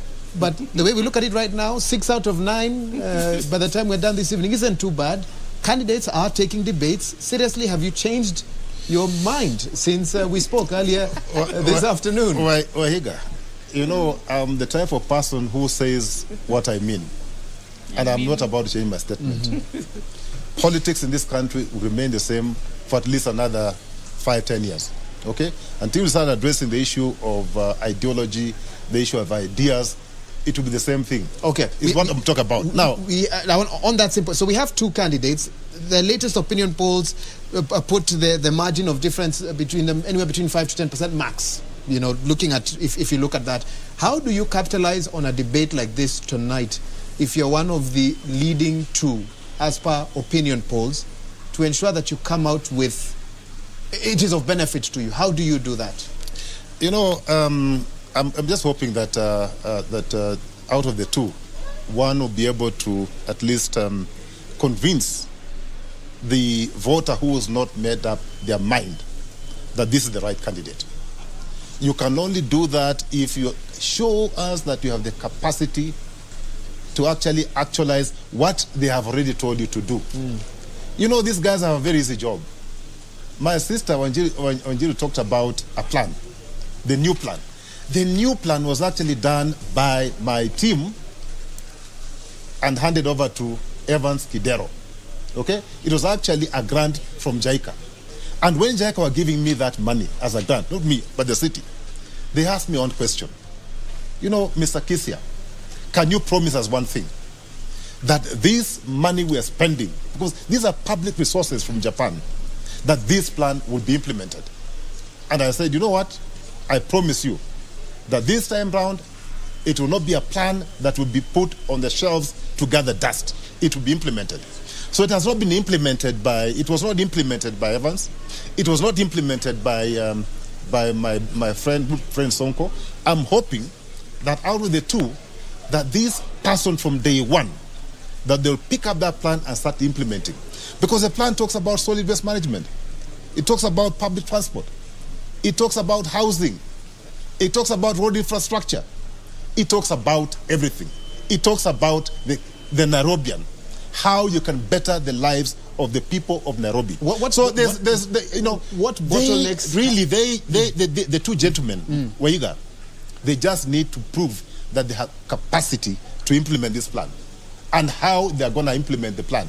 Because if they don't demonstrate, mm. if they don't show us how they intend to implement this plan, I don't think they'll do better than the ones who have been there before. So, what am I expecting them to do when they get into office? Just to add on what uh, my colleagues have said. Number one, you know, the issue of integrity, which touches on graft, corruption. That is number one. Are you going to deal with it? Do you really have the willpower to get there and deal with decisively with the issue of corruption? Don't talk about cartels. Cartels are human beings like you. If you cannot get rid of them, get rid of yourself. Get If- rid of yourself. those questions that you want to pose to them, how did you perform during your tenure? Well, the records are there. It is during my tenure. it- it's sometimes good to yes, it it is, it is during my tenure, Wahiga. Go to the records and check. In 2010, City Council of Nairobi was rated in top five amongst the most reformed public institution and most collaborative. Top five in a matter of two years, my friend. Actually, it was one year because I took over in May 2009. In less than a year, I was in top five. Reforms, reforms, my friend. So again, this master plan that we're talking about, and we're happy to talk about. Okay. We delivered the master plan through a grant from JICA in 36 months. We started the process of automating City Hall. You're basically telling us that we automated City Hall. can make a difference. Yes, They it can make a difference. Plan, implement it. Take the plan and but, implement. But I want to dig deeper, Prof. Omenya, and I'm coming to you, Prof. Odote, as well. There must be bottlenecks. I'm sure every governor that came into that office Right. received the plan, looked at it, and thought, probably these are good ideas. Which bottlenecks? Mora, which one? we, must, we must look at this scientifically, Philip. Let me hear from the professor scientifically. what are possible bottlenecks? To, be- because the ideas are known. Yes, I, I think the big challenge that we have in the country is, uh, I, would look at it, uh, actually both technical and political capacity to translate plans into action. Because uh, plans may seem to be neutral, but they're not. In fact, they're arrived at through a consultative and a broadly political process.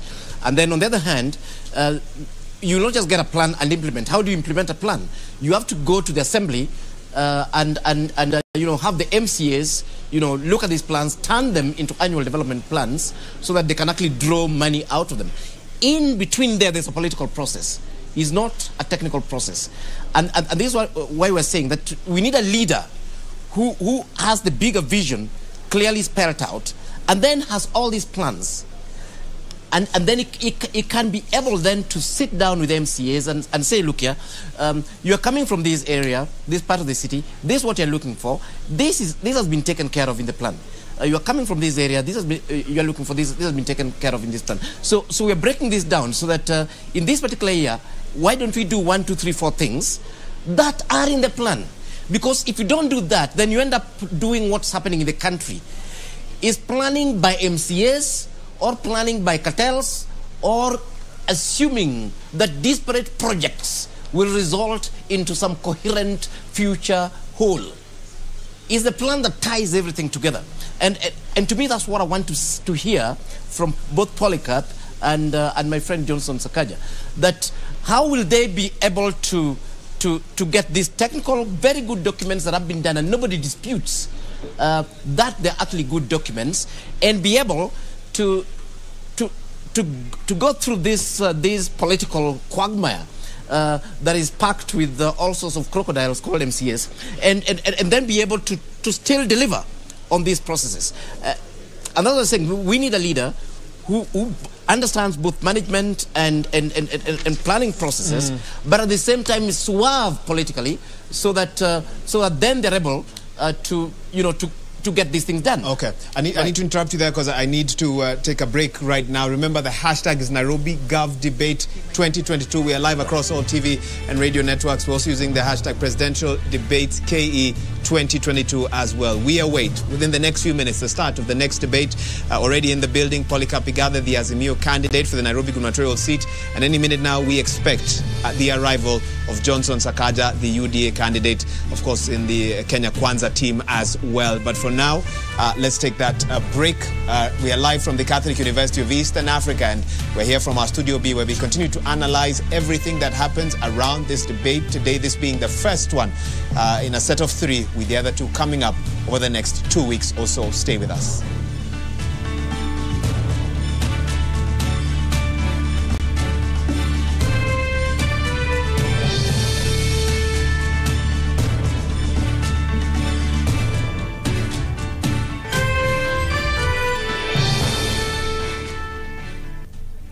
Check it. Let's talk about banking. Or let's talk about dreams and goals. Your dreams, your goals. If you're like Louise, you value doing biz with ease. Or maybe you're like Dan, a family man with a plan. At Diamond Trust Bank, it starts with one dream, one goal, one deposit, and one transaction. Pamoja, let's make it happen. So don't just bank with us, bank on us. We shall legalize weed. Professor George Luchiri Wajackoyah of the Roots Party. Semeni baba care. Baba care. Raila Amolo Odinga of the Azimio la Umoja One Kenya Party. Unajua mimi sina pesa ya serikali ama ya kashfa. David Mwaure Waihiga of the Agano Party. And tunasema kazi ni nini William Samoei Ruto of the Kenya Kwanza Alliance. Presidential Debate 2022. Do not adjust your sets.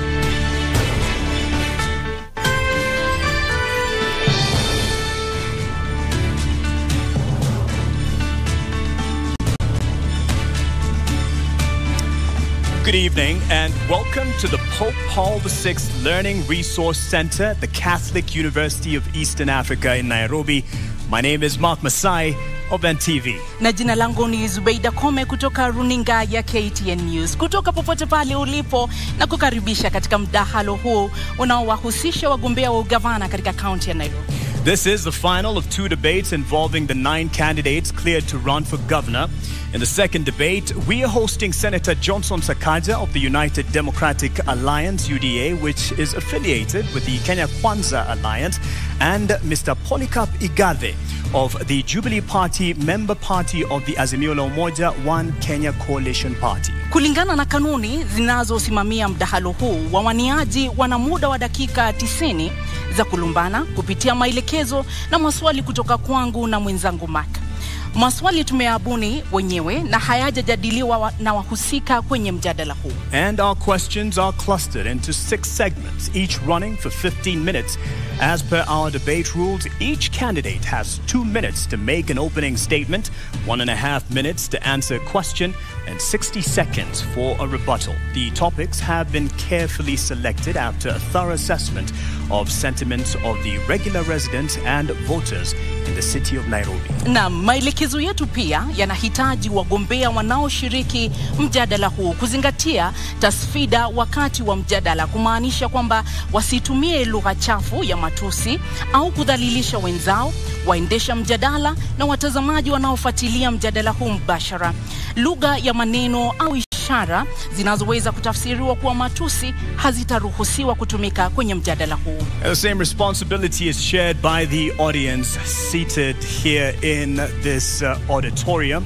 Uh, debate rules do not permit any cheers or jeers, except now when we turn our attention to the debate platform to welcome the candidates Polycarp Igathe and Johnson Sakaja. Na mtazamaji, kwa kuingia katika ukumbi huu tulikuwa tumeweka kura ambayo ilistahili kuelekeza ni nani ataingia kwanza na kuwapa nambari wale wawaniaji wawili ambao tunatarajia kwenye mdahala huu. Kwa sababu Sakaja kufikia sasa hajawasili, inamaanisha kwamba Polycarp Igathe wa Jubilee ndiye atakuwa ukumbini kwa hivi sasa. And the show must move on, so we will call in this first candidate, Polycarp Igathe of the Jubilee Party.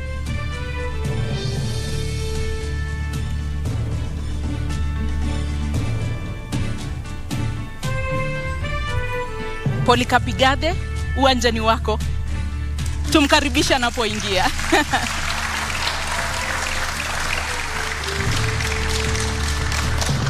Thank you. Maintain the position of your podium for the length of uh, this uh, debate. And uh, as indicated, uh, our starting time was clear to all the candidates invited. Thank you for honoring this invitation. And that slot remains open for Johnson Sakaja, the UDA candidate running for governor. I'll start with you, sir. And in leadership and integrity, definitely we look at the importance of that within your uh, leadership once you or when you make the uh, governorship. But start us off by telling us what separates you apart from your competitor. Thank you very much for that question and thanks for having me. I'm a product of Kenya's public education system. I'm a product of Kenya's public health system. I was born in Pumwani Hospital. I was educated through Kenya's public education system. I went to a public university, the University of Nairobi. And that sets me apart because in all those three levels, I came out through my upbringing by my dad and mom. My mom, who was a primary school teacher, Mrs. Kamau, and my dad, Mr. Kamau, who was an accountant. My teacher, Francis Bogongare, who I'm very proud is watching me from his home in Meru today. My English teacher, Mrs. Kathucha. These people, my teachers, my parents, my early bosses, and my latest boss, Dr. James Mwangi, taught me three things which sets me apart. That approach every task, approach every calling with high intention, with sincere effort, and with intelligent execution.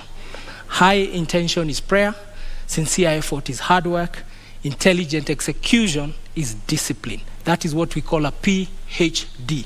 That sets me apart. And Nairobi, I bring a PhD attitude to the job. Give it to me. Thank you.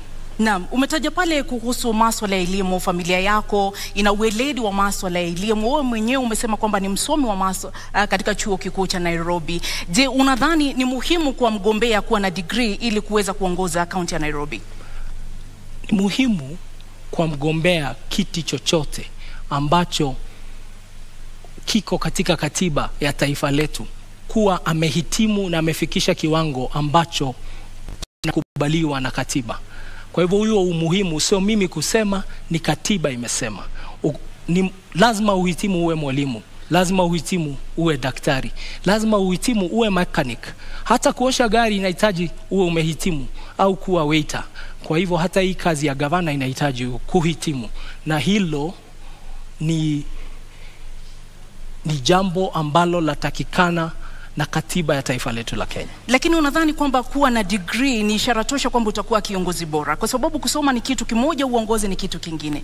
Je, kuwa na degree ndio ishara kwamba utakuwa kiongozi ambaye anastahili? La hasha, ni mwanzo, kwa sababu lazima uwe umefikisha kiwango cha usomi, lakini jambo muhimu kuwa kiongozi ni kuwa unaelewa maswala ambayo unakuja kuyashughulikia, na pia la pili, pia we uwe ni mtu ambao wapenda watu.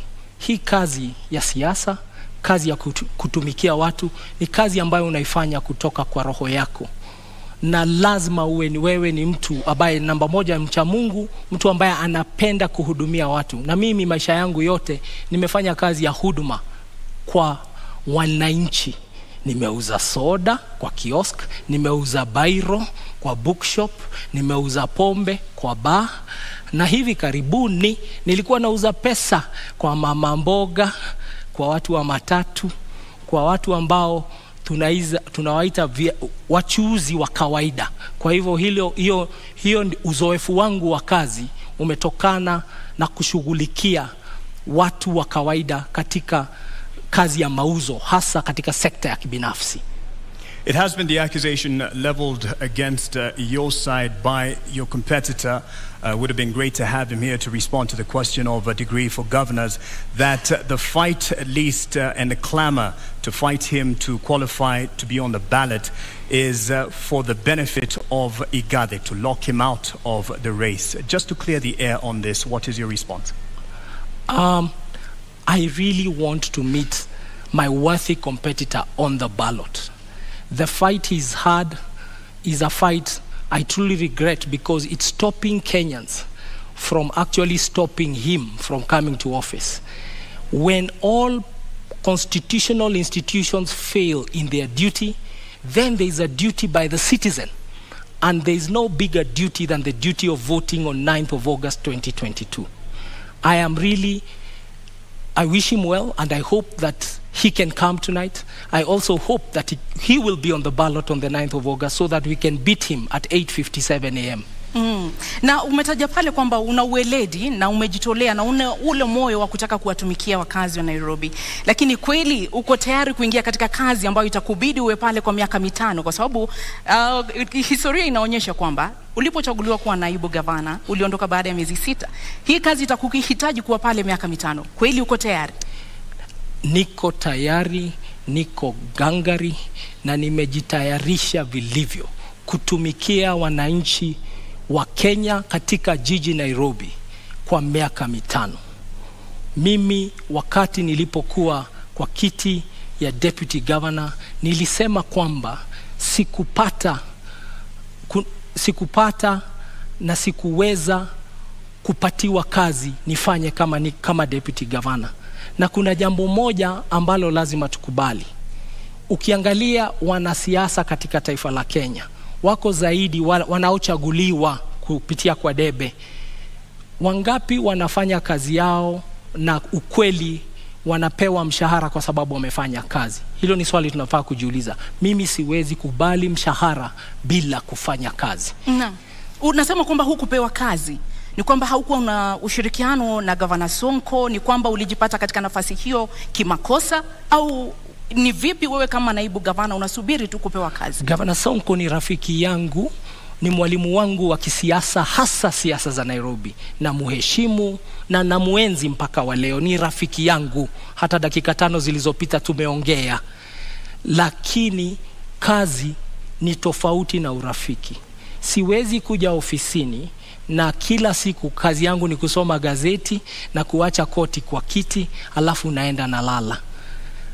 Kazi, lazima uwe iko kazi ambayo na mpangilio wa kazi ume, ume, umepewa, na usipopata hiyo kazi basi unaheshimu katiba, na katiba ya Kenya inasema article 1 kwamba nguvu zote za katiba ni za mwananchi, na kazi yangu nilipopiga reverse gear ilikuwa ni kusema na heshimu katiba ya Kenya na heshimu mpiga kura, na hivi leo nafanywa interview kama mfanyikazi wa, wa watu wa Nairobi na nawaeleza nitawafanyia kazi, na baada ya miaka miwili mitatu, mambo ambayo niliona yaweza kutendeka yalitendeka, na tugange yajayo yaliyopita In hayo. retrospect, you did not quit on the residents of Nairobi who entrusted you, and in fact, threw their weight behind your boss because you were there as a deputy. You didn't quit on them. Do you owe them an apology?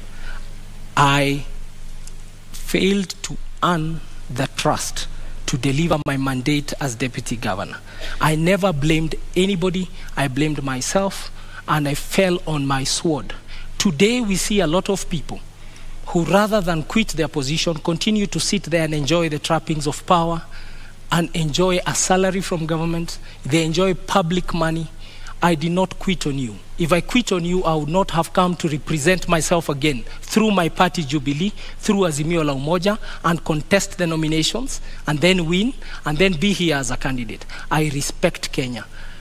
In our national anthem, we always say, Kenya istahili heshima. And that is a prayer, and that's our national anthem. We put our hands on our hearts and we say, Kenya istahili heshima, na heshima ni kwamba if you feel you're earning money you should not earn, especially public money, then you take a bow and you come back for a fresh mandate.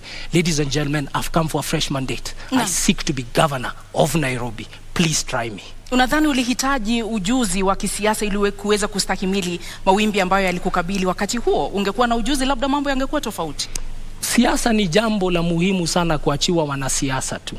Sisi ambao tumefanya biashara katika sekta ya kibinafsi tunaelewa, na mimi kama kazi niliyokuwa nikifanya kwa benki, nimeona wafanyabiashara wengi ambao biashara zao wamefunga sababu ya maslahi yao kukataa kuangaliwa na watu ambao hutengeneza sera, hutengeneza, ka, hutengeneza uh, sheria katika bunge, na kwa hivyo nakuja hapa na uzoefu wa, public, wa private sector na anasema tuingie sasa, let us change. Kidogo, let's change the tune, tuingie, tupindue, tulete mapinduzi, tulete ari mpya, kasi mpya, mwamko mpya, tuendelee tujaribu mtu ambaye ana uzoefu ambao unaweza kusaidia kisiasa. Na siasa ni nini? Siasa ni ni ile mambo ya kuleta watu pamoja ili mtimize maslahi ya watu na jamii, mtengeneze uchumi, tutengeneze mazingira, tutengeneze jamii na tuendelee pamoja. Hiyo ndio siasa. Hata katika sekta ya kibinafsi, kazi ndo hiyo ya kufanya kazi na wenzetu. So nimekuja hapa, nimejitolea nimeamua kwamba Nairobi hatuwezi tena tukaendelea jiji kubwa kama hili kufanya, kuongozwa na uongozi ambao hauna uzoefu wa kufanya kazi. Mimi na kazi ya kupele, kuendesha jiji ni kazi ambayo inahitaji ufanye kazi na wafanyikazi ambao nimechunga.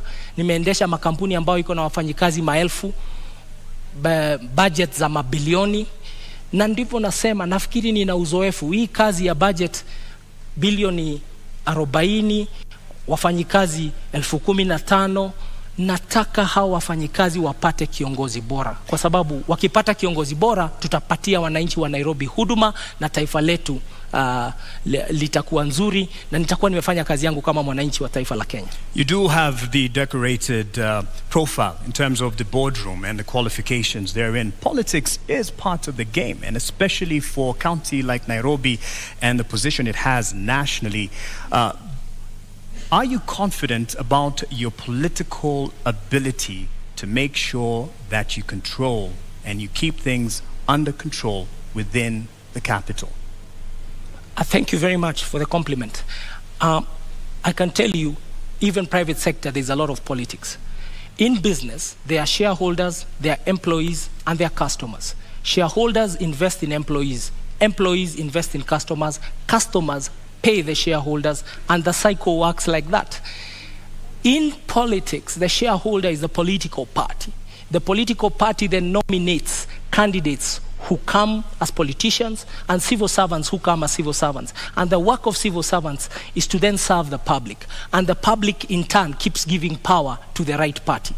I am very proud to be a member of Azimio la Umoja, led by the most disciplined shareholder in politics, if I can use those words, Raila Amolo Odinga Baba.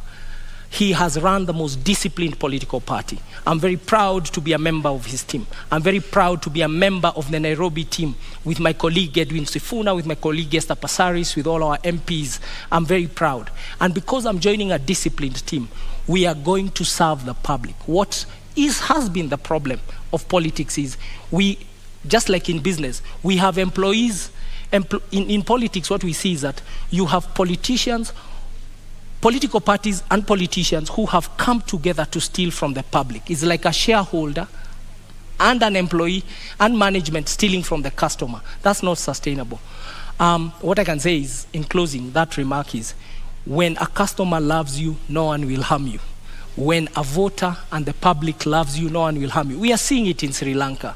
We are seeing it in very many countries that people are eventually the silent majority. We have in Kenya, we have a very big silent majority. Quiet people, decent people, honest working people who go about their lives. They are really tired of the circus of usual politics, of insults, of drama, of coming late for interviews, of of um, eligibility to a job. Uh, you know, it just says this is what the eligibility. People are really tired. And I know that because I live amongst the people and I'm a son of this country. People just want a normal servant service person. They just want the, a, a politician or a leader who just gets the job done. And me and my partner, my deputy governor, who's an accomplished scholar, Professor Philip Kaloki, we are just here to get the job done. And we have come with a full blessing of our party and our pa- and we have fused a lot of ways the wiper way the odm way the jubilee way the narc kenya way the kanu way the upia way the dap way we have fused that and that is the genius of this thing called azimio la umoja you, kenya will never be the same again because you kenyans have decided to vote for azimio la umoja on No. 9th of august 2020 Umetaja pale kiongozi wa Azimio Raila Odinga na ukamtunukia sifa kedekede. Je, uamuzi wako wa kuingia uh, katika uh, kinyang'anyiro hiki ulikuwa ni uamuzi wako wa hiari wa binafsi au ulikuwa uamuzi wa Raila Odinga na mrengo wa Azimio la Umoja?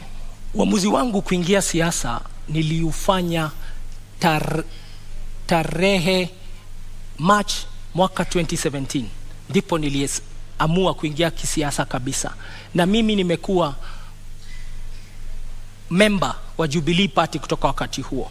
Watu wengi wanasema nimeingia siasa hivi sasa. Nilichaguliwa na kura 869,000 Uh, nafikiri Kidogo, naomba na nikukatize. 2017 wacha nimalize Kwa sekunde chache naomba. nilima- nilichaguliwa na kura 869,000 wakati uliopita na sasa na sasa nimerudi tena kusimama ni uamuzi wangu binafsi wa kuja kwa siasa na nilipigania kiti nikang'ang'ania kiti nikashinda tikiti ya chama tawala Jubilee So na, Igade is his own man. Igathe gathers his own man and he won his nomination. He canvassed for his nomination politically within, within the party. All right. And uh, within the party, we also had two other candidates. My cand- the people who were running against me also did not have degrees, you know, and I bet them. Kidogo, All right, on that point, I think you'll, you'll be happy with this intervention because uh, your competitor for the governor's seat has arrived. And uh, would like to now call in uh, Senator Johnson Sakaja. Hey, karibu mdosi. Sasa bro, how are you? Good, how are you doing? Good, karibu Yeah, sana. good to Good to see you. you. Pole, pole, pole. Asante. Traffic mbaya tutasort. Thank you very much. Senator Sakaja, why are you late? Well, um, my opponent is used to head starts, and so I wanted to give him an opportunity, and we're here. Lakini mbona umekuja kuchelewa? Nilikuwa nataka kumpa nafasi aanze amezoea kupatiwa nafasi ya kuanza na hakuna haja ya kuzingatia hiyo zaidi I think we all know the head starts we're talking about, whether it is from government, TC, but good to see you, Polycarp. Good to see you, and Sakaja. Welcome, I look forward to a good debate. Thank you. All right. What separates you from your top competitor for the governor position? Well, um, Polycarp Igathe is a great man. He's a friend of mine. We've been in Jubilee together. We've campaigned together. Um, I think what separates us is the heart to work for the people. Um, he's had a career in uh, corporate sector. I've had a career in public service and in leadership. The problems this county has, the challenges in our city, the issues we need to deal with, need solid political leadership, and that is what I know. Naam, swala la maadili uh, katika uongozi lina umuhimu gani katika siasa zako, katika kampeni yako, katika uh, mchakato huu mzima wa kuwania kiti cha ugavana katika kaunti ya Nairobi? Swala za maadili ni muhimu sana, kwa sababu kiongozi sio tu yale ambayo unasema ama yale ambayo um, unazo kama fikra, ni yale ambayo unafanya. Integrity is extremely important, na mimi nazingatia masuala yote ya maadili. Um, I think uh, integrity defines who you are, and it's not about um, who you are in public, but also who you are in private, and uh, that that's what defines a leader. Because as a leader, your work is to set a good example. Your work is to show, um, you know, the community and the society where to go to. And so, of course, integrity is not perfection. Integrity is not pontification. Integrity is not saying that you'll never make any mistake. Integrity is taking responsibility. And integrity is be, being able to stand up and say, yes, on this I am right, and yes, on this I am wrong. That is integrity. You speak about abiding, and uh, part of the requirement for governor is the competence and uh, the credentials. Yes. Do you believe that it is important for someone running for governor to have a degree? It's not just important, it's a requirement by our constitution. Do you have It is a degree? Not, that's the reason I'm here. That's the reason I've been gazetted. I do have all the qualifications required to run for governor of Nairobi and on top of a degree, beyond just the academic qualifications. I have the competence, the character, I have the will and the experience to lead this county of Nairobi. Why is it so contested? Your Because as I've said, the head starts being um, sought um, include that. I think, um, and, and I, I- feel bad for my opponent because majority, or rather the biggest part that um, his team has been relying on was not to have me on the ballot. I'm glad I had his said, because I've been around, I've been in this complex and listening, um, saying that, uh, you know, he wants me on the ballot. I'm glad he said that, but many of his political benefactors do not want me on the ballot because they know the effect of that. I do have a degree um, from Team University. I presented it um, on the 6th of uh, uh, last month to the competent authority, which is the Commission for University Education. After that, it was presented to the counterpart commission in, the, uh, you know, in our neighboring country. They verified it. Uh, many people have said that I'm trying hard to prove that I have one. Actually, it's my detractors trying hard to prove that I don't have one. Now, this issue is before the court, and you know the reason I sympathize is that if my opponent and his team focused on going to the people, then they would stop looking for solace in the courts. I have it. In fact, I would want to display it today to all of you to see. Um, I don't know how you'll verify it, but the competent authorities and institutions that have to, you know, verify it have actually said it is it, it, it is correct. Naam, kwa dakika moja unusu, kwa sababu sasa hivi tutaanza kuzingatia muda kulingana na sheria na masharti ambayo tuliweka awali. Kwa dakika moja unusu, endapo utachaguliwa kuwa gavana wa kaunti ya Nairobi, kisha baadaye kesi iwasilishwe mahakamani ambayo itabatili ushindi wako, utawajibikia wakazi na wapiga kura wa Nairobi. Hakuna kesi inaweza kubatili ushindi wangu kwa sababu kwanza ushindi wangu, unajua ndugu yangu anaongea juu ya 8:57 am. Ushindi wangu utadhihirika, utaonekana. Um, nafikiri vile mmetutawanyisha kutoka wale wengine ilikuwa kwa sababu ya utafiti ambao umefanywa na utafiti umeonyesha kwamba niko mbele zaidi. Um, uh, mambo ambayo yako kotini yataisha kwa sababu tunajua ukweli ambao uko. Um, hakuna tashwishi hapo, na zaidi ya hiyo, kwa sababu kumekuwa na hiyo unajua um, kizungumkuti ambayo imeongozwa na serikali and I have said it you know, previously um, who has been driving this and how it's been driven. I think by the time we're going for re-election, we'll make sure that there's even more to be able to show on that. So that is not an issue of concern. What is of concern to us and what is of concern to anybody worth his salt as a leader in this city is the plight of the millions of Nairobians who are suffering the lack of dignity, and the lack of order in our city. And that is where our focus must be. So I do not expect any challenges um, beyond that which, because what is out there is political propaganda. If you look at the lengths that have, you know, the state has gone to to try and stop my candidature, if you look at the resources deployed, including diplomats and uh, you know the ambassador, etc., uh, intimidation of institutions, one revoking and revoking, etc., then you know that there's something there. And I think um, nothing of that source will you know stand the test of time. Are you saying that those who are backing this fight for your contestation for the position of governor are behind your competitor? Yes. What do you say about that? You have an opportunity to respond. Um, we are, our worthy competitors have pitched themselves as victims, and the entire platform is victimhood. That they are victims of the weather, they are victims of the law, they are victims of the of the of what they call the system. But facts are facts, and the truth is the truth. I have said I really would love to meet Governor, uh, to meet Senator Sakaja. I think uh, out of I abundance would of like, heart, I would like to meet Senator. I would like to meet. I would like to meet Senator Sakaja on the ballot You because uh, on the on the ballot, so that we can beat him, and so that the people who are the last line of defense when all other institutions fail, prove to him that they know better. That wajinga waliisha Kenya na waliisha Nairobi. If any other institutions fail, the people should never fail on the ballot. Naam, muda umekwisha.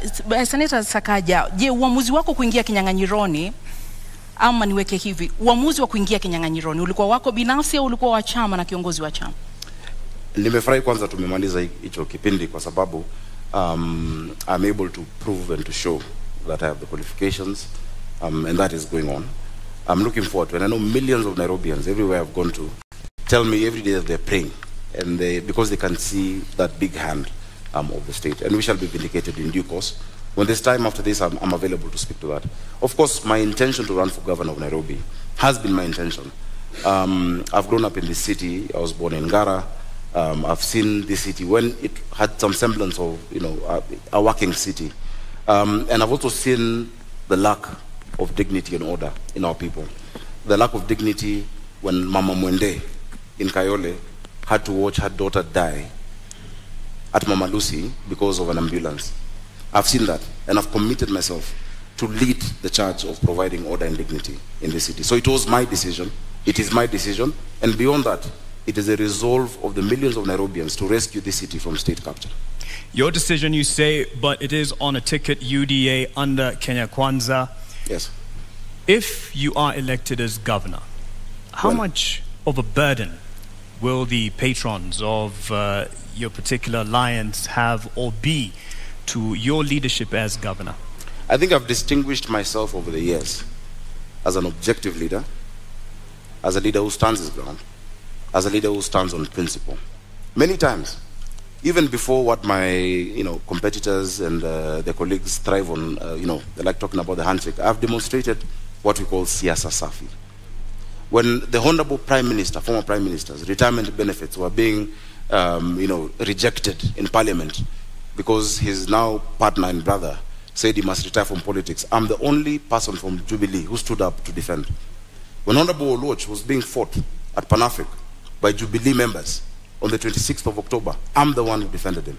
When Babu Owino was thrown into a cell and Raila Odinga and Wetangula could not remo- remove him, I went, despite there not being any agreement before the handshake. I believe in siasa safi. I believe politics is not enmity. And I want to assure even my opponent that once we get into office, some of the ideas he has, because he's a good manager, and this city also needs, you know, in some areas you need managers, of course, led by a leader with a vision. We'll incorporate the ideas. Everybody sitting on that side knows that I have no negative relationship with them, and that is the siasa safi Nairobians want. And that is why all your polls show that Nairobians across the political divide have resolved to support me for the office of governor. Ne, uh, Bwana Polycarp, je, ni kwamba Azimio mnaendesha siasa chafu katika kaunti ya Nairobi? Kwanza wacha tuangalie siasa safi ni nini. Mwaka uliopita taifa la Kenya, the amount of money, pesa ambazo walituma kwa serikali gatuzi kutoka kwa serikali uh, ya kitaifa was 370 billion shillings. 370 billion nairobi ilipata 19 billion. 5% only ndio ilikuja nairobi. Nairobi wapiga kura nairobi ni 11% ya tuko 2.4 million out of 2.2 uh, 2.4 2.4 million voters out of 2. 22. uh, out of 22 million voters in the country. Now, Nairobi contributes 2.2 trillion wamecollect Kenya Revenue uh, Authority. 60% ya hiyo 2.2 trillion imetoka kwa viwanda na wafanyi biashara hapa Nairobi. How does somebody contribute 60% of revenue and you only share 5% back?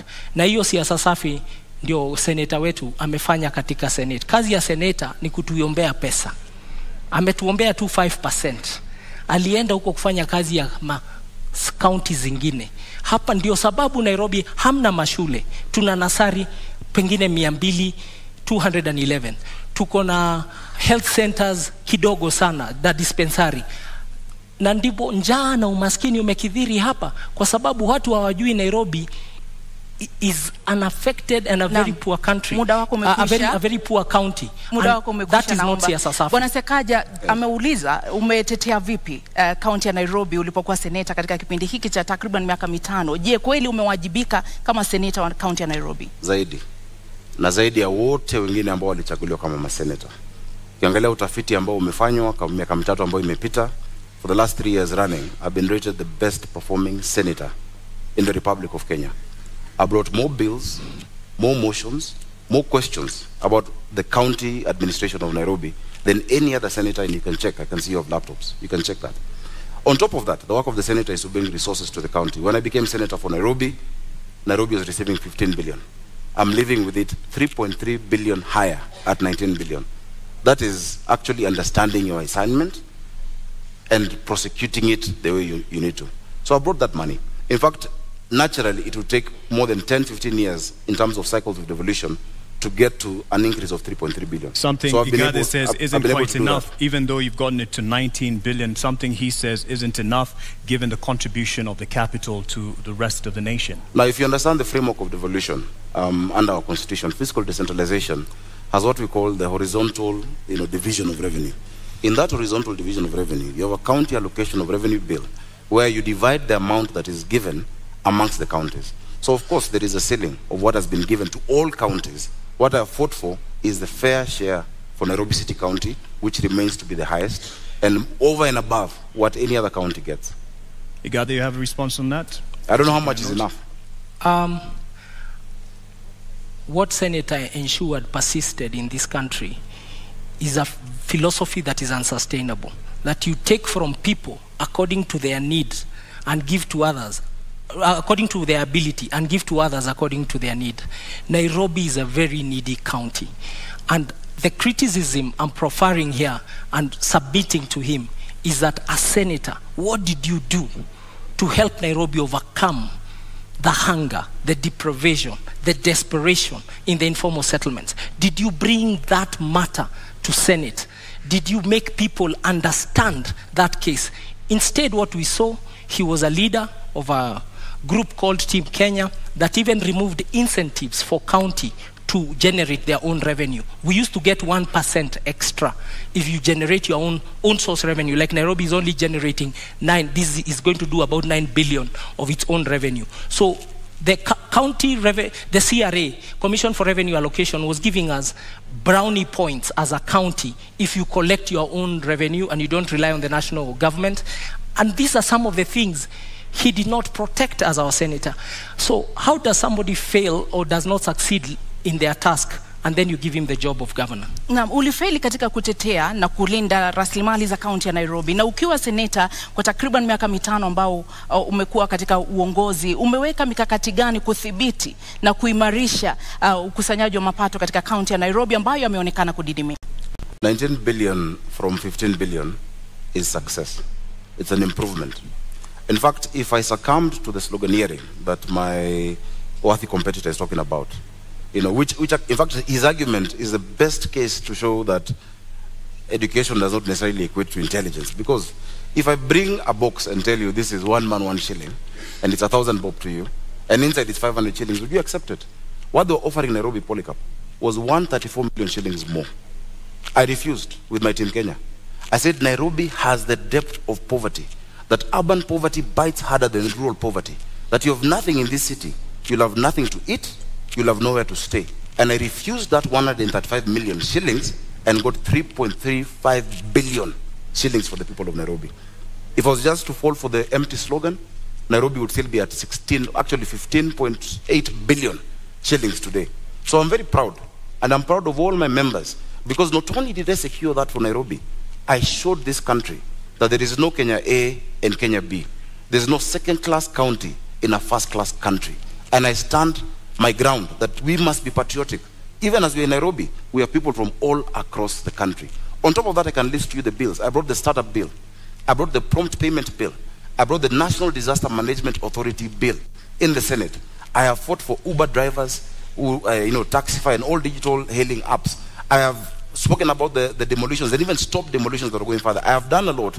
In fact, if you gave me maybe an hour or so to just list the things I've done in the Senate, and I hope the next Senate of Nairobi will be able now- to fill in those unfortunately big for that response, because, time is because it is work that we've done. Let's let's push on with uh, that aspect. Then on, you talk about not having enough funds allocated to Nairobi, given its place uh, in the nation. However, there is the issue of not being able to actually get the potential revenue that it can get, owing to the cartels in the city, which have been a thorn in the flesh of the administration. Uh, but it can be argued also fostered by the leadership. What will you do to get rid or deal with the cartels? Igathe, you have First a minute all, and a half. Um, thank you very much for that question. Nairobi collects for sure way above 200 million shillings every day. But what ends up in Nairobi coffers is around and about roughly 40 million a day. So over 160 million shillings is lost every day. That's the fact. We've had a senator whose work is also oversight, um, and, and Senator Sakaja you had a chance to be seen in this country oversighting the county of Nairobi. When push came to shove and the impeachment question came to the floor of Senate, it's up to Kenyans to see how you voted. Not only did you, you did not even take a decision, you abstained. You walked away from the conversation. We have not seen you, Nairobi County employees, in fact, we have to apologize to them.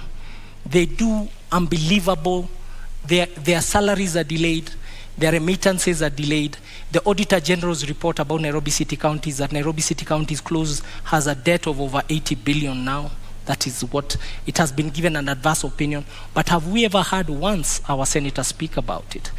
Um, and that's why I'm saying the oversight role he did not do very well, and he actually did not succeed in that oversight role. But the cartels we will deal with because we have the numbers and we know who they are, and you have seen them even in the campaign season Naam. trying to fight and hide behind Muda wako uh, umekwisha. certain Bwana things. Sakaja, una muda wa dakika moja unusu kujibu. I'm actually quite tickled that uh, Polycarp Igathe can talk about push coming to shove and me not making a decision. Before even push came to shove, in like four or five months, Polycarp Igathe quit on the people of Nairobi. In fact, that should have come in the question of integrity. Because when you talk about public trust, chapter, chapter 6, at the expense of private convenience, that is the question that we must answer. It did come the up question, before the you question, right. The question on uh, impeachment. Governor Sonko will not be facing an impeachment if you're stuck in office. In fact, if you're stuck in office, you probably would have been the incumbent governor. If you're stuck in office, there'd be no NMS in Nairobi. The reason we have NMS in Nairobi is after Polycarp Igathe could not wait or stand the heat in the kitchen, he ran away in less than six months. This city needs resilience. You need to be tough. You cannot say that you have betrayed 800 and I think, how many votes did you guys get? 40 or something thousand votes. 840,000 votes. Because you could not get the trust of one individual. Yet a million Nairobians have given you the public trust. When push has come to shove, look at the Senate answered. I have spoken more times than any senator. I have raised more questions in the Senate than any other senator. In fact, I have taken Governor, uh, the former Governor Sonko to court on the action he took on Matatus. The record is clear. This county needs a political manager who understands how to deal with the leaders and how to deal with the issues of the people, but has a thick skin. In fact, if half of the tribulations I'm facing right now in my in my bid were on Polycarp, Azimio would have no candidate. But I have stood. Your I've time stood is strong. out. You've stood. You ran off. He'd have quit. Um, integrity, I define integrity as what you do in private. If, if it ever became public, you'll never be ashamed. I'll tell you what is not integrity is uttering false documents and then standing here and saying I have integrity. Go to the website of the East African of EACC. Go to the website of IEBC.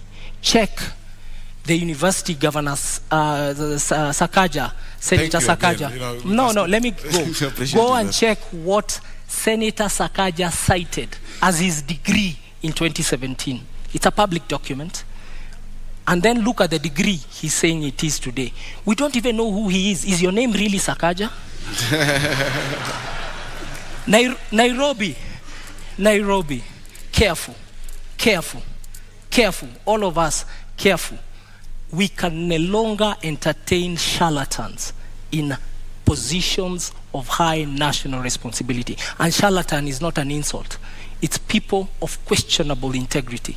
It's people and individuals who come to steal from you wholesale to distribute retail to their friends. And I submit to you, the man to my left will do exactly that. Careful. I think the man to my right did exactly that by running away from the mandate given to him by Nairobians. Actually, the entire mess we have in this city. Because when he ran away from office, and I think he, had, he said somewhere because he got a bigger salary somewhere, I don't know. This city went into a spiral. I assure you, even the drafting of the articles of transfer, I had to be involved because we had to rescue Nairobians. And he ran away from that public office. Now, if you cannot withstand the heat of a deputy governor, you can't run Nairobi City County. You have 85 MCAs, possibly 40 nominated, 125 MCAs. You have 17 constituencies. If just one Mike Sonko made you run, tomorrow matatus will strike. The next day, hawkers will be on the street. The next day, and, and, and you're trying to run this county by being popular, it will not work. Again, as I've said, it is really unfortunate that the only card they had was to try and stop me from being on the ballot. I want to tell you to wake up, smell the coffee. On the 9th of August, I'll be on the ballot for governor of Nairobi City County. And on the 25th, we shall be sworn in. Because Nairobians can see through the game. And the documents he's talking about, for instance, in fact, they're, they're part, and, and I, I don't want to wade into subjudice, but they're forged documents. They actually forged documents in court by them. They have tried to. lakini huwezi kuthibitisha hilo sio Of course, I huwezi can because the kuthibitisha. signature there is not my signature. lakini sisi kwa sababu hatuna hizo stakabadhi hata kuruhusu kuzitumia tuachie hapo, lakini wacha nijieleze. Naona dakika zinaenda, utanipa nafasi nzuri nijieleze.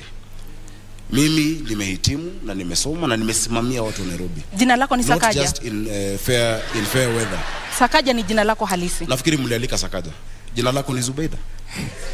niko hapa kuuliza maswali uko hapa kujibu Pia naomba kuuliza, ukiuliza swali ambao kama watu wa Nairobi wanasema itoshi, mwenzako amekuuliza swali, amekuuliza swali Tuna, kwa sababu uko hapa kujibu ndio sababu tunakupa nafasi kujibu jina lako ni Sakaje? out to the issues Nairobians are facing instead of trivializing this debate as to what my name is, honestly. My name is Arthur Johnson Sakaja.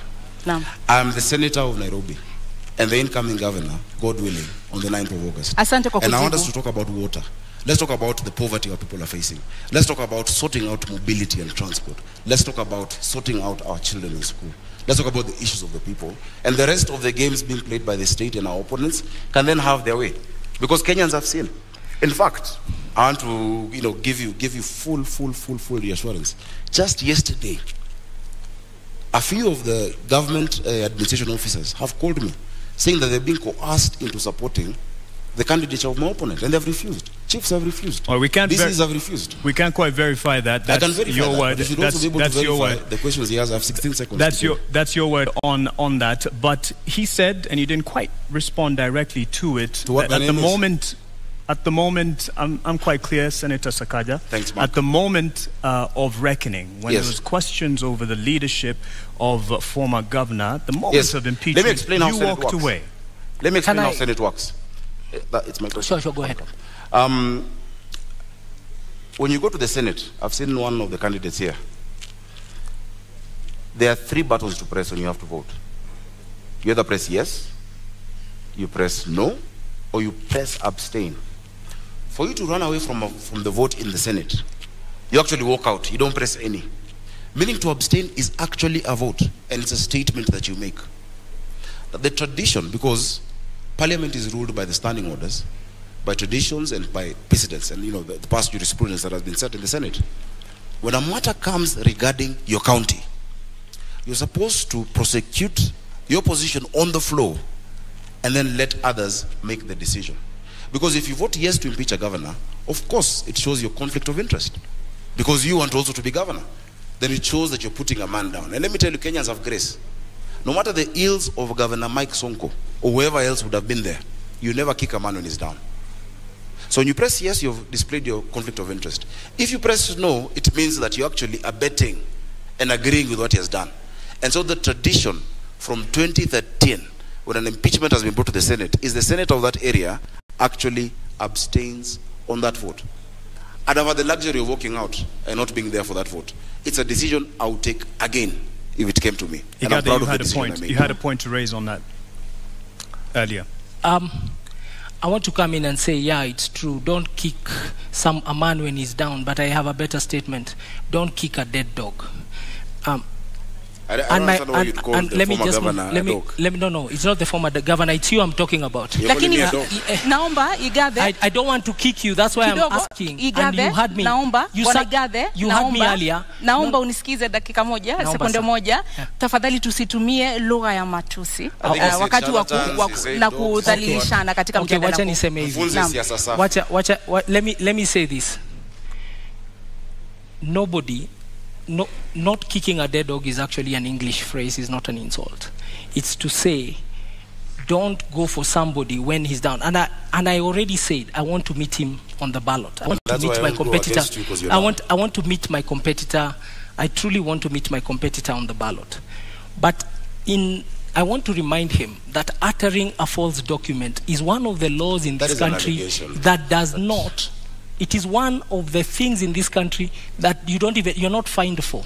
You are taken straight if you are found guilty. And, and that is for the investigative capacity. We didn't come to do that here. All I'm telling That- Kenyans. that is an allegation Uh, can I finish? Can I finish? that Com- you're allowing to go. what the constitution wants is a competent governor, a capable governor, a governor with a character. Ask yourselves, who amongst two of us can you trust? It also wants a governor who will stay in office for five years. All right. You said earlier you know who the cartels are. Enumerate them, put them on notice on how you're going to deal with this. Earlier, when you were talking about the cartels. Um, the cartels of Nairobi have persisted for four decades. Who are they? You said you know. Um, it is a clique of people who have choked the city, and especially the biggest symptom of cartel behavior is in the situation with garbage collection in the city of Nairobi, the situation with pending bills, the situation with suppliers in the city of the county of Nairobi. We need to look at suppliers in the city, in the county city of Nairobi, and ask ourselves who are they? Do they meet the threshold of our public procurement laws, procedures, and regulation? And we need, I want to ask Kenyans to read Auditor General Nancy Gathungu's reports to really see what I'm talking about. Errors and omissions, the statement of assets and liabilities of Nairobi City County, the statement of cash flow, the statement of appropriation, recurrent budget, and development budget. When you read that statement, she's actually saying these numbers don't reflect the fair data of proper financial practices, proper HR practices. And that is where you see the name of the cartels. And only a president who is running on an anti-corruption platform like Raila Amolo Odinga can tackle this issue. And people who have been sta- stood up to scrutiny. I have always been an employee. I've always been audited. I have never taken a shilling that does not belong to me apart from my salary. Naam, kabla tuvuke kwake, ulikuwa naibu gavana katika, uh, katika kaunti ya Nairobi kwa takriban miezi sita. Katika muda huo ni ulijukumika vipi katika kuwakabili hawa cartels, hawa walaghai, hawa watu ambao wana la kwanza wanasumbua walaghai katika kaunti ya tulionana nao kwa sababu for the time when I was a governor Nairobi City County moved its revenues from the 18, 12 million we used to find to 100 million levels, 120 million a day. You're, you're never governor. Now, now, uh, when I was deputy governor, I was in the governor's office. Thank you. The- for that period, when I was a deputy governor, that is what was going on. And we started to pay salaries on the 25th of every month. There was also remission of all statutory deductions. When I was there, I started the titling program for Nairobi to give title deeds into Nairobi. That process has taken five years, is now being completed as we speak.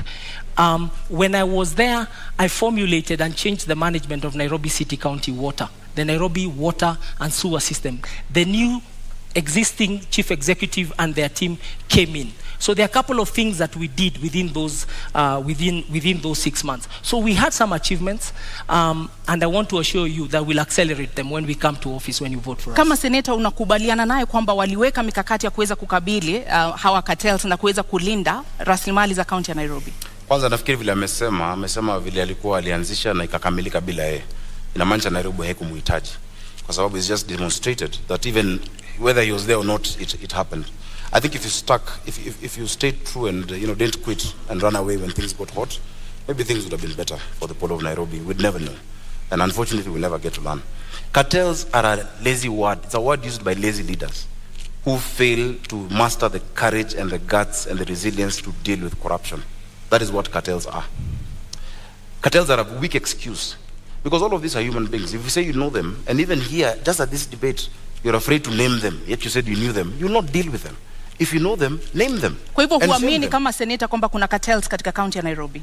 sio cartels ni wanabiashara ambao you know the first way not to be uh, you know uh, to have cartels in Nairobi is to refuse to be part of that system lakini kama unaogopa hata wezi wasema kesho akikutisha utajiuzulu tena we cannot have that in Nairobi Lakini- we just need to set systems that actually remove the place they are playing don't be afraid of cartels Polycarp What, whatever Just- name, you, just- just whatever name them. you, whatever name you choose. I will invite you on 10th of August when we are naming them. The opposition is not allowed You to could also name them the today, but what, whatever name you, you use to allude to them, how are you going to deal with those Listen, the first thing you must do in the city, the as? I've said, is to refuse to be part of them before you even get into office. I have run my campaign by myself. I have struggled. I have funded myself. I have evidence. In fact, I, I, unfortunately, I was, you know, I can, I can table it over here. That even the first billboards paid for for my opponent are by the cartels, are by other shadowy figures who are convincing him to get out of office, to run for it. Once you are captured by them before you start, once you're captured by the state, once you're captured by these shadowy figures before you even set foot, you will not do anything when you're elected governor. Number two, we must reduce the human interaction with cash in Nairobi. We must digitize service provision that all the 130 something revenue streams must be allowed to be paid digitally wherever you are. What we're going to do is this in Nairobi. We'll change the governance structure. We're going to have five boroughs in this city Nairobi North, East, West, South, and Central. Each of those boroughs, pursuant to the Urban Areas and Cities Act and the County Government Act, Section 14, will have a, a, a urban area board or a borough board. And that borough, there will be an assistant city manager who will report to my deputy governor, Muchiri Njoroge, who we have agreed is not going to quit. They will report to Muchiri Njoroge, and Njoroge Muchiri is going to be the chief city manager. Now, once you localize them to an area that these few sub counties, these are will deal with garbage, these are will deal with water, these are will deal with education and all those issues, then you reduce the capacity of that corruption. I Naam, thi- I- uh, I Bwana wish that- Igathe, unakubali muda wako umekwisha, samahani seneta. I- Bwana I Igathe, think- I think- unakubali I- I kwamba think it's better mapendekezo if you- anayotoa ndio yataweza kukabili wale It's better ambao if you allow unawaona me to kama just, uh, cartels katika kaunti ya Nairobi. before you start this Samahani, time, muda wako umekwisha I seneta. want to ask you Naomba something. naomba muda wako umekwisha, Naomba tumpe unisikize. nafasi aweze mambo ya kujibu. Nairobi ni mazito. Tafadhali baada ya Kanuni, zungumze Bwana utuongezee Seneta. dakika. Shida za Nairobi huwezi taja na dakika moja. Kama mnataka watu wa Nairobi wasikie Kwa vizuri, heshima kubwa naomba kwa heshima tumsikize, zaidi kisha utapewa uongeze- muda zaidi, uongeze utapewa muda. majibu. Wao wanataka majibu. Sen- Senator Sakaja, with It's all just a due- humble appeal. Senator Sakaja, with all due respect, you did come late, uh, and in keeping time, there are rules that we announced at the, at the beginning of this kindly. debate, and an answer to a question is a minute and a half, and you can see it clearly Okay. on the screen here. Rebuttal is a minute, and we did accommodate It's your not enough, lateness. but we so, give summarized uh, over to Yeah. you, Igathe. Ukosefu wa nidhamu ni jambo la kawaida kwa watu ambao hawajamaliza shule. Let me move to this is what we want to do. This is what we want to do. We want to improve the society in Nairobi by ensuring we tackle the issue of hunger and depravity in the city by tackling the issue of poor quality, poor access to education in the city, and poor quality access to healthcare. We want to fix the economy in Nairobi by ensuring decent jobs, mobili- proper mobility and transport. We are going to form what I'm calling the Nairobi Go portal.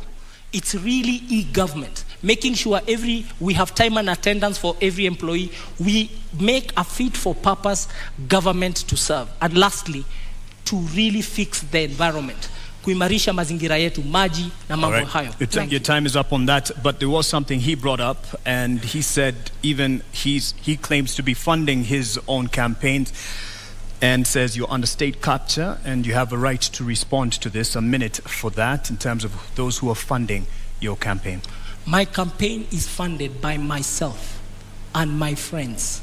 And I would like him, because he has said so, to provide that evidence before the morning. That is a liar. Those are lies Gladly. told by a lying liar. I'll be glad to do that. Please, you know, you say you have some evidence to this effect. Of course, we have receipts. We have receipts of billboards and of you know different meetings of chiefs, meetings of DCCs, them being casual. You know, you, you, you cannot force individuals, DCCs, assistant chiefs, and many of them, I mean, even represented here, know the meetings at St. George's Primary School, where they're being asked to support those candidates. We know all of that. It is obvious. But if you'd like me to table that, I'll be glad to table it All before right. the country. I So will, they can I see. will, But, in equal but I don't think even I will in equal measure table all the false documents Senator Sakaja has cited to the Republic of Kenya and to constitutional institutions tomorrow morning on my Twitter. All right, tomorrow morning there's a lot of news to look forward to. And do you agree? And then you will know what we are facing. Because the contest on 9th of August is a simple contest. It's a contest in this country. It's a census, actually. It's not an election. How many Kenyans believe in competence, character, capability, honesty, unity moving forward? And how many believe in lies and all the other bad things we don't want and don't value as a society? That's the contest. We've moved into the governorship uh, domain of this conversation, and uh, we just like to cover more issues here. And there is a mention, was a mention of Nairobi Metropolitan Services, NMS. Uh, first of all, do you agree with uh, it having been brought in as an intervention? And uh, in your view, because was it because of a failed leadership? No, I celebrate the Nairobi Metropolitan Services, the NMS, and General Badi and his team have done a wonderful job. And it was a creature of the law.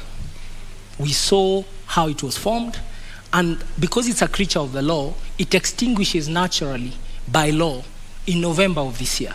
Look at what they have done. They have sunk 193 boreholes in the metropolitan area. 144 of those boreholes has been in our informal settlement. That has truly helped us fight COVID-19.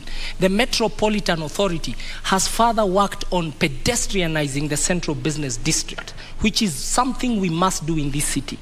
Make sure that non-motorized transport we democratize transport. That the most important transporter is not the private car, but the pedestrian, the cyclist. They have done it, and we are now working, walking better. They've really tried to improve the environment, and they are part. Uh, it is part of the military to do civilian duty, and they came and answered the call of duty, and I, we truly celebrate what they have been able to achieve. And they are reverting, we are reverting back to a civil authority. As we speak, I believe General Badi is in transition, waiting for the election and then for the next people to take over office. He should not be vilified. And, and, and he really worked and he's been able to deliver. It's been a band aid to the city of Nairobi. Kwa, labda kwa sekunde 30 iwapo utapewa nafasi ama ungepewa nafasi ungetaka NMS iendelee kuhudumu katika kaunti ya Nairobi? uh, NMS si, uh, siwezi pata hiyo nafasi kwa sababu sheria inasema NMS muda wao utakwisha Novemba mwaka huu. But it was extended, and there's an opportunity to Uh, extend it. I will give better service as governor of Nairobi than NMS. Bwana Bwana- Sakaja, on the issue of governorship and how Nairobi Metropolitan Services, uh, beg your pardon, came in to rescue the day. Uh, do you agree with this? And under uh, governorship of uh, Sakaja, would this continue? It is very interesting to hear a man praising his ex-wife's husband. Um, the reason NMS came about is because he got the quit. It's as simple as that. If the deputy governor of Nairobi, Polycarp Igathe, did not quit, there'd be no need to have NMS. Those boreholes you're naming, you should have done them. Those interventions you're talking about, you had a chance to do them. Devolution cannot be trivialized in this country. Devolution is the greatest gift we've given to our people. That every Kenyan, wherever they are, has a right to self-determine. I wrote about this in 2010 with the uh, International Commission of Jurists. Physical decentralization and devolution in this country. That lady in Mutuini deserves a county government and a governor she can hold to account and who can listen to and who she can vote, to, uh, vote for. So you can't come praise the consequence of you absconding duty, of you, you know, leaving office. Because if Polycarp did not run away from Nairobians, Governor Mike Sonko would have acted differently. Governor Mike Sonko acted as he did because he knew no one would impeach him, because no one wanted a by-election in Nairobi. Yet having no deputy, and that's why he'd bring Miguna's name, whoever's name, he knew he was untouchable. So it is a consequence of him. And then again, understand the law. There's no way NMS will operate after August. Well, I don't know what you're talking about November. The county government that is being elected on the 9th, that will be led, hopefully, God willing, by myself, will take full control of Nairobi. So yes, NMS has had a cocktail of hits and misses, but you don't know Nairobi. Those women who cried when their children were being smashed in, in Kariobangi and in Mukuru do not agree with you about NMS. Just a few people who've seen pavements and Cabro who like it and who cheer, and we Naam, know whose interests you're protecting here. Naam, Polycarp. Una muda kumjibu. Um, I think we should not dwell. The history is the history. No, no. What the But we should learn from history. What the citizens of Nairobi want is what are we going to do for them? And I'm being really clear that we are going to fix the financing model of the city. We're going to have a city that is well funded. And with those funds, with my deputy, Professor Kaloki, a distinguished public servant and politician, we want in Kiswahili kusema tutastawisha jamii, tutaboresha uchumi na tutaimarisha mazingira hapa Nairobi. Mambo matatu makubwa ambayo tutayatenda, na tunataka kuwaeleza watu wote Nairobi kwamba muta, manifesto yetu iko kwa magazeti yote. Siku ya Wednesday uh, kesho uh, Wednesday, uh, in this, this week muisome the abridged version muone the pledges we are making to you because in three seconds we're not able to extrapolate those pledges but i want to assure you nairobi will be something of your dreams it will be a city of your vision it will be truly a All right. global hub in africa for everybody Senator Sagaj, Sakaja, I believe you do agree that Nairobi is in deep debt and there's wasteful use of funds. What are the factors behind this? How will you fix it? Again, um, I must say, Nairobi is in a dire situation that it's proper, proper, proper planning and proper political management. A lot of these issues are relational. If you look at the 76 billion um, debt, including even the 4.4 that is owed now, you know, um, to to KCB, and many of these other instruments we've gotten into, a lot of them can be sorted out based on how we relate with the national government. That Nairobi is not a branch of the national government or an appendage, or as uh, my brother says, you know, the military interventions are going on. Then Nairobi can negotiate because there are a lot of areas which we can do debt swaps. But the county of Nairobi owes the national government, and the national government owes Nairobi City County. We must balance our books, and we're going to do that. And we have a team that is, you know, properly suited, you know, to be able to do that. I, I am very, very confident about my deputy, um, Njoroge Muchiri, who has a stellar career as well in banking. Actually, a proper corporate career, not two years stints here and there. A proper career, 20 years in ABSA, So give us the particulars, though, on, Yes. on the issue of uh, the debt that we are in. How will we get out once you are And that's what? I'm saying. We must do a couple of things. One, you must refinance your debt. You must move what is domestic into concessional. That you cannot be borrowing from commercial banks. Have them as concessional. Chapter 12 of the Constitution of Kenya, talking about public finance, says how the national government guarantees county governments of debt. In fact, on top of that, we must get creative. For us to sort out the real issues of this city, we need around 200 billion shillings upfront through an infrastructure bond. I've gone across this world and spoken to Kenyans in the diaspora whose remittances are our biggest foreign income earner who are ready to put in money in certain interventions. When you talk about transit, we need a mass transit system in this county. How are we going to do it? Recently, I was in Imperial College in London, and I met a, a man, a nice gentleman, who sorted out transit in London. He sorted out transit in Beijing, mobility. What's his name? Professor Washington Ochieng. The other day I was in Riyadh. I met a group of guys who did the Dubai Metro and they're doing the Riyadh Metro. George Opondo. There are Kenyans out there who are willing. So we must get creative. Um, there's a PPP department that has been set up in the, in the National Treasury. There's external borrowing. But we must refinance this city. Look at Joburg. Joburg is almost, you know, it's, it's more or less a listed uh, city where people can actually invest in it. If you do not do that, you become a cashier.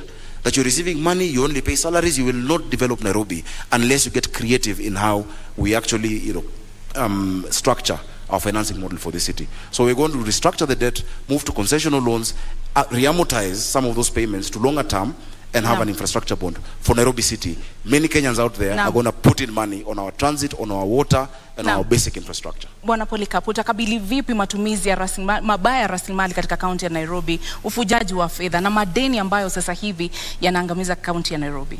Uh, jambo la kwanza, Nairobi City County gets its highest revenue from land rates, parking bays, um, land rates, parking fees, outdoor advertising, uh, building permits. Those would be some of the top, within the top five uh, revenue things. And what we are going to do is to make sure that we digitalize the collection of all that revenue so that the leakage, we seal the leakage. Technology is one of the best things to overcome loss of revenue. And we are going to use technology in, in the public revenue management system. Then, secondly, we will deploy that money. Our own source revenue, I can promise, we and Professor Kaloki have done a study, and we've even checked the reports of the Commission for Revenue Allocation. With six revenue lines, we can generate 80 billion own source revenue in Nairobi. And with that money, we will build a thousand. We will join the government in building more schools, in making sure there's medicine in our dispensaries, in making sure that there's incinerators to burn garbage, that we start a leasing program for vehicles and equipment uh, for the staff, and also to make sure we pay our staff the right salaries so that they are really motivated. We are very concerned about the welfare of Nairobi City County workers and all the workers of all affiliate bodies of Nairobi City County. Only motivated workers can deliver essential services, and that's what Nairobians want. And that brings it, brings me to the next issue, and that is the competence of the Nairobi City County staff. And you will both have an opportunity to respond to this. How will you address the competence or lack thereof, overemployment? Cases of ghost workers and the issue of productivity to make those staff uh, workers, the workers of Nairobi City County, uh, that they will deliver the services for the Nairobians. I'll start with you. every employee of Nairobi City County from the 10th of August, we shall have a performance agreement with them. We will bring back to life performance contracting. And that performance agreement means what do they do every day, the few things they do every day to deliver the output Nairobians expect. And that output will be captured in a scorecard. So each one of us will have a scorecard and a performance agreement. The performance agreement is the input, the scorecard is the measure. And who will measure is the neighborhood associations. We're going to run Nairobi with the neighborhood associations as per the Neighborhoods Act. There is an act that demands the city is run in a see through way, let me not call it transparent. That, and I want to use the, the analogy of an egg. The executive of Nairobi City County will be the yolk. Surrounding it will be the county assembly as the egg white. The egg shell will be the residents of Nairobi. Kwa sababu we will not pay an invoice for a road or a broken sewer before the neighborhood association, say of Kayole, says sends us a photo. So there's crowdsourcing. We are going to use technology and the cloud and a data center that can really be able to serve the city of Nairobi. And we shall decentralize services from City Hall. City Hall will be the headquarters of the corporate services. There is no use for a waiter, like I found a waiter, a restaurant somebody working somewhere in Umoja telling me they have to come all the way to CBD ati anakuja kutafuta food handler certificate. Naam. That Correct. food handler certificate, they should be able to get it in Umoja. Thank you. Sakaja, I think you were tickled there again. Uh, was a point to mention the, the cloud issue, but how will you address the uh, staffing for Nairobi County? Unajua, unajua mavijana wa Nairobi wakisikia vile amesema hiyo story ya mayai, atasema anatubeba kimayai. Many of those ideas, really, you know, this is not equity, eh? This is not corporate. You must take the bull by the horns and give practical solutions Which to are? our city. And let me give you an example. You're talking about, you know, one of the highest revenue streams, you know, being um, rates. Have you talked to us about the rate classification of those rates? Why is it that people in Githogoro are paying the same rate as people in Runda, which is just, you know, a doorstep away, yet they have Mabati structures and these ones have five-star houses? You know, let- let's be practical because that is what Nairobians want to be able to hear. Now, the sectional properties uh, bill that was passed uh, in, in Parliament recently prevents an opportunity. I've heard him saying he's done a study with, with uh, Professor Kaloki. I, I know Professor Kaloki is a professor, and maybe that's why we've not been seeing you guys campaigning because you're doing studies. But look at what KPMG has spoken about Nairobi, look at what PwC have said, and the CRA. It is not just six revenue streams that are going to um, increase how much we collect. Just the sectional properties realignment and the revaluation that starts in January 2023 is going to take us up another 50 to 53 billion shillings. Every other revenue stream then must be geared towards making Nairobians more productive. The NMS that you praise has been going around this city with GSU, harassing our traders and our hawkers, throwing them into you know those pickups, tetanus filled pickups and roadworthy. By the way, on the 9th, if you're listening and you're a scrap metal dealer, come to City Hall. Revenue has gone down to 7 billion. Why is that? Because you're not explaining to the people of Nairobi the services you're offering with the money you collect from them. We will have a people-centered leadership. Cloud is a tool. na muda But your, your, your focus must be on the people you're serving. You can't be muda umekwisha bwana, uh, bwana seneta. Lakini umekuwa seneta wa kaunti ya nairobi. Umewajibika vipi katika kuona kwamba pesa za kaunti ya nairobi zinatumika namna inavyostahili? Hakuna wizi hakuna watu wasiofanya kazi ambao wanalipwa. Umekuwa seneta. Wewe ndiye macho ya kaunti ya nairobi. Zubeda, umewajibika vipi? hapa mlifanya utafiti. umewajibika vipi seneta Na katika kama- kuhakikisha na kwa kwamba yes, pesa za kaunti ya nairobi zimetumika my- vyema? my- My time is counting waliotoke. Kama mlifanya utafiti, ungeona zile ripoti ambazo nimewasilisha, zile miswada na hoja ambazo nimezileta kwa bunge. Hapo kati ya hizo miswada na hoja, kuna ile ambayo inaitwa prompt payment bill ambayo pia wale wengine walijaribu kuweka katika mswada wa BBI walikuwa wanaleta. Ilikuwa nimeshapitisha kwa bunge. Ukiangalia yale ma, e, unajua zile ripoti ambazo nimewasilisha kwa bunge zinazungumza itakuwa ni njia gani tutatumia, mbinu gani, form itakuwa vipi kuhakikisha ule jamaa, there's a guy who works just across over here in Cultivar. He's called Fred. He's one of the procurement people. Ako na wines and spirits Buruburu. Anasema ya kwamba wakati akiwa job anasikia hawa watu wa NMS na GSU wamekuja in their WhatsApp group they tell each other that hawa watu wamekam eh kuna wimbo wanasemanga walikam na kinini vijana wa Nairobi wanajua wamekam na Subaru na wakikuja hapo wakikuja hapo they tell each other in the WhatsApp they close all the shops. That's why this military you're praising has not collected 7 billion this year. Let's take power back to the people. And he tried to define this election. It's not about liars and who don't lie. It's about a state project and a people's governance Speaking that's about the choice people's governor, power to the people, let's give some power to the people who weighed in on the, this debate. We had asked some questions from Nairobians, and I believe we're ready to sample them right now.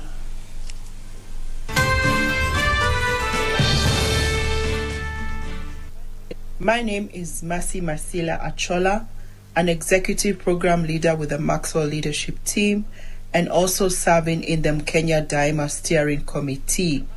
My question to the Nairobi gubernatorial candidates is if elected to office, could you share with the residents of Nairobi what can we expect from you in your first 100 days in office? Um, in the first 100 days, I pledge with my deputy to have a very fit for purpose organization to deliver essential services that Nairobians have been deprived of in the past, and especially Nairobians in the informal settlements and in low income areas. And therefore, there'll be executive order number one that establishes a good government, a coherent government, and a government where the deputy governor has clear responsibilities, a government where the governor himself has clear responsibilities, and where we work as partners. Him playing to his strengths and me playing to my strengths, but a proper cabinet. Also, we promise you a proper cabinet that is fit for purpose, and the purpose is essential service delivery. The people watching us at home actually, they just want services. They want water in their taps. They want garbage collected. They want storm drains covered. They want pedestrian walks repaired. They want markets made. They don't want to continue selling uh, like um, on the road on the roadsides.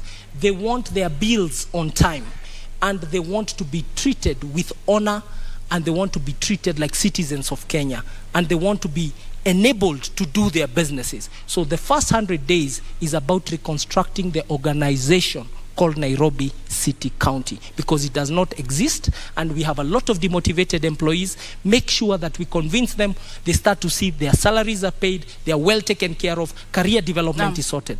Thank you. Thank you. Um, I, I want to thank uh, the lady from Maxwell for that question. Uh, Maxwell Leadership Institute on um, uh, Valley Road is an extremely important, you know, pillar in mentoring many of our young people. I've, I've actually taught many programs of leadership there, and I've been a participant in that. Um, I think when they, when she asked 100 days, maybe what she wanted to hear from me, Polycarp, was just to say, I will not quit fast, you know, as the beginning. Thanks for answering for me. Go ahead. Please keep reminding people because people are afraid to utatuacha kwa mataa. But secondly, I want to say this. Um, in the first 100 days, I've said that you will not sort out Nairobi um, using quick fixes. The issues of this city don't need 100, and I'm not seeking a 100 day term. It's not quick fixes or bandage uh, solutions that will sort it out. We have a 10 year vision and a 5 year vision with my. But in the first 100 days, what we're going to do, number one, is to um, you know, implement the Urban Areas and Cities Act together with Section 14 of the um, County Government Act to create the five boroughs that I'm talking about in Nairobi. That if the person in charge of garbage in Kayole does not need to think about Westlands, the person in charge of a road in Langata should have nothing to do with Roysambu or Marurui. Because that lack of accountability, when you ask them, okay, mbona hapa kuna takataka, uh, pole boss kulikuwa na sijui crisis in Mukuru. So we'll set up the governance structure that will deliver to Nairobians. That is the first task. And that includes the county assembly. The second thing that we're going to do is to implement the standing orders that we've actually been working on, even as I've been in the Senate. Proper standing orders for the inspectorate. We cannot have people criminalizing business, um, you know, chasing our hawkers, throwing sticks at them. They must have proper, like any discipline force, standing orders. And finally, we'll implement the one business permit. You can't have businesses with 10 licenses. Naam. Today there is fire, tomorrow there is wa- It will be one license. And I will pay every other um, entity that needs to be paid from that one license that you pay in Nairobi. Bwana Polycarp, mmekuwa mkizungumza kuhusu tatizo la maji, maji taka katika kaunti ya Nairobi. Awali ulitaja kuhusu cartels. Je, unaamini kwamba ubinafsishaji wa huduma hizi katika kaunti ya Nairobi utasaidia katika kusuluhisha baadhi ya matatizo ambayo yamekuwepo kuhusu usimamizi wa huduma hizi? huduma za maji zimekuwa ni tatizo kubwa. Juzi nimetembea kule Ruai na muliona picha, sikujua kuna mahali Nairobi watu hubeba maji bado na punda Bado pia, so you learn every day. Now if you go to Ruai, if you the problem is a problem of way leaves, which the senator perhaps was even ignored in Senate. There is a way leave issue between Kiambu and Nairobi because today we are consuming 500,000 uh, cubic meters of water every day in Nairobi. But that, that's really the level of production of water from our water sources, Ndakaini, Ruiru Dam. But the Ruiru Dam and the Northern Collector Tunnel, we need to connect it. Na hiyo shida ya wave ni shida ya kisiasa, lazima tutatue, na hiyo ikitatuliwa, there'll be an extra almost close to 100,000 cubic, so we'll go to 600,000 immediately.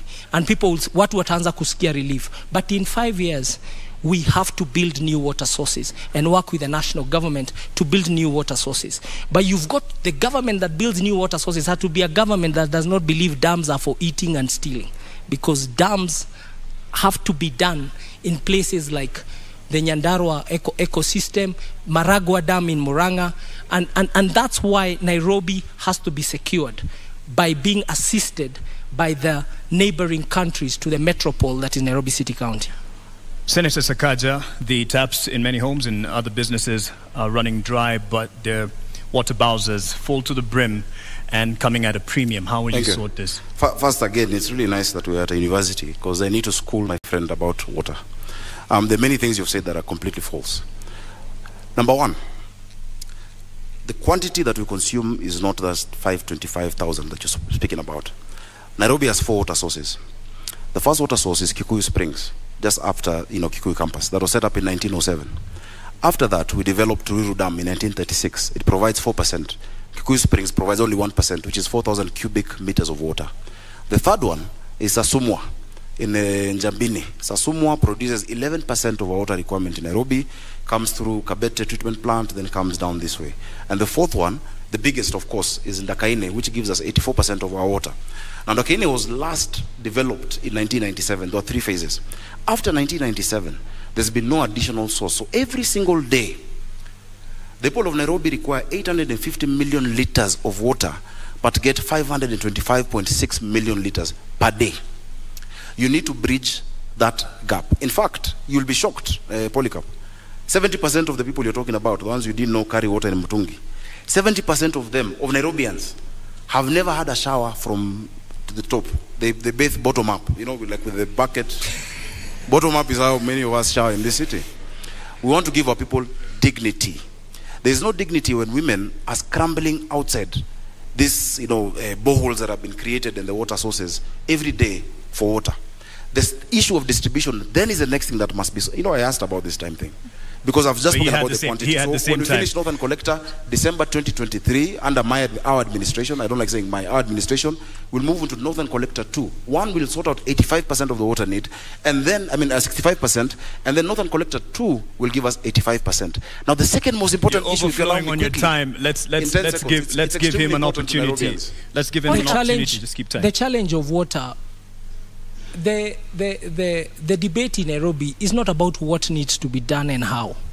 We are all, there is consensus that we are short of sources of water. It is who will do it because you need to be trustworthy and you need to be capable to, uh, to, to get it done. That issue of who is the most important issue in this election. And on the issue of water, for sure, we are the supply and demand. There's too little supply for very high demand, and the numbers are what it is. The metropolitan area, because Nairobi even supplies Machakos, the the EPZ area, uh, with water, is an the biggest challenge is new sources of water for the city county of Nairobi. And that is a task between ourselves and the national government. And thank God we have Martha Karua, the original champion of water, of water as, as Minister of Water during Kibaki's time. And she understands the task, and we are ready to work with her in Nairobi. For Nairobi, it will be a responsibility. On to housing, a majority of uh, Nairobians live in with water live in, in in informal settlement. I just want to cover as much as we can, and uh, a majority of uh, the populace here live in informal settlements. And how are we going to change this housing demand and give quality housing and other services for Nairobians? I'll start with you. Thank you. I'll, I'll, I'll just take the same time to finish on water. Um, I've heard him mentioning Martha earlier. He mentioned Raila. These are people we all, you know, we know and we've worked with many years. Um, you know, don't don't run away and hide behind them when you don't have the point. Just say the point as it is, because Nairobians are electing you to be governor of Nairobi, not Martha Karua, not Raila Odinga. They're electing you. If they elect you, if they make that decision, which I, which I know they will not make, you must sort out the distribution issue of water because water goes hand in hand with housing. So I've spoken about the quantity. And it's not about uh, waiting for an angel from national government to do it. Already we're at 90% with the Northern Collector 1. The piping has been, uh, uh, or rather, the tunneling has been done. The, the piping is at 34%. This side from Apro Isambu, coming from Kiambu Institute of uh, Technology um, to USIU, moving down, is already going on. We have so many areas that do not have piping. I've never had piping uh, uh, you know, in Nairobi. There are people who actually build houses across what were the physical levers. They shut it down, they collect water, and then you see these bowsers moving around the city labeled clean water or NMS. That will come to an end using SCADA technology. Where as governor, I'll be able to see on my phone, Mali wamekata maji.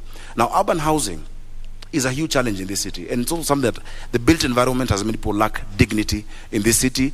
The county government is not in the business of building houses. We shall facilitate the private sector through proper land tenure and giving them proper land of government to actually partner with them to build these houses. We can actually do it um, through the silo uh, model Naam. where you, you build and people move and come in there. Muda Urban renewal is being resist, resisted in Eastlands because of lack of trust of that institution or body that is praising here today. I wish you go Now- there tomorrow and tell them what you said about NMS. Uone ile mbio utatoka. Bwana Polycarp, eh, maji ni mojawapo ya shida ambazo zinakumba wale ambao wanaishi katika mitaa ya mabanda katika kaunti ya Nairobi. Haswa ni mpango upi ambao uko nao wa kuinua na kuimarisha hadhi ya watu ambao wanaishi katika mitaa ya mabanda katika kaunti ya Nairobi na changamoto ambazo wanakumbana nazo? So first of all, the county of Nairobi, in its own books, owns close to 532 hectares of land. On it sits 12,000 single dwelling units. Nairobi has to strategically densify, but that process requires proper, proper public participation. You can already hear my competitor is whetting his appetite to steal your homes. You people in Makadara and Jericho, umesikia, he has pronounced himself that this will be private sector led. I have told you, this thing called urban renewal, which is what they want Nairobi to take, we have to be very careful.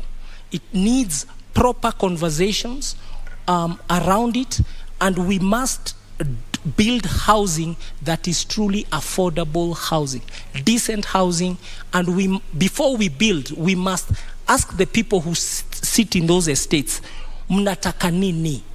How will this work? And how will you be compensated? Before that is done, we are rushing. And you've seen a big rush towards that work, and we are saying, put it on hold. The Constitution demands proper public participation, proper understanding, and I, I want to believe that conversation has already uh, not been held. So the housing question in the informal settlements is to continue the work that has started roads, water, um, sewer, boreholes. These informal settlements require a lot of investment, and that investment requires allocation of our improving our revenue and also making sure Senate allocates us the money we require to attend to high density areas. Okay. A rebuttal uh, in terms of uh, what he said on your uh, housing urban development plan there. Uh, an opportunity. There are people waiting in the wings to come minute. and steal your houses, and you've had the private He has the sector. they've opportunity. You're in up. his time. You- you have an sure. Go opportunity. I don't know who represents the private sector here on this stage, if you look clearly. But what I'll say is this. While you're away, when you ran away from Nairobians, Polycarp, I represented the people of uh, Majengo in Kamkunji in court to fight what you're talking about. You were somewhere in your Bentley, living the life, never spoken about an issue of Nairobians. But now you're saying you want to steal. That they were moved from slums in Majengo, the slums were put down and put in 11, you know, 11,000 bob houses while they're paying six, 5,000 shillings, 4,000 shillings. Today, the amount of money owed that they need to pay is 60 million shillings. That's what someone wants to steal the houses.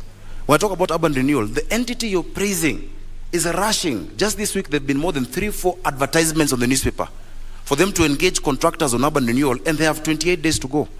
They must stop that, and I'm putting them on notice. In fact, it's against the law.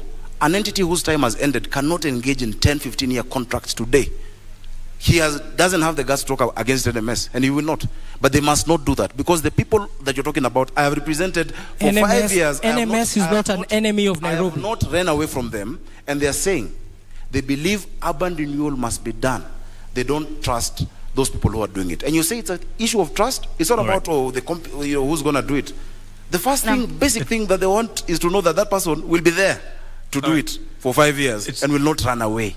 It's first deliver on that. It's unfortunately it's time out for us in terms of uh, this uh, debate. There's a lot to cover. I believe both of you gentlemen have spoken and have alluded to the fact that you have the manifestos will be open to the public, Nairobians to be specific, to peruse and digest, and uh, that is where we will end it at this opportunity. I believe uh, even the time for closing remarks are not there. Uh, if we probably managed the time a bit better in the beginning, it would have uh, ended up uh, even better in terms of coverage of the discussion. Asanteni sana kwa kuja. Thank you very Asante much. sana. Thank you very much for having us. Naam, uh, wasemapo wahenga kilicho na mwanzo lazima kiwe na mwisho. Hii sasa ndio tamati ya mjadala baina ya wanaomezea mate kiti cha ugavana katika kaunti ya Nairobi. Indeed, our appreciation to the candidates, Polycarp Igathe and Johnson Sakaja, and to you, the audience that uh, turned up here and out there watching on television and from around the world, of course, online. Thank you all. My name is Mark Masai from NTV. Nami naitwa Zubeida Koome na kutakia usiku mwema. Zubeida Koome kutoka KTN News.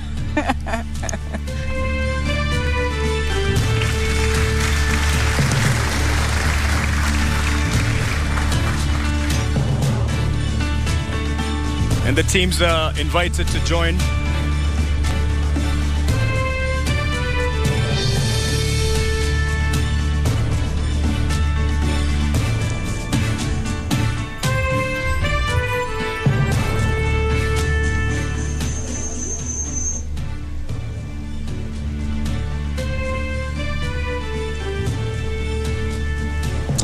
Well, there you have it. The first ever Nairobi gubernatorial debate hosted by the Presidential Debate Secretariat has, according to uh, many of my analysts here, lived up to its billing and set the stage for the other two debates. One that will happen next week, Tuesday, and the other the week after for the deputy president's race and the president's race as well. I dare say, if it's a debate you tuned in for this evening, I'm pretty sure it's one you got. The question is, however, a debate on what? Was it a debate on the issues that plague Nairobians today uh, that live within this great county? Or was it a debate on rebuttals and counter rebuttals between Johnson Sakaja uh, and, of course, Polycarp Igathe as well? That's some of the uh, feedback I'll be looking from, from my panelists who've been patiently and keenly following this particular debate. But first, let me read your feedback. This is what Nairobians and Kenyans are saying this evening. Nathaniel Kevin on Twitter says, an insightful debate, character traits coming out strongly, a peek into the capabilities of each participant,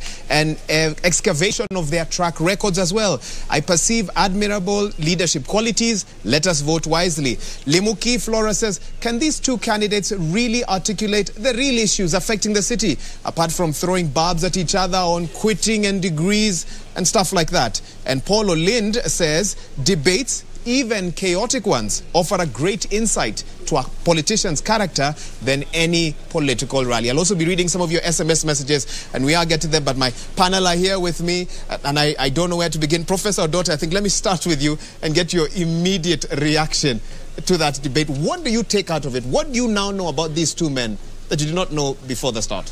There were two debates. At the, one. same, at the same time? Yes, there were two debates. uh, so the first debate uh, was a debate about uh, madness, uh, a debate where people were abusing each other, uh, were shouting at each other, and were focusing on themselves and on the other side. I hated that debate because it didn't help me. I liked the second part of the debate because in the second part of the debate, I started hearing issues. Unfortunately, there were too few issues. Uh, the issues that I had that for me made me happy I like the ideas from Governor Sakaja about governance. The ideas about boroughs, I think, was an excellent idea. I like his grasp of Nairobi. Uh, he knows Nairobi and he knows Yes. the facts. That for me was extremely nice. Uh, Professor Dote, I have the unfortunate uh, task of interrupting you. I, I promise I will give you a chance to finish your point. Frederick Muitiriri, I, I do have a debt that I owe this man, uh, but but I'll come back and repay it. Uh, Frederick Muitiriri, I'm told you're on standby with one of the candidates. Let's hear that immediate reaction minutes after that debate concluded. Shukran sana Wahiga Mora kutoka Citizen TV. Nashukuru sana mie Frederick Mwitiriri kutoka TV 47. Ninaye hapa mwaniaji wa kiti cha ugavana Polycarp Igathe, na pale ndani uh, mwaniaji kulikuwa kipute ambacho kilikuwa kikubwa sana. Unahisi kwamba zile miezi sita ambazo zimekuwa zikitajwa sana, huenda wa, wania- wa, wa, wa Nairobi wakawa wanakuona kwa njia tofauti kutokana na wakati ambao ulihudumu kama naibu gavana?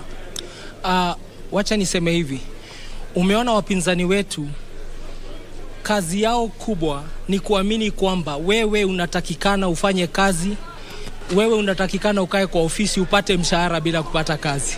Hiyo ndio swala kubwa sana ambalo wamegusia leo, lakini sisi ni waadilifu, sisi ni waaminifu, sisi tunaajibika, sisi ni wachapakazi, na ni heshima kwa katiba na kwa wananchi wa taifa la Kenya.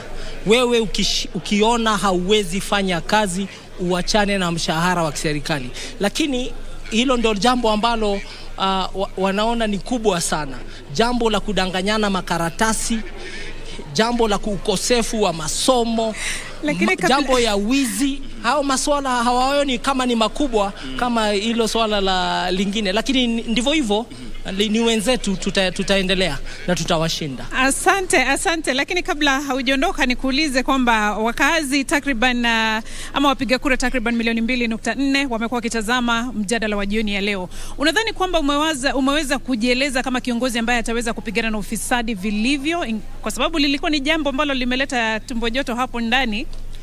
Uh, natumai nimewaeleza na, na pia tutaendelea kuwaeleza katika kampeni zetu. Inajulikana vizuri sana hapa Nairobi mm. mambo ambayo yanaendelea ya ufisadi ni mambo ambayo yameandikiwa maripoti mengi. Kuna nakala mingi ambazo zimeandikwa na, na institutions mingi mm. sana, na hiyo kazi inajulikana. mm. Kwa hivyo hakuna debate about kupigana na ufisadi. Asante, asante. Tunakutakia kila la heri. Wakenya wana Nairobi wataamua ifikapo tarehe tisa. Asante. Tuelekee sasa upande ule mwingine, Leila Mohamed pamoja na Francis Gashuri uh, ambao kwa sasa wako na seneta wa Nairobi Johnson Sakaja. Twende kule. Thank you very much, Beatrice and uh, Frederick. Uh, it's been 180 minutes, 90 minutes of the second debate. Quite a heated one, Francis. Uh, quite an, uh, an encounter, a banter that many Nairobians this evening were hoping for. Senator, good evening. For a moment there, we were skipping our heartbeats, uh, hoping you would come, you would not come. You're here. Do you feel you have punched above or below your weight? I feel we needed more time to talk about the real issues of the people of Nairobi. Um, those issues are real. Today, their families sleeping hungry. Um, there are people who don't know where to go to tomorrow. We have millions of young people without jobs. Um, I wish we had more time to focus on that, um, apart from the side shows that are, of course, choreographed by the, those I'm, uh, I'm running against. But all the same, I'm glad with the time we've had, we've been able to at least speak about certain policy proposals that we have for the city. Um, Nairobi is for all of us. Uh, politics is not an enmity. I believe in siasa safi. Um, politics is not an enmity. After the election, we'll have one county that we must remain in. And um, let us also not be divided in terms of parties. Um, let's not be divided in terms of tribe. Let's remember that we're one tribe called Nairobi. Thank you very much. Absolutely, and uh, Sakaja, f- feels like a rematch should be should be coming up uh, because that was a real debate. Is there something that you felt that probably you needed to respond to, particularly that touches on people of Nairobi, in a minute? At some point last year, I went to donate desks in Dagoretti um, in a school um, called Gatina Primary. And when I gave them desks, normally you ask the children, what would you like to get um, from me? And they say, oh, Super Senator. And I thought they'd ask for sweets or for a ball or for a school bus, even they're ambitious. And they said they wanted food. We have, you know, as a parent, that broke my heart. We have too many children who are out of school because of food, because of, you know, the COVID era and the poverty in Nairobi. As I said, urban poverty is the worst. And so I wanted to talk about the school feeding program that we're going to institute in Nairobi for all our children that you know, you know, at least you, you'll be able to lower the cost of living for those parents. You save them um, close to 5,000, I mean, 3,000 shillings a month, and attendance goes up. Many schools at 12.30, they tell the kids to go look for a meal. They don't come back. They're missing a third of the education. If you want to finish a country, you finish the children. So I really want to talk about school feeding. I want to talk about how to clean up Nairobi. I want to talk about the recycling plant and waste to energy in, in, in Dandora, and just moving that away. We have an entire wing at uh, Kenyatta and Mbagathi for respiratory illnesses for the people of Dandora. I want to talk about CHVs, our community health volunteers who are doing an amazing job across the, the county of Nairobi, who need to be incorporated. And from the day we get into office, they'll be part of our health system. Thank you very much, Sakaja. The person to ask for a rematch is Clifford Machoka. I think actually there's a rematch on the 9th of August, and that will be now a technical knockout at 9 a.m. The voters Thank will you. decide the 22.1, Thank you very much, million of, uh, or, or 22.1 million in the country and the 2.4 million in Nairobi County. Thank you. We you. wish you the to very best- best of luck. sana. Thank you very much. Thank you. Leila, uh, VAR imetembea kidogo, so we take it back to Wahiga. Wahiga, take it away. Wahiga, talk to us about the facts and the figures. Has this debate build up to its expectations of 2.4 million registered voters in this great county of Nairobi? Not forgetting that uh, at least 24% of them are undecided. And I don't know whether this debate helped a few of them to make their minds up. Professor Odote, did you get that sense? In the second part of the debate? Because you said you saw two debates. In the second part of the debate, uh, but I unfortunately I don't think that it will help a lot because they spent too much time on the other things. So let me finish my conversation in terms of. Uh, And, my- and I'll ask you to be brief in the yes, very brief in terms of uh, what I liked also about uh, Polycarp. I liked his conversation about involving citizens. I think that was a good conversation. I also like his de- debate about the unique status of Nairobi in terms of the relationship between national and county government. The things I did not like, I didn't like the fact that uh, Johnson, my good friend, did not apologize for coming late. Shockingly, despite his conversation about Siasa Safi, I didn't like his arrogance. Uh, and lastly, I did not like the conversations from Igathe of over focusing on uh, Johnson and not himself. So those are the things I didn't like about the debate. What you call arrogance, others call confidence, but uh, depends on uh, which side of the table you're seated. Uh, let's hear from you, Wanjiru. Bruising, exciting to listen to. I'm not sure the 26% will be able to decipher, but we definitely got a lot. Um, Igathe, I got a sense that he's got, he had prepared and articulated his implementation strategies pretty well. I liked his revenue strategy, breaking down the streams, sealing the loopholes. I found that to be very pragmatic and a low uh, hanging fruit. Um, whether he links it into the cloud, I got a sense that he imagines digitizing is going to cure the governance culture gap. That's that's not necessarily accurate. I liked the eggs, the neighborhoods, of course. yeah, I liked the decentralization. Um, of course, his take on NMS uh, for me is, in fact, the word I would use it's odious because This is Igathe. Yes, Mhm. Igathe's take on NMS is totally misplaced.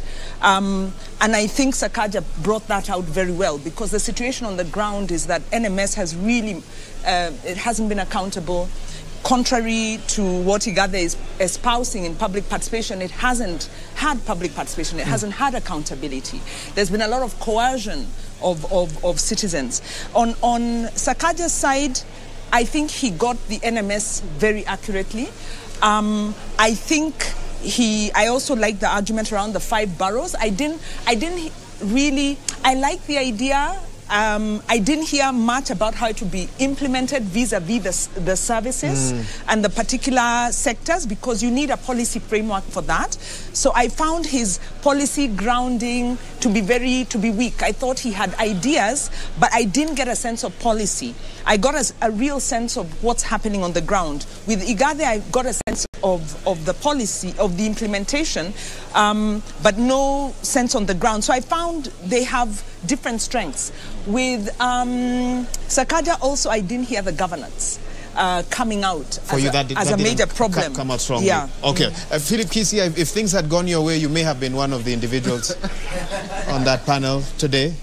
Uh, but life has a way sometimes of uh, taking a different tangent. So how do you then rate the two men that stood before Kenyans and Nairobians this Well, evening? uh, uh, I mean, I would be unfair, but uh, I mean, rating is something that we cannot avoid. One, uh, like my two colleagues have said, um, I think um, Sakaja performed quite well. He seems to be understanding the issues affecting Nairobi. But on the, on the flip side, he doesn't seem to have a clear implementation strategy. How do you deliver what you're talking about? On the other side, Polycarp could have been a bit weak on policy and on strategy, developing strategy. But he seemed to be very clear on how it can be implemented. You sound like you want a candidate with both. You want to merge the two. Yeah, you must have both. Must have both. Would that Now, be the perfect governor for Nairobi? Mhm. But what was disappointing is the fact, like what Prof said, is the fact that somebody who is expecting to provide leadership to a county like Nairobi comes in late, he doesn't apologize. In fact, he appears to be quite arrogant. And I'm telling you this because Sakaja is my friend. I'll tell him even tomorrow if he's not listening to me. On the other side, uh, just as Pro- Prof said, that I've said, they spent almost 60% of their time on personality issues. And very little time was spent on the real issues.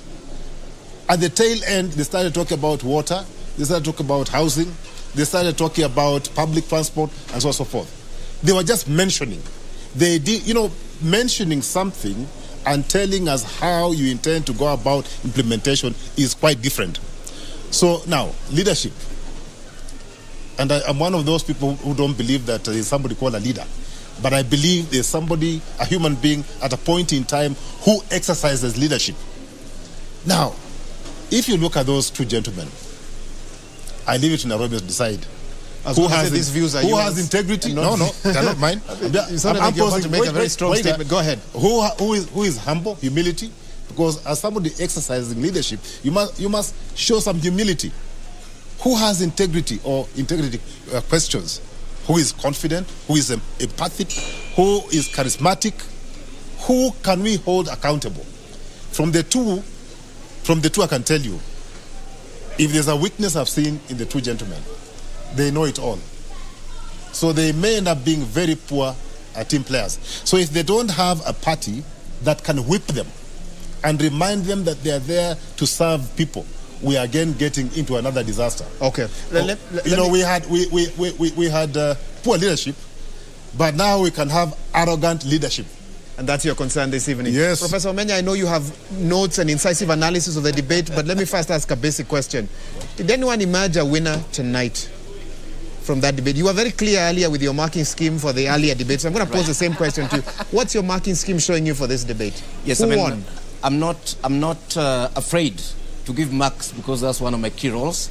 I think, uh, despite coming late, uh, Sakaja won uh, by 65%. You didn't dock him for the lateness. And, and Igathe, in fact, I think it'll be a draw if you bring in the lateness. Igathe was at 63%, so they're very close. Uh, but I can, I can justify why I, I actually believe that, uh, that Sakaja did win this debate.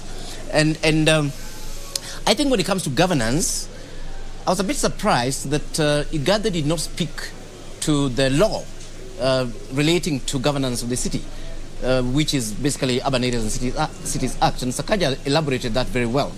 Um, you know, with the five uh, boroughs and so on, and, and, and those can actually be aligned, you know, with the wards and so on. I thought that was a very, very good idea.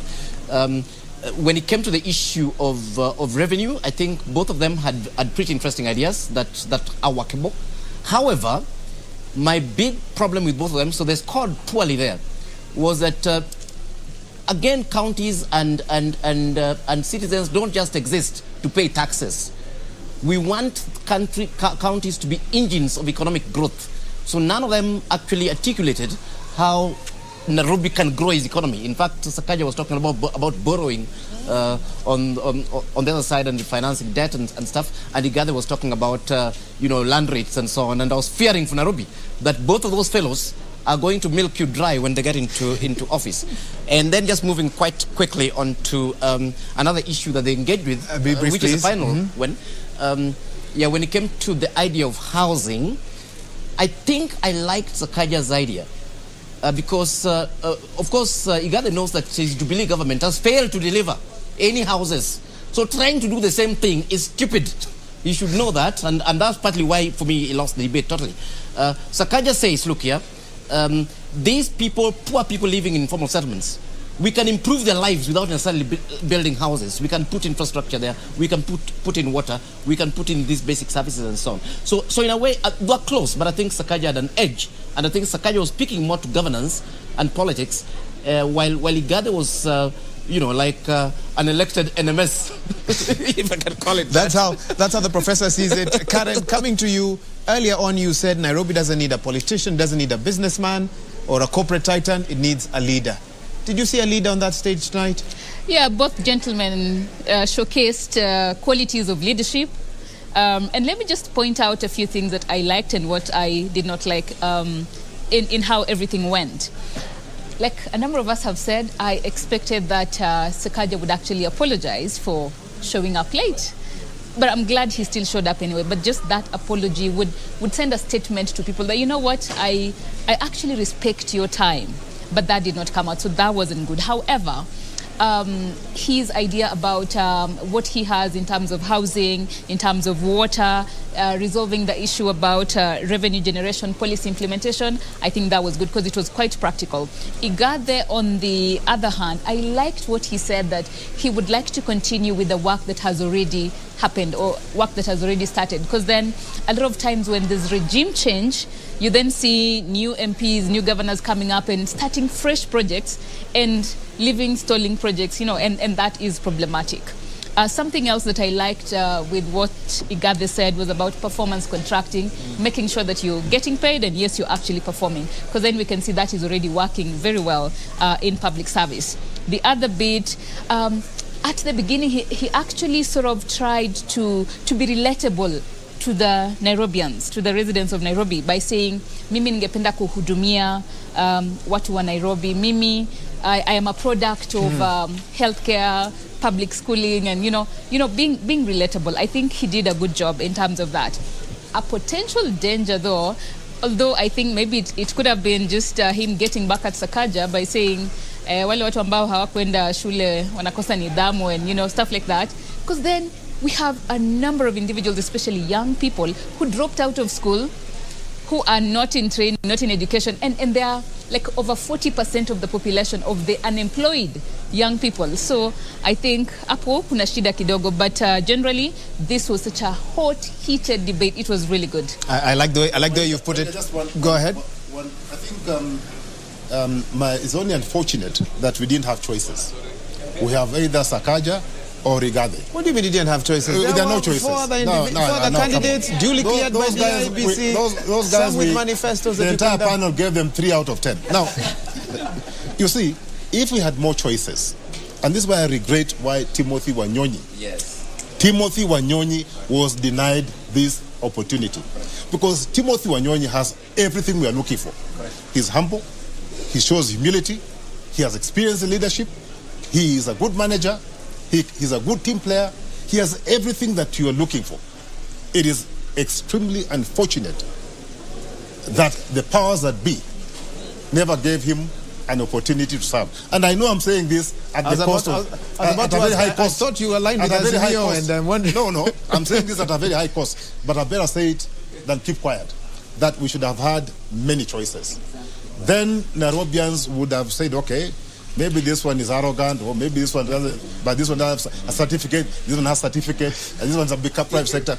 You need somebody with all those skills put together, and that should have been Timothy. Wanjiru is vehemently agreeing. Even, Yes, even it, it, it was a point. I think the uh, 26%, Yeah. I think the 26%, Yes. a, a large number of those are unhappy with the choices because they are saying we deserve better. We've invested. You know, we've seen, seen Tim Wanyonyi grow his career. He's been MP now for two terms. terms, yeah. He's done very well. Been a councillor. And there was an, from a council, But there what- was an but expectation. what guarantee do you have that if he was here today, you wouldn't be putting him through the same That is- scrutiny that you that you've put through? No, the he other? Would be put. he know- would be put, but it's the expectation that we would have a choice. Now we have a tailor-made. We've got a project, and we have, you know, somebody else, and we have to choose between these. And like you said, it's not cut and dried. Hence the 26%. Prof. Omenya? That is what happens when you have good people who are qualified, who on, have Prof. a track record, who don't present themselves up to run for office. He That is did what happened. present himself, but then the, there was the party rigged him out. or- Prof. Omenya, go ahead. Yeah, I think uh, I I agree 100%. I'm just adding to those sentiments that, uh, again, I mean, overall, uh, tonight we've been disappointed because uh, Nairobi is the biggest economy outside of Kenya. And, uh, and the governor of Nairobi, we expect to be a person capable of running this country. And, um, and, and, and there are expectations we have of that individual in terms of the way they carry themselves, in terms of uh, duty of care, in terms of the depth with which they think through things that affect Mananchi and so on. Um, and what we're seeing here are, are actually juveniles who still need a lot of growth uh, to be at that particular level where you can say yes. Professor, I don't think it's fair uh, to call uh, I- I- adults. I've withdrawn and, uh, and, and, and apologize to the two juveniles. I think they're- But, uh, Well, can I put it differently? Professor Odote, please. Uh, let me put it differently. Don't differently. make it worse than- no, than the I other actually want to tell you has. something that was written in my class WhatsApp group as the debate was going. Mm-hmm. Uh, They say the two boys can govern the city. They use the word boys. yeah, but no, but then they go into a better place. Both still remain fine gentlemen, but the city needs more. And that last part that I want to focus on. Uh, if we forget the analogies, I think the critical thing, and you hear the, the percentage 65, 63, if we got a half of what we had in Igathe and a half of what we had in Polycarp, we would be able to get the governor we need. And that is possible. Unfortunately, we are going to get half full as opposed to the complete governor that we need. And I think that's the challenge that we're having in terms of Nairobi. As I said when we were starting this conversation, and remember when I was comparing with my county, Homa Bay, I was making the point that we need governors, good governors across the country, but we need an exceptional governor in Nairobi hmm. because Nairobi is not just one of the 47 counties. It is the city, the capital city, international city. Unfortunately, watching today, and if you are looking for that international status, you're looking for that super status, you still don't get it from the two gentlemen. And I think that's, that's the let me cross over because I now have seven minutes or less and immediately hear from you. Karen, I'll start with you. What do the seven who then showed up, six who showed up for this debate, now do moving forward? In, in one word, what more can they do to build up from what's happened here tonight? I think do some research and get um, more information and factual information about what needs to be done in the city, for the city, for the residents of the city, and actually go out and, and do that. So just a little more research. The two final candidates definitely did their homework, especially Sakaja has uh, the information and all that stuff. But just the bit to go out there, do a little more research about what needs to be done, align themselves, and make sure they get to do that Okay. when they get elected. and. Prof, just as briefly, some would say, look at previous debates. Some didn't even show up and they won the elections. Yes. Well, you, your panel is talking as if uh, winning debates is winning elections. No, no, no, not at all. In fact, uh, I think, uh, really, to be fair to the two gentlemen, we are very happy that uh, you've got people that you can actually listen to. Yeah. Uh, yeah, so that, that was positive. And, and, and they did actually engage with, the with the issues. In fact, for me, it's an issue of uh, having.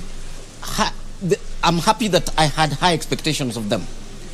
And those expectations are not totally destroyed. Okay. There are some, some candidates that I would not, not even have bothered having an expectation about. But the, my only message to them is this. And your final message, that, please. and- And that's my final message. That this is an extremely serious job, governing Nairobians. Please think through, think through your ideas and your policies, especially the critical ones that, that will take this, coun- uh, this county okay. forward. Okay, I'll stop you there. I have five minutes. Final comment from you. What more Um, can the candidates for- do? Okay, now for the the, the ones who are calling fringe uh, fringe uh, candidates. 28 days to go. I would I would suggest that uh, they just pack off and go home, and uh, uh, you know. Philip uh, Kisia, surely. You know, yeah, no, no, I'm telling you, and it, it came from Wanjiru. Let them pack off, go home. You're telling Kenneth Nyamwamu, you're So, telling Harman yes, yes. You're And telling then, Mwadime. Then start from somewhere. You can start from member of parliament or MCA, or then grow, get experience. Okay, for the two gentlemen, they need to appreciate that leadership. Leadership is about inspiring people. Leadership is about being able to get people in one basket to move in one direction willingly, competently, enthusiastically. Okay, I'll take that as your final comment, and Yeah. that's a good place to leave it. Wanjiru? I think for me, it's one, looking at these two candidates, citizens, either way we'll need to hold them to account. They need, these leaders need humility to listen, to round off. For Igathe, he needs to understand the human rights based approach. For Sakaja, we need to get that real servant leadership that he's listening, strengthen on that accountability. But the lesson is to us as citizens um, don't be discouraged by the choices, go and vote for whoever, but let us be vigilant and hold them to account and force them to raise the level of their performance. And all this is possible in 28 or so days. Well, they need to be reflecting. You see, they, they're out on the campaign trail. They need to practice humility. They need to learn human rights based approach. Okay. Citizens need to vote and choose and hold leaders to account because we've seen what we are working with. We, we need to keep growing and forcing them to grow and r- come closer to our expectation. And keep them accountable. Professor Odote. I think uh, some very few things. Number one, uh, for Harman, uh, I think this uh, was a great opportunity that he used well.